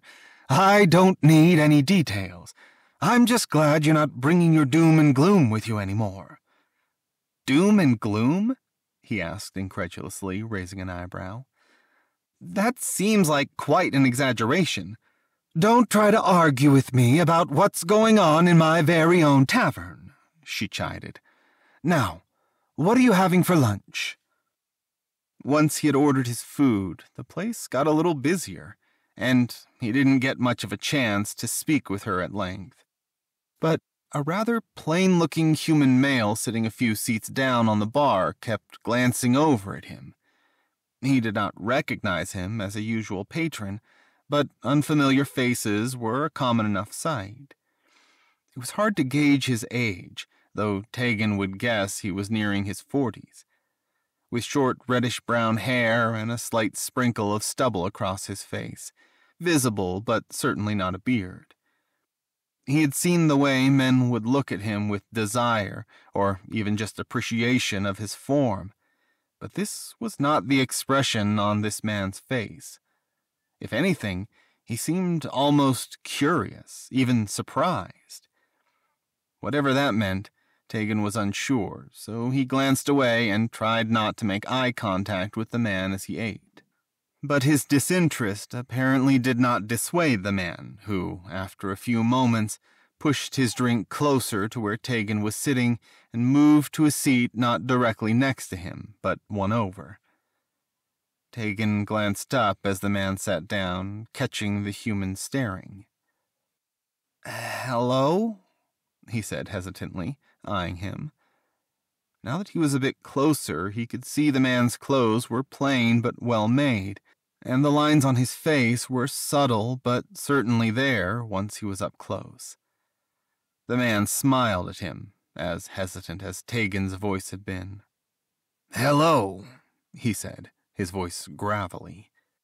His accent seemed different from the other humans in Nymir, but Taegan couldn't quite place it. Sorry to bother you. It's just it's rare I see elves in this part of Altreth, so I couldn't help but notice you. I'm a merchant, you see, and I do a lot of business in Aefraya. I'm in town for a while, and was just surprised to see an elf here, of all places. Is that so? Taegan asked, only mildly interested, but trying to be polite. What do you deal in? I procure fine textiles from around the world, the man replied, the answer coming easily, as if he had spoken the exact words a thousand times before. I'm sure you know, elves love their silks and flowy things, so it's always worth the trip. Although, with things being as they are, maybe not so much these days. How long ago were you in Aefraya? he asked. It's, uh, been a while since I've been home. Oh, really? The merchant replied, raising his eyebrows. Well, you pick a good time to be away, then. I left just over a week ago now. Things have gotten a lot worse of late, so Aefraya's not a great place to be. Is that so? Taegan asked, trying to sound as politely disinterested as possible to disguise the sudden anxiety that pierced him. His heart was suddenly pounding in his chest. How bad could the situation have become? Oh, yes, the man said. If you've any family in Castle Freya, hopefully they took off in time. The orcs have besieged the capital and the castle. Rumor is the king has fled and is in hiding now. But who knows how much truth there is to that? All I know is I left Aefraya in a hurry, and I don't aim to go back until all this blows over. The besieged? Taegan asked, now unable to mask the concern in his voice. I. Forgive me, this is the first I've heard of it. I was able to get out just in time myself, the man said, shaking his head incredulously. Luckily, I just missed the invading force. I was on the road the day before they arrived at the city walls. That was about a week ago now. For a long moment, Taegan was silent, his mind racing. If the capital had been besieged for a week, it seemed unlikely his letter would have made it after all, or perhaps a mere day or two before it happened. If it had even arrived, would his father have received it? Where would he have gone? How had the orc forces gotten all the way to the capital so quickly, and in such numbers that the king may have fled rather than stand and fight? You all right? the man asked, and looked suddenly sheepish. Sorry, sir. I hate to be the bearer of bad news. I take it you had family in the capital then? I do, Taegan said faintly, unable to look at the human any longer. Suddenly, all he could think about was getting out, getting home. I. Pardon me. Thank you for the news. I have to. I have to go. And without waiting to see if the man answered, he set down his drink and hurried out of the tavern, forcing himself not to break into a sprint, even though everything in him was screaming to run. His resolve didn't last long, though, and by the time he was just outside the town square, he had started to jog, coming up on the house rapidly. He did not remember getting inside, but he must have slammed the door open as he did because he heard Zorvut calling out to him before he saw him. Taegan, is that you? He stumbled to the back door where Zorvut was already coming inside, his brow furrowed in worry. His alarm must have been loud and clear through the bond, and even Tom looked concerned. What's wrong? Zorvut asked. And before he could even speak, Taegan burst into tears, pressing his face into his husband's chest. What happened? My father, he managed to gasp between sobs, shaking his head. I was speaking with, I don't know, someone at the tavern, and he said he'd come from Aefraya, a merchant, and the capital is under siege. They don't know where the king is. He said they think he might have fled, gone into hiding. For a moment, he could feel a spike of fear from Zorvut's end of the bond mirroring his own, but it was quickly stifled as the half orc embraced him, squeezing him tightly in reassurance. Okay, Zorvut said, barely above a whisper though the words still rumbled through his chest. His tone was measured and controlled as he was clearly considering what to do. Okay. Are you sure? This man, he was sure? Yes, Taegan said, nodding and wiping his eyes. He had to keep it together, he told himself. He had to hold himself together long enough to make a decision. Yes, he was certain. He said he hoped I didn't have family in the capital, that things went south just after he left. So it's been about a week, maybe two. God, Zorvut, what if they could have. The words stuck in his throat and he couldn't speak. But Zorvut squeezed him harder in understanding, and he could feel him nodding as he spoke. I doubt it, he said slowly. If they think he's gone into hiding, or if they're not certain. No. If Hrul had gotten a hold of the king, he would have made sure everyone knew it. We have to go back, Taegan urged, pulling away to look up at Zorvut. Tears blurred his vision, but he met the half-orc's gaze as steadily as he could. We have to go. He could feel Zorvut hesitate could almost hear him protest. How can we get back to the capital if it's under siege? What could we even do to help if we don't know where the king is? But he did not speak for a long moment, instead taking a few deep, measured breaths. Though he could practically feel the gears turning in his mind, he had no idea what Zorvut was thinking. We'll go, he finally said, giving a tiny, almost imperceptible nod. His mouth was pressed in a hard line around his tusks, but Taegan could feel nothing from his end of the bond. Whatever he was feeling, he was keeping it tightly wrapped. We'll take the night to pack and head out tomorrow morning. Tom, he released Taegan to turn back to face him. Taegan had all but forgotten the presence of the human who was leaning against the door frame with a hand covering his mouth. No, I completely understand, he said before Zorvut could continue, lifting his other hand to stop him. That's a lot. That's a big deal. Of course you would want to go. Thank you so much for everything you've done for me, for us, Zorvut continued, his voice finally wavering. You've opened your home to us and taught me far more than I ever dreamed possible. I can never repay you. Oh, please, Tom replied with a slight grin, though he too sounded suddenly heartbroken as he said it. I'm just glad I got to know you, and, well, now that I know my son is a prince, I'm sure you can repay me at some point. He winked, but the smile on his face dropped immediately as he stepped toward them. Do you need any help packing? Do you have the supplies you'll need for the trip? Packing will be quick, I think, Zorvut said, glancing upward toward the stairs. We don't have any rations for the road, though. We hadn't anticipated having to leave so soon. I can handle that, Tom said, striding for the door as he said it. What else do you need? Food? Camping gear? Just food, Taegan said, wiping his eyes. The flurry of action helped dull the sharp pain in his chest. We should still have all our other supplies. Got it, Tom called, already halfway out the door. They watched him leave, then Zorvut turned to face him.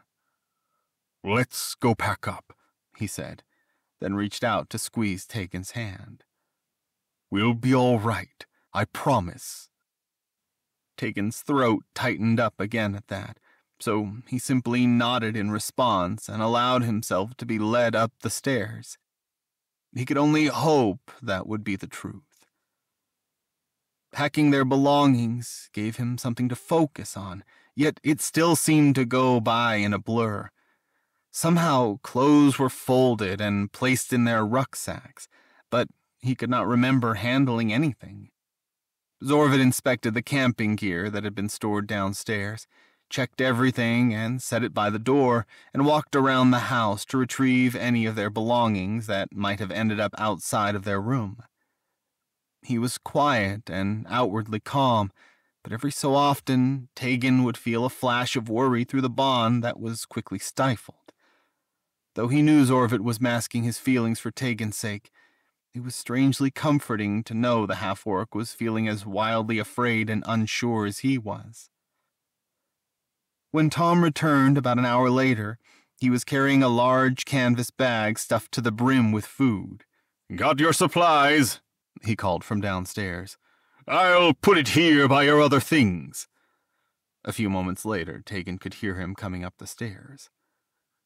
Need any help with anything? The human asked.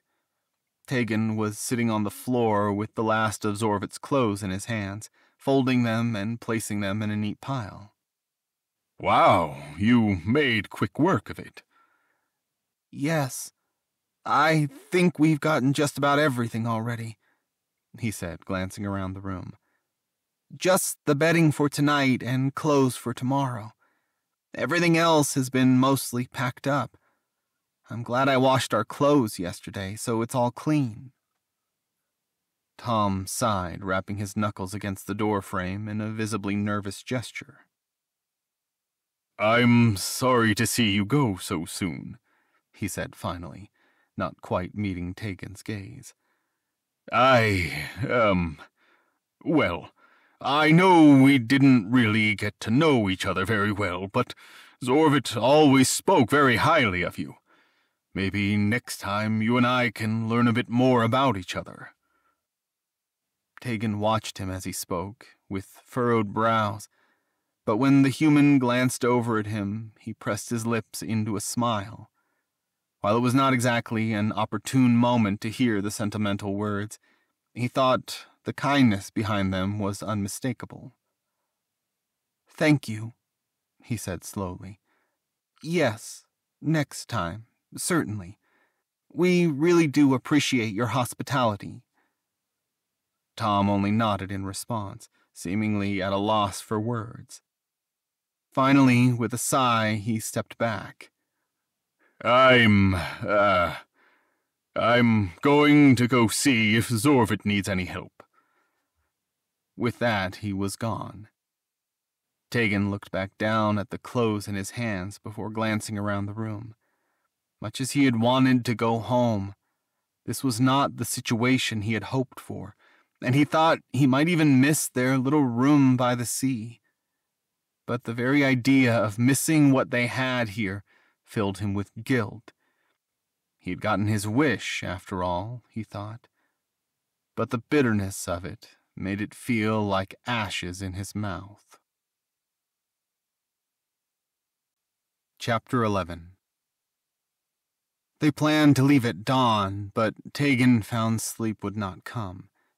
He laid awake for most of the night, looking out the window to the partially obscured midnight sky.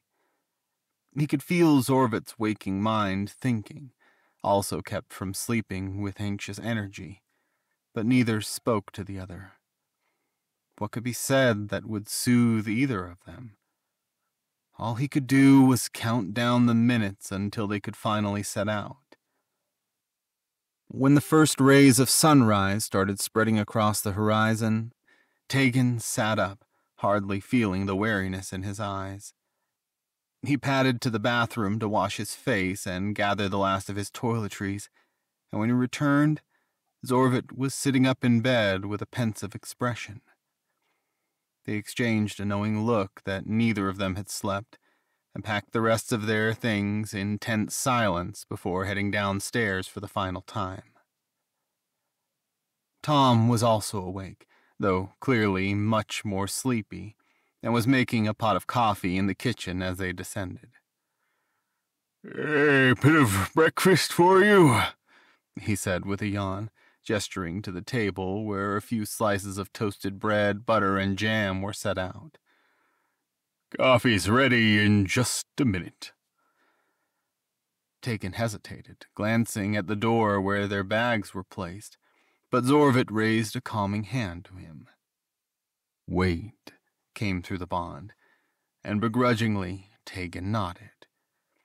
They sat down for the light meal, though he tasted nothing as he ate, taking only a few bites of a single slice of bread.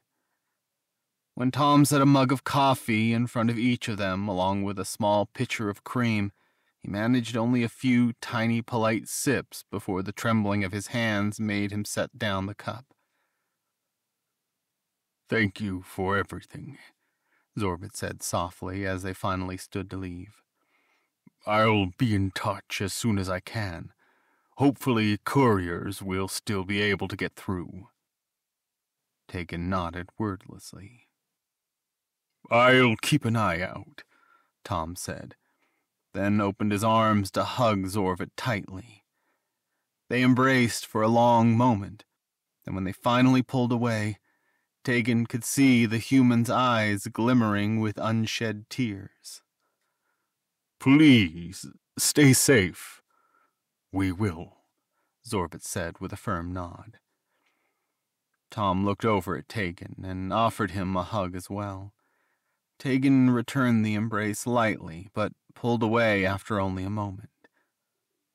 Thank you, was all he managed to say, but the human nodded in understanding. Ready? Zorvut asked, gesturing toward the door. They gathered up their belongings, Zorvut slinging most of the bags over his shoulders. Then Tomlin held the door open for them and they stepped outside. Goodbye, the human called out as they left. Zorvut turned and waved to him, but now that they were out in the street, all Taegan could focus on was getting to their horses and leaving town. His fingertips buzzed with the anxious energy, and though he usually had to jog to keep up with Zorvut's longer stride, they were now evenly matched as he hurried along the cobblestone road. Though it was still quite early, they passed a few sailors and fishermen on the street, heading in the opposite direction, toward the harbor. A few looked at them curiously, and one even turned around to walk backward as they went by to stare at Zorvut for a long moment. But eventually they made their way to the tavern unhindered. A stable boy was sitting sleepily in front of the stable, but startled awake as they approached. Closing out? he asked, eyeing their bags. You're the ones with the big old stallion, right? I think you have a few more days left you paid for. No need, Taegan said quickly, raising a hand to interrupt. Keep the change. We just like to saddle them and go, please. Oh, of course, the boy stammered, clearly taken by surprise, but jogged to follow them into the stable and help saddle the horses. He could not quite reach high enough to help prepare Gracht, but brought all their gear and passed over saddlebags as they got everything together quickly. Ember whickered and stamped excitedly as they saddled her, but soon seemed to sense Taegan's anxiety and stilled, her eyes glancing about and watching each movement he made with concern. Though he could not seem to leave fast enough, they were eventually mounting their horses and trotting out of the stable. We have to pace ourselves, Zorvut said softly, and Taegan gave a terse nod. As much as he knew it, it was still a struggle to keep from kicking the horse into a full gallop. They had not discussed what, exactly, they could do when they finally made it back to Aefraya, and the thought of it rattled around in his head as they trotted through the cobblestone streets and out of the city gate. If the king were truly in hiding, it was unlikely they would be able to find him either. Their best bet, he considered, would be to stop at one of the land baron's estates before getting too close to the capital, to seek refuge and whatever information they might have to offer. They would pass a few on their way northward, though none directly on the path they would take, and he was unsure which of them might know the king's whereabouts, if any. They would pass several farms, but all would be on land owned by a baron, so there was no point in stopping at a farm only to be told to speak with the landowner. If his memory served, there were three large parcels of land owned by noble families along the way that were sufficiently far from the capital that Taegan did not think they too would be under siege, but were still close enough that they might reasonably have some idea of what was going on and could give them helpful information. He mulled over his thoughts for most of the day, afraid to speak them aloud, as if Putting them into words would give them a kind of finality that felt unbearable in the moment. Everything still felt like a bad dream, but forming a plan would cement the situation in reality. He did not want to stop for lunch, but Zorvut convinced him to get off the horse for at least a little while so they could all rest. What have you been thinking about? Zorvut asked him as they sat on a log a bit of the way off the road, sharing a loaf of bread and a handful of dried meats. Though it was all tasteless in his mouth, Taegan dutifully ate the portion Zorvut handed him. Clearly, the half-orc had been sensing his turmoil. Nothing, he said faintly, shaking his head, and took another bite of bread. Zorvut looked at him for a long time with an unreadable expression, but did not press the issue. They ate the rest of their lunch in silence and were back on the road soon afterward. By the time the sun was going down and they were looking out for a place to camp amidst the wet, marshy lagoon, Taegan's thoughts were clearer and he had a better idea of what they should do. Finding a dry spot was tricky, but eventually they set their tent up, tethering the horses to a small, wiry tree to graze.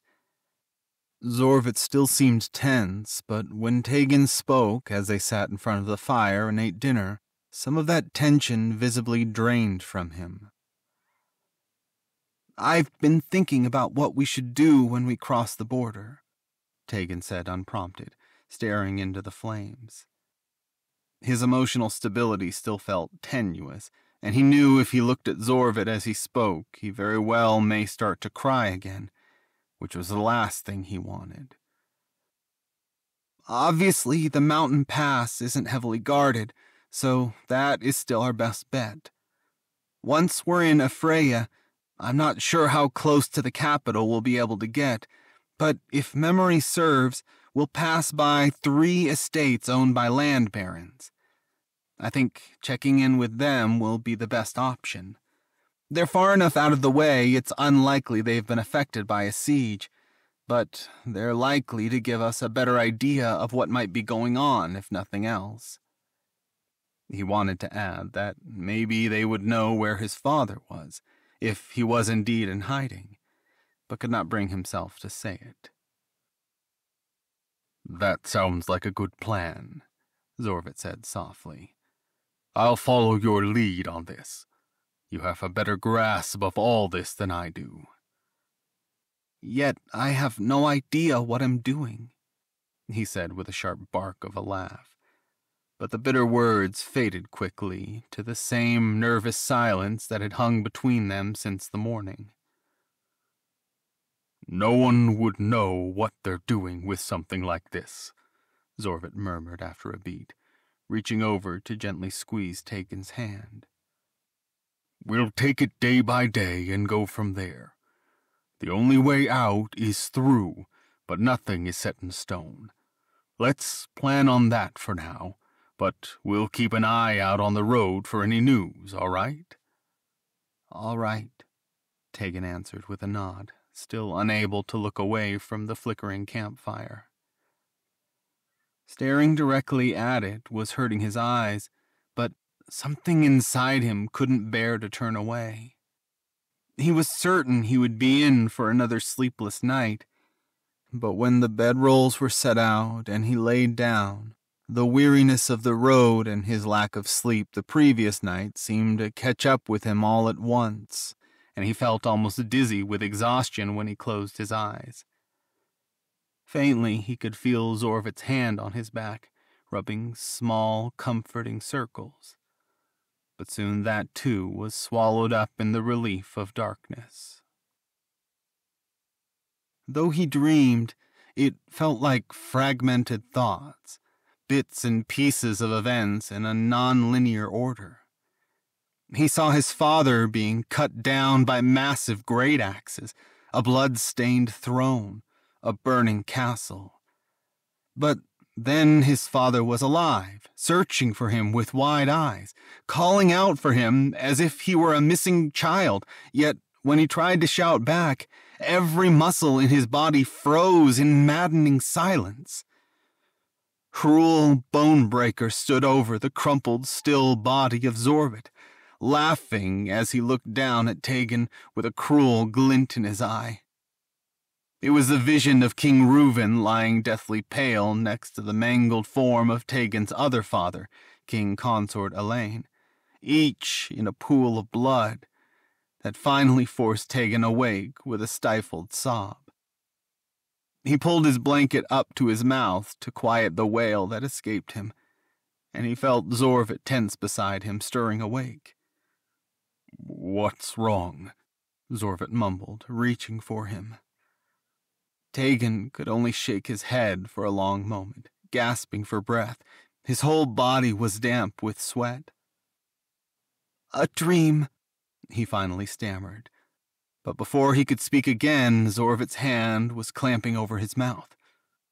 Quiet, came through the bond, as clearly as if Zorvut had said it aloud and he looked to see Zorvut's golden yellow eyes gleaming in the darkness, now wide awake. And then he heard it the stamping of footsteps, unable to be muffled in the muddy, wet landscape. He nodded in understanding, and Zorvut released him to reach for his sword. Taegan had not even realized it was in the tent with them but Zorvut unsheathed it slowly and quietly before shifting into a crouching position and inching forward to peek through the tent flap. Their tent was facing out toward the road, but as a twig snapped in the distance, Taegan knew that whoever was approaching was coming from behind. Zorvut's head whirled around too, seemingly in recognition. Their eyes met, and from the bond, Taegan had a sense of his bow, a quiver of arrows. He shook his head. He had been so consumed in his own thoughts, he had left his equipment with their horses, in Ember's saddlebags. Zorvut paused, then nodded once, held out his hand for Taegan to stay, and pushed the tent flap open all the way.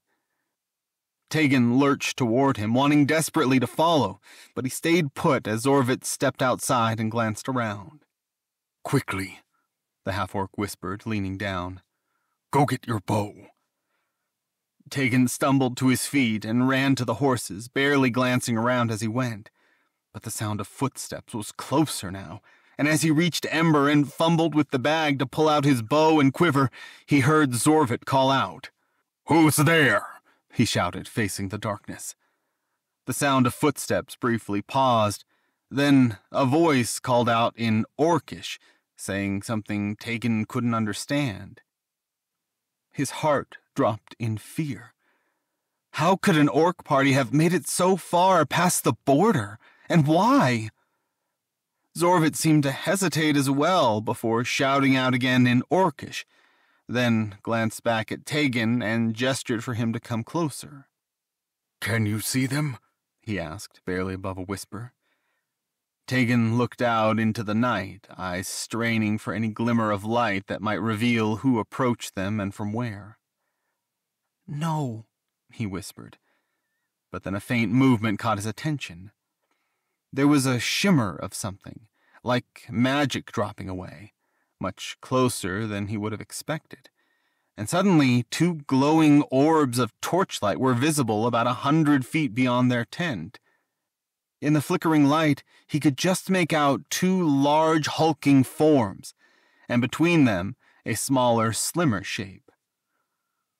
Don't come any closer, Zorvut called out, spotting them as well, but they continued walking.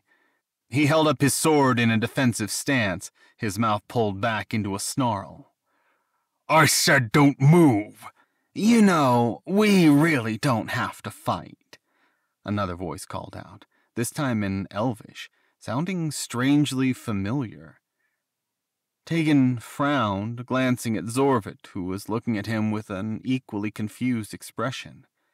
But their moment of hesitance allowed the group to draw closer, and as they approached, Taegan could see the smaller form between the two orcs was a human. An older male with short hair and some stubble. Recognition sparked in his memory, and in shock he blurted out, You're the human from the tavern. His brow furrowed in confusion before the words had left his mouth. Who was this man? Why was he here? A faint laugh answered him, and the three were now only twenty feet away, if that. I am, the human responded, a slight smirk playing at his lips. And I'm here to help, Taegan. The man's form shimmered and almost seemed to melt off of him in the same way the surrounding darkness had melted just a moment before. And standing in his place was a taller figure draped in a loose robe with long, dark hair and pointed ears. Kelvon grinned at him and extended his arms as if to display his handiwork. Rage erupted from the bond, and even as Zorvut growled audibly, he glanced over at Taegan, as if waiting to gauge his reaction. Taegan's mouth worked wordlessly for a drawn out moment, and finally he stammered, how long have you been following us? That's no way to speak to your knight in shining armor, Kelvon chided, folding his arms across his chest. Well, I would say that, but I think we both know why I'm here. Why are you here? Taegan called out, holding out a placating hand to Zorvut before he could speak. If they could just buy some time, maybe, he hoped, they could avoid coming to blows that seemed inevitable now. To take my revenge, of course, Kelvon snapped, and took a step toward Taegan. In the light, as he grew closer, his eyes were open wide, a cruel grin on his face. Kelvan had always had a stern, austere look to him, but something was different now. Something absolutely manic in his eyes that made Taegan falter. Before he could get further than a few steps, though, Zorvut lunged at him as his sword erupted in flame, illuminating them in a vivid light where there had been only dim torchlight an instant before. Stay away from him, he snarled, and for the first time a look of shock and genuine fear crossed the other elf's face.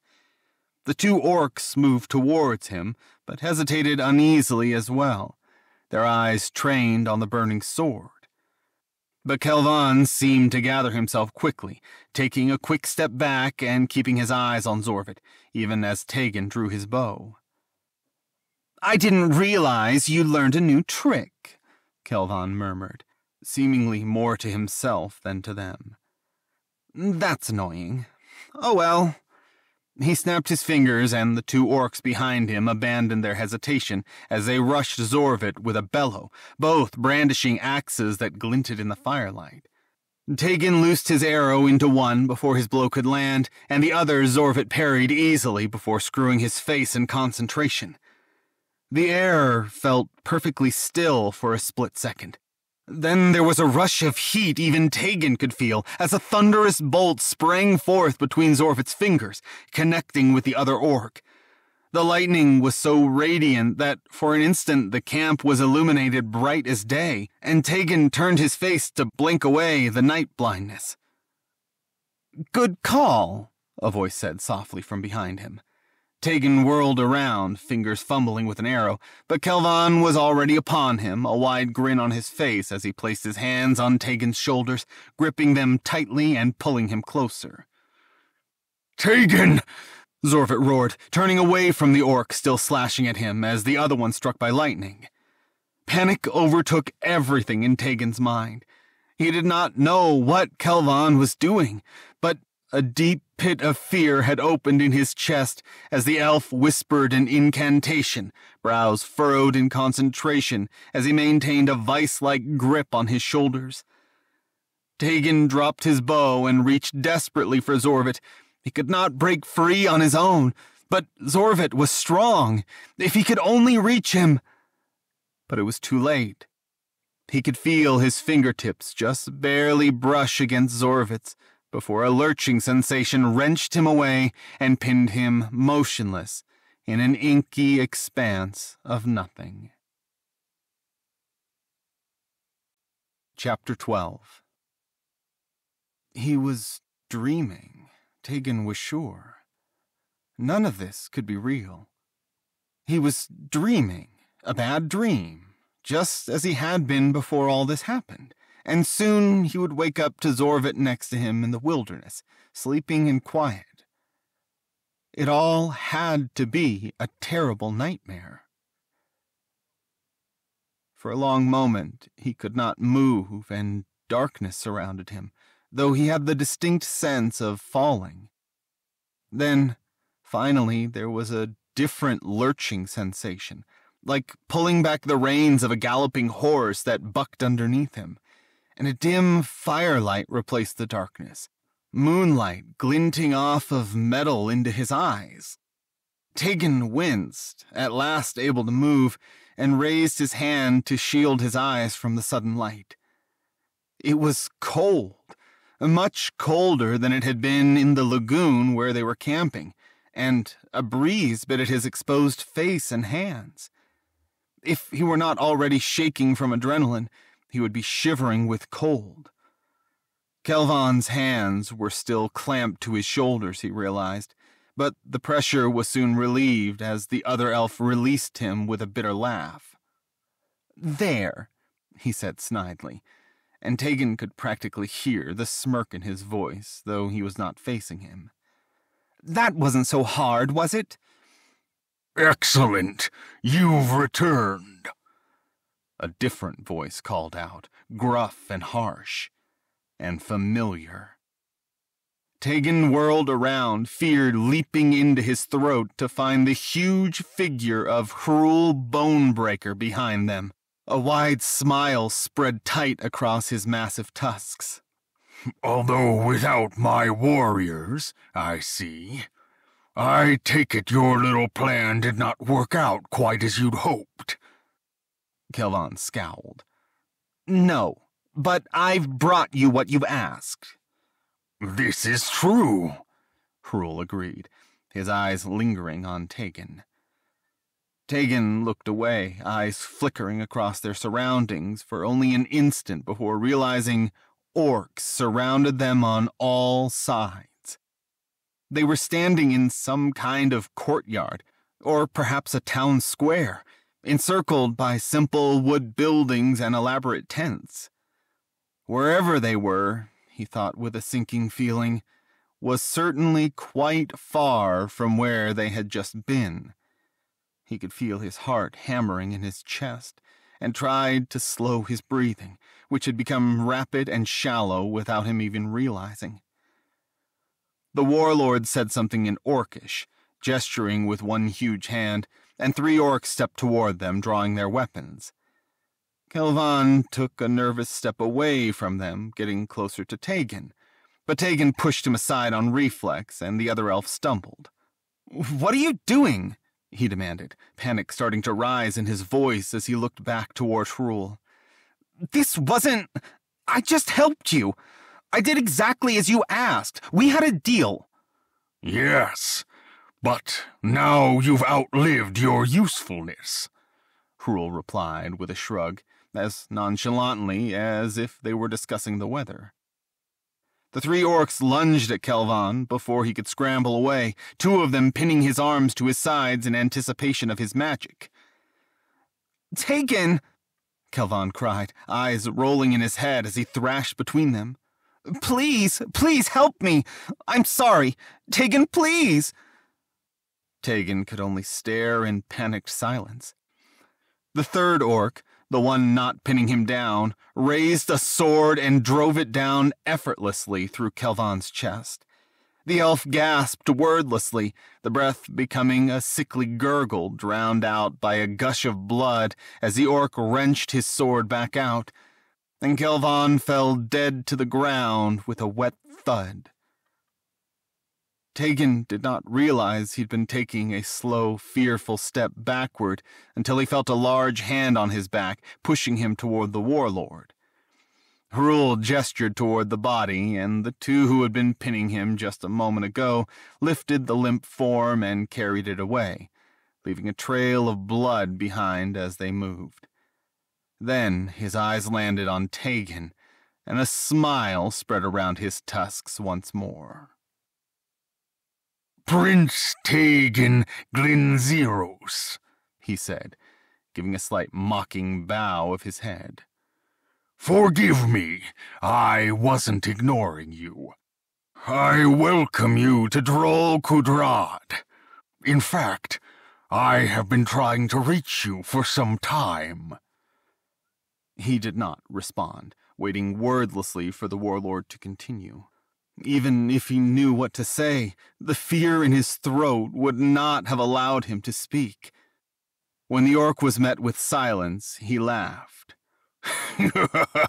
You're right to be afraid, he continued. Though I won't kill you, not yet. Let me tell you what's going to happen. Zorvut will be quite sure of where you are, certainly, and he will come here to free you. When he arrives, he will die, and then you will as well. He sighed, leaning back on his heels and folding his arms across his chest. It's a shame, but his presence is the greatest threat to my victory against the elves. Some of my people still have some misguided sense of loyalty to that damned peace treaty and to him even though he is not my son. He scowled at that, clearly vexed at the admission. So he must be taken care of, and so must you. Something tells me your death will break the king's resolve enough that we can take the capital for good. Taegan looked around once more. There were at least ten orcs surrounding him, each of them armed. He had nothing but the clothes he wore. If he were to try to escape, he would certainly die. And what makes you think Zorvut will know I'm here? What reason would he have to believe Kelvan was working with you? he asked, his voice hoarse. Hrul laughed at that. If he can't figure it out, he's far more a fool than I ever took him to be, he chuckled. The warriors I sent with your elf friend showed me more than enough of a clue. He was right, Taegan thought. And the less the warlord knew about where they had been and what they were doing, the better. So he simply nodded once, looking away, and stayed silent. Nothing else to say? Hrul prodded. But when Taegan did not reply, he shrugged. That's fine. I have what I need. He barked out something harsh and orcish, and suddenly two figures were upon him, grabbing him by his arms and lifting him effortlessly off his feet. Wait! he exclaimed, more out of fear than any planned protest. But Hrul glanced back over at him expectantly, and the two orcs holding him paused, so he had to say something, anything. Whatever Kelvan offered you, my father can double, triple. Hrul laughed again, but this time it was more of a howl as he threw his head back, his hands clutching his chest. What he promised me is you. Little fool, I already have all I need. Go on, then. The warlord waved his hand as if swatting away a fly, and Taegan was hauled off. He struggled against their powerful grips for only an instant before giving up, letting his feet trail limply along the ground as he was dragged between the two orcs. Much as he tried to look around as they carried him through the streets, he could not glean much in the low light. Only glimpses of wide dirt roads, dark wood structures, a handful of torches mounted on poles, and tents set up in the spaces between buildings. Eventually, they approached one of the wood buildings and pushed through the door, striding past another orc sitting at a wooden table who barely looked up to acknowledge their presence before he was hauled past. Down a set of stone steps into a dark, even colder corridor. Only a single torch illuminated the gloomy hallway they were in, and in the dim light, it took Taegan a moment to realize they were not in a corridor, but a dungeon. Unceremoniously, he was thrown into a cell, knocking the wind out of him as he landed face down in the packed dirt floor. He lay there panting until the sound of an iron door closing behind him finally spurred him into action as he struggled to push himself up. By the time he stumbled back to his feet, the metal bars were locked shut and the two orcs were gone. For a moment, he wanted to scream, to beg, to demand his release but he bit his lip and squeezed his eyes closed, forcing himself to remain silent. Even if there was no one to hear it now, he would not stoop so low to beg and cry. When the fear boiling in his chest had calmed to a manageable simmer, he opened his eyes and looked around once more. The cell he was in was fairly small, at least by orcish standards maybe five or six paces across on either side, with metal bars on one end and stone walls on the other three, packed dirt beneath his feet. A pile of hay with a coarse gray blanket on top of it lay in one corner, and in the other a low wooden stool and a wooden bucket filled with water. Nothing else was in the room besides him. The only sound disturbing the stagnant air was his own shaky breathing. But after a moment, the silence in the back of his head sent him spiraling into another panic all over again. Zorvut's presence in his mind was gone. their bond completely mute. While it was not the sharp pain of their bond being severed, it was an uncomfortable non existence, evidence of a distance between them far beyond where the magic could reach. He was utterly alone. Taegan pulled the stool into the middle of the room and sat down on it before his legs could give out beneath him, centering himself to the best of his ability. He was alone, and afraid, and cold. But he was alive. If nothing else, they had not killed him outright then and there.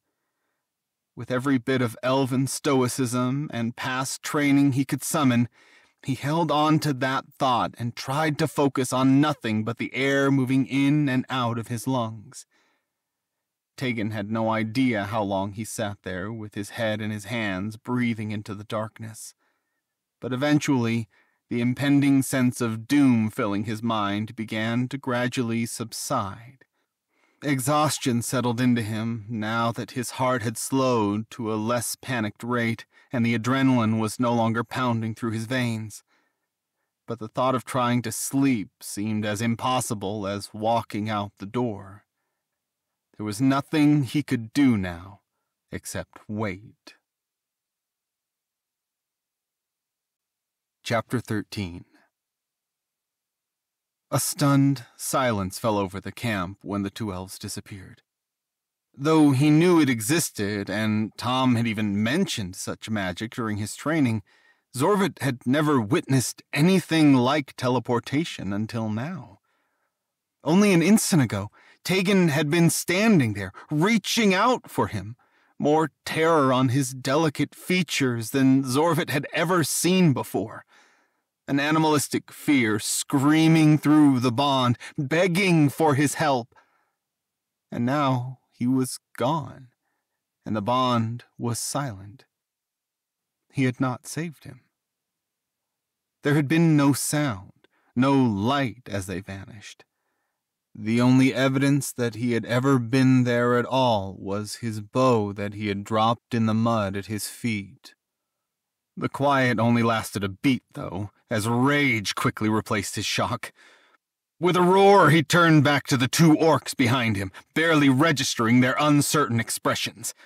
Despite his effort at seizing the magic inside him, he could not summon another thunderbolt, instead filling his hand with flame that he hurled at the one further away, a male he had already struck who had an arrow sticking out of his shoulder. In a single fluid movement, he swung his burning sword at the closer orc, a woman, carving into her bicep. She howled in pain, but it cut off as he swung again, coming around the other side to slice into her torso. The heat of the sword meant there was a little blood, but the wet splatter of her intestines spilling from the wound was somehow worse. As she fell, Zorvut rushed the other orc who was scrambling to lift his axe even as his clothes were still smoldering with the fire Zorvut had thrown. The male orc got in one good swing, but it barely fazed Zorvut. A flesh wound on his shoulder, something he could easily tend to later. Fear was evident on the orc's face, and his distraction was his downfall, for when his eyes flickered again back toward the place the two elves had stood, Zorvut plunged his sword through the orc's chest, cutting up through his ribs until the blade was buried to the hilt. The warrior's eyes met his, wide with shock, before rolling to the back of his skull as the larger form slumped forward lifelessly. Zorvut shoved him away, wrenching his sword from the warm body and releasing the thread of fire that had kept it alight. Only then did he allow himself to look back at where Taegan had once stood, to stand over his ornate bow sullied by the dirt and water. He leaned down to gingerly pick it up, holding it in one shaking hand. Taegan! he shouted, unable to stop himself. Fury still burned in his veins, but it was fading quickly to something colder. Taegan, where are you? He made a wide perimeter of the camp, shouting until his throat was raw. Can you hear me? Taegan, answer me! But the silence, the nothing in the back of his head, was already the answer. When he could shout no more, Zorvut sat down on the log they had set up in front of their campfire only hours before, looking into the cold ashes in a daze. He had to do something. He had to do something. He was called the Relentless. He did not give up. There had to be something, anything. Whether it was the wound that he had left unattended or the dizzying panic that had finally set in, he found himself slumped on the ground as the first streaks of daylight were breaking through the night sky. He couldn't think long enough to formulate a plan. The only thing he could focus on was the emptiness in the back of his head, as if it were his tongue running over the raw, empty space where a broken tooth had been yanked out. Mechanically, Without realizing until he was halfway done with the task, he started breaking down camp, carefully folding Taegan's bedding and setting it into his pack. It was so much smaller than his own. He would not cry. He could not cry, not now. When everything was packed and piled onto Ember, Taegan's little dun mare, he strung a rope through her reins and leashed her to Graxt before mounting the larger stallion. Though his hands were shaking, Graxt seemed to know the way, following the trail without need of Zorvut's guidance. There was nothing else he could do. It would be a long road to get home now. When Zorvut arrived back in Aefraya, there was no siege. From the moment he could see it in the distance, the shape of the city streets spiraling up the hill with the castle perched at the top, his suspicions that Kelvan had tricked them from the start proved true. Castle Aefraya looked just as idyllic as ever, the white stone gleaming in the afternoon sun. He did his best to push down the anger and sinking despair that welled in his chest at the realization and made his way up to the city gates and through to the castle with as neutral an expression as he could manage. Tell the king I've returned, he said gruffly to the guard that met him at the gate. Though the guard hesitated, through the elf's helmet Zorvut could not see his face, but he was sure he was looking fearfully at the prince's lone horse. He nodded and jogged up toward the castle entrance. A stable boy was already running up to take their horses. Zorvut tossed him Graxt's reins without looking, unable to bear the boy's nervous expression. He felt as if every guard standing between the gate and the castle was staring right at him, so he kept his gaze firmly on the ground as he slowly made his way up the steps and to the castle door. As he stepped into the foyer, he could already hear hurried footsteps approaching from the marble staircase. He looked up to see the king pulling a fine robe over his leisure clothes, descending the stairs quickly, followed closely by his attendant. Zorvut! Reuven exclaimed. The half smile on his face slowly dropped as he saw Zorvut was alone, recognizing the grim expression he couldn't hide. Where is Taegan? He took in a long, steadying breath, looking back down at his feet Already he could not bear the king's frightened visage. Captured, he said hoarsely, clearing his throat. He could not cry, not yet. We were tricked, and he was taken. The elf who betrayed us, Kelvan. He must have been working with orc forces. He had approached Taegan in disguise as a merchant and told him the capital was under siege, that you were in hiding or dead. And he was so worried that we left, and Kelvan accosted us on the road, and. He trailed off, his voice breaking again. Reuven was silent, and he still could not bring himself to look up at the elf. Instead, he first knelt, then lowered his forehead to the ground, prostrating himself before the king. I'm so sorry, he choked out over the lump in his throat. King Reuven, I am so sorry. I couldn't save him. All the effort was in vain because I couldn't. I couldn't keep him safe. Get up. The king's voice cut through sharply. Zorvut, please get up. Zorvut took in a few gasping breaths, willing himself not to break down, before pushing himself back up to his feet. When he looked up at the king, Reuven's face was pale, his expression stern, but his hands were steady as he gestured for Zorvut to rise. Come speak with me in my private study, he said, turning to go without waiting to see if Zorvut followed. Not that he could refuse an order from the king, so he silently followed him up the marble stairs and to his study. The king's attendant closed the door behind them, leaving the two of them alone. King Reuven stood near the open window, looking down at the city with a pensive expression, before turning to face Zorvut again. This time his hands trembled, but he clasped them firmly in front of himself in a steadying gesture before speaking once more. Tell me everything that happened, he said in a low voice. Kelvan had magically disguised himself as a trader, a a merchant, Zorvut replied, fixing his gaze on the tall bookshelf behind Reuven rather than on the king's eyes burning with barely contained emotion. He told Taegan that he had just fled Aefraya after orcs had taken the castle, and that the fate of the king was uncertain.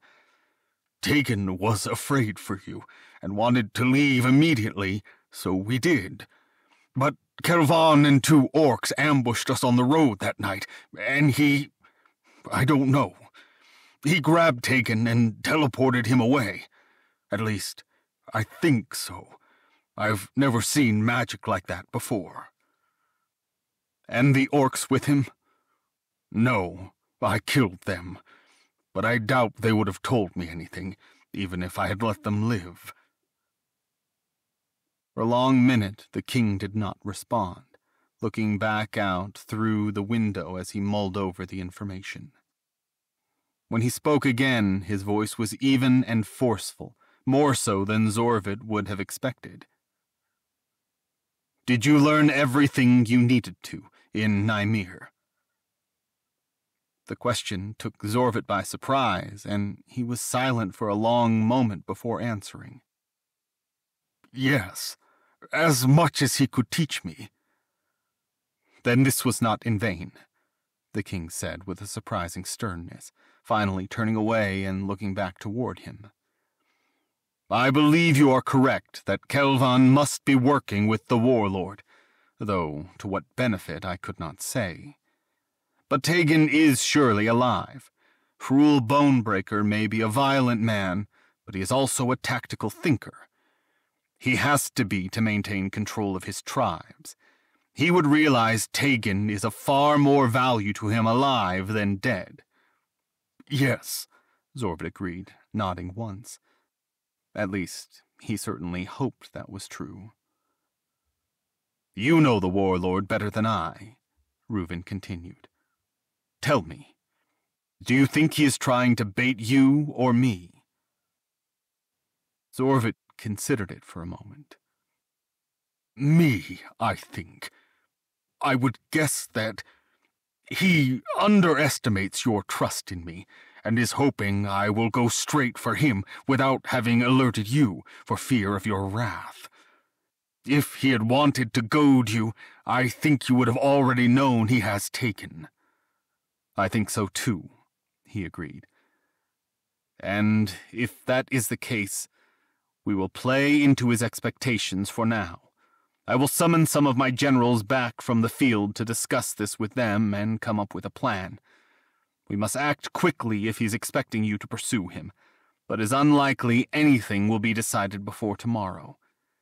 Can I trust you to wait until then? When he looked over at the king, Reuven was watching him with an intense gaze. Though he had learned to read Taegan's face fairly well over time, the elven king, with his cold, austere countenance, remained wholly inscrutable to him. Yes, he said, swallowing hard. as much as he wanted to get back on his horse and ride straight for Drol Kudrad, he knew that their next steps needed to be perfectly calculated. As the king had said, Hrul Bonebreaker was a tactician in his own right, and Zorvut could not outmaneuver him alone. He needed the elves. You are the king. I follow your commands. King Reuven's hard expression finally softened at that, and for the first time Zorvut caught the slight hint of despair in his face.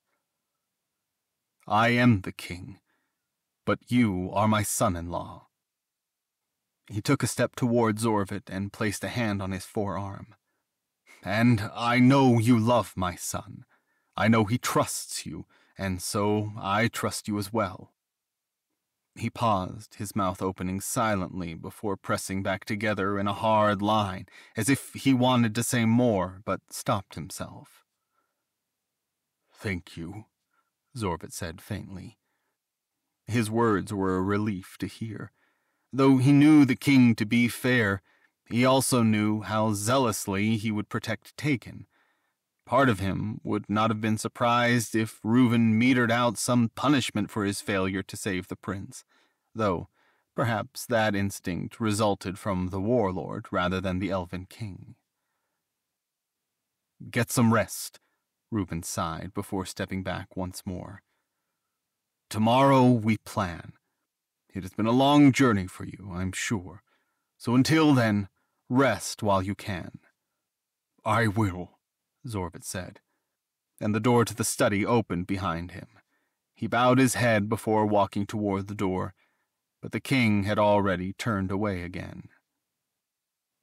Taegan's attendant, Eric, was not in the corridor when he arrived back at their quarters. But when he stepped inside, candles had been lit throughout the room, and even from the entryway, he could see that a warm bath had been drawn, and that was what finally broke him. All that his spoiled, sweet prince had wanted was the comfort of a good bath and his own bed. From the start, he had so desperately yearned to come home, and now he was here and Taegan was farther away than ever before. Zorvut threw his things to the floor and crawled into bed fully clothed, finally letting the tears come. Though their sheets had been laundered in their absence, they still had the faint scent of Taegan. the oil he used to smooth his hair, and the rose water he loved to bathe in. His mind kept pulling away to the point in the back of his skull where their bond sat, where he could always sense Taegan, his charm, his fire. But each time it was still empty, still silent. Even as he wept, he knew what he had to do. He would never get his husband back unless the warlord was dead. Next Big Adventure Audio hopes you have enjoyed this presentation of Blood of the Orc Prince, Book 2 of the Orc Prince series by Lionel Hart, performed by Jeremy Frazier.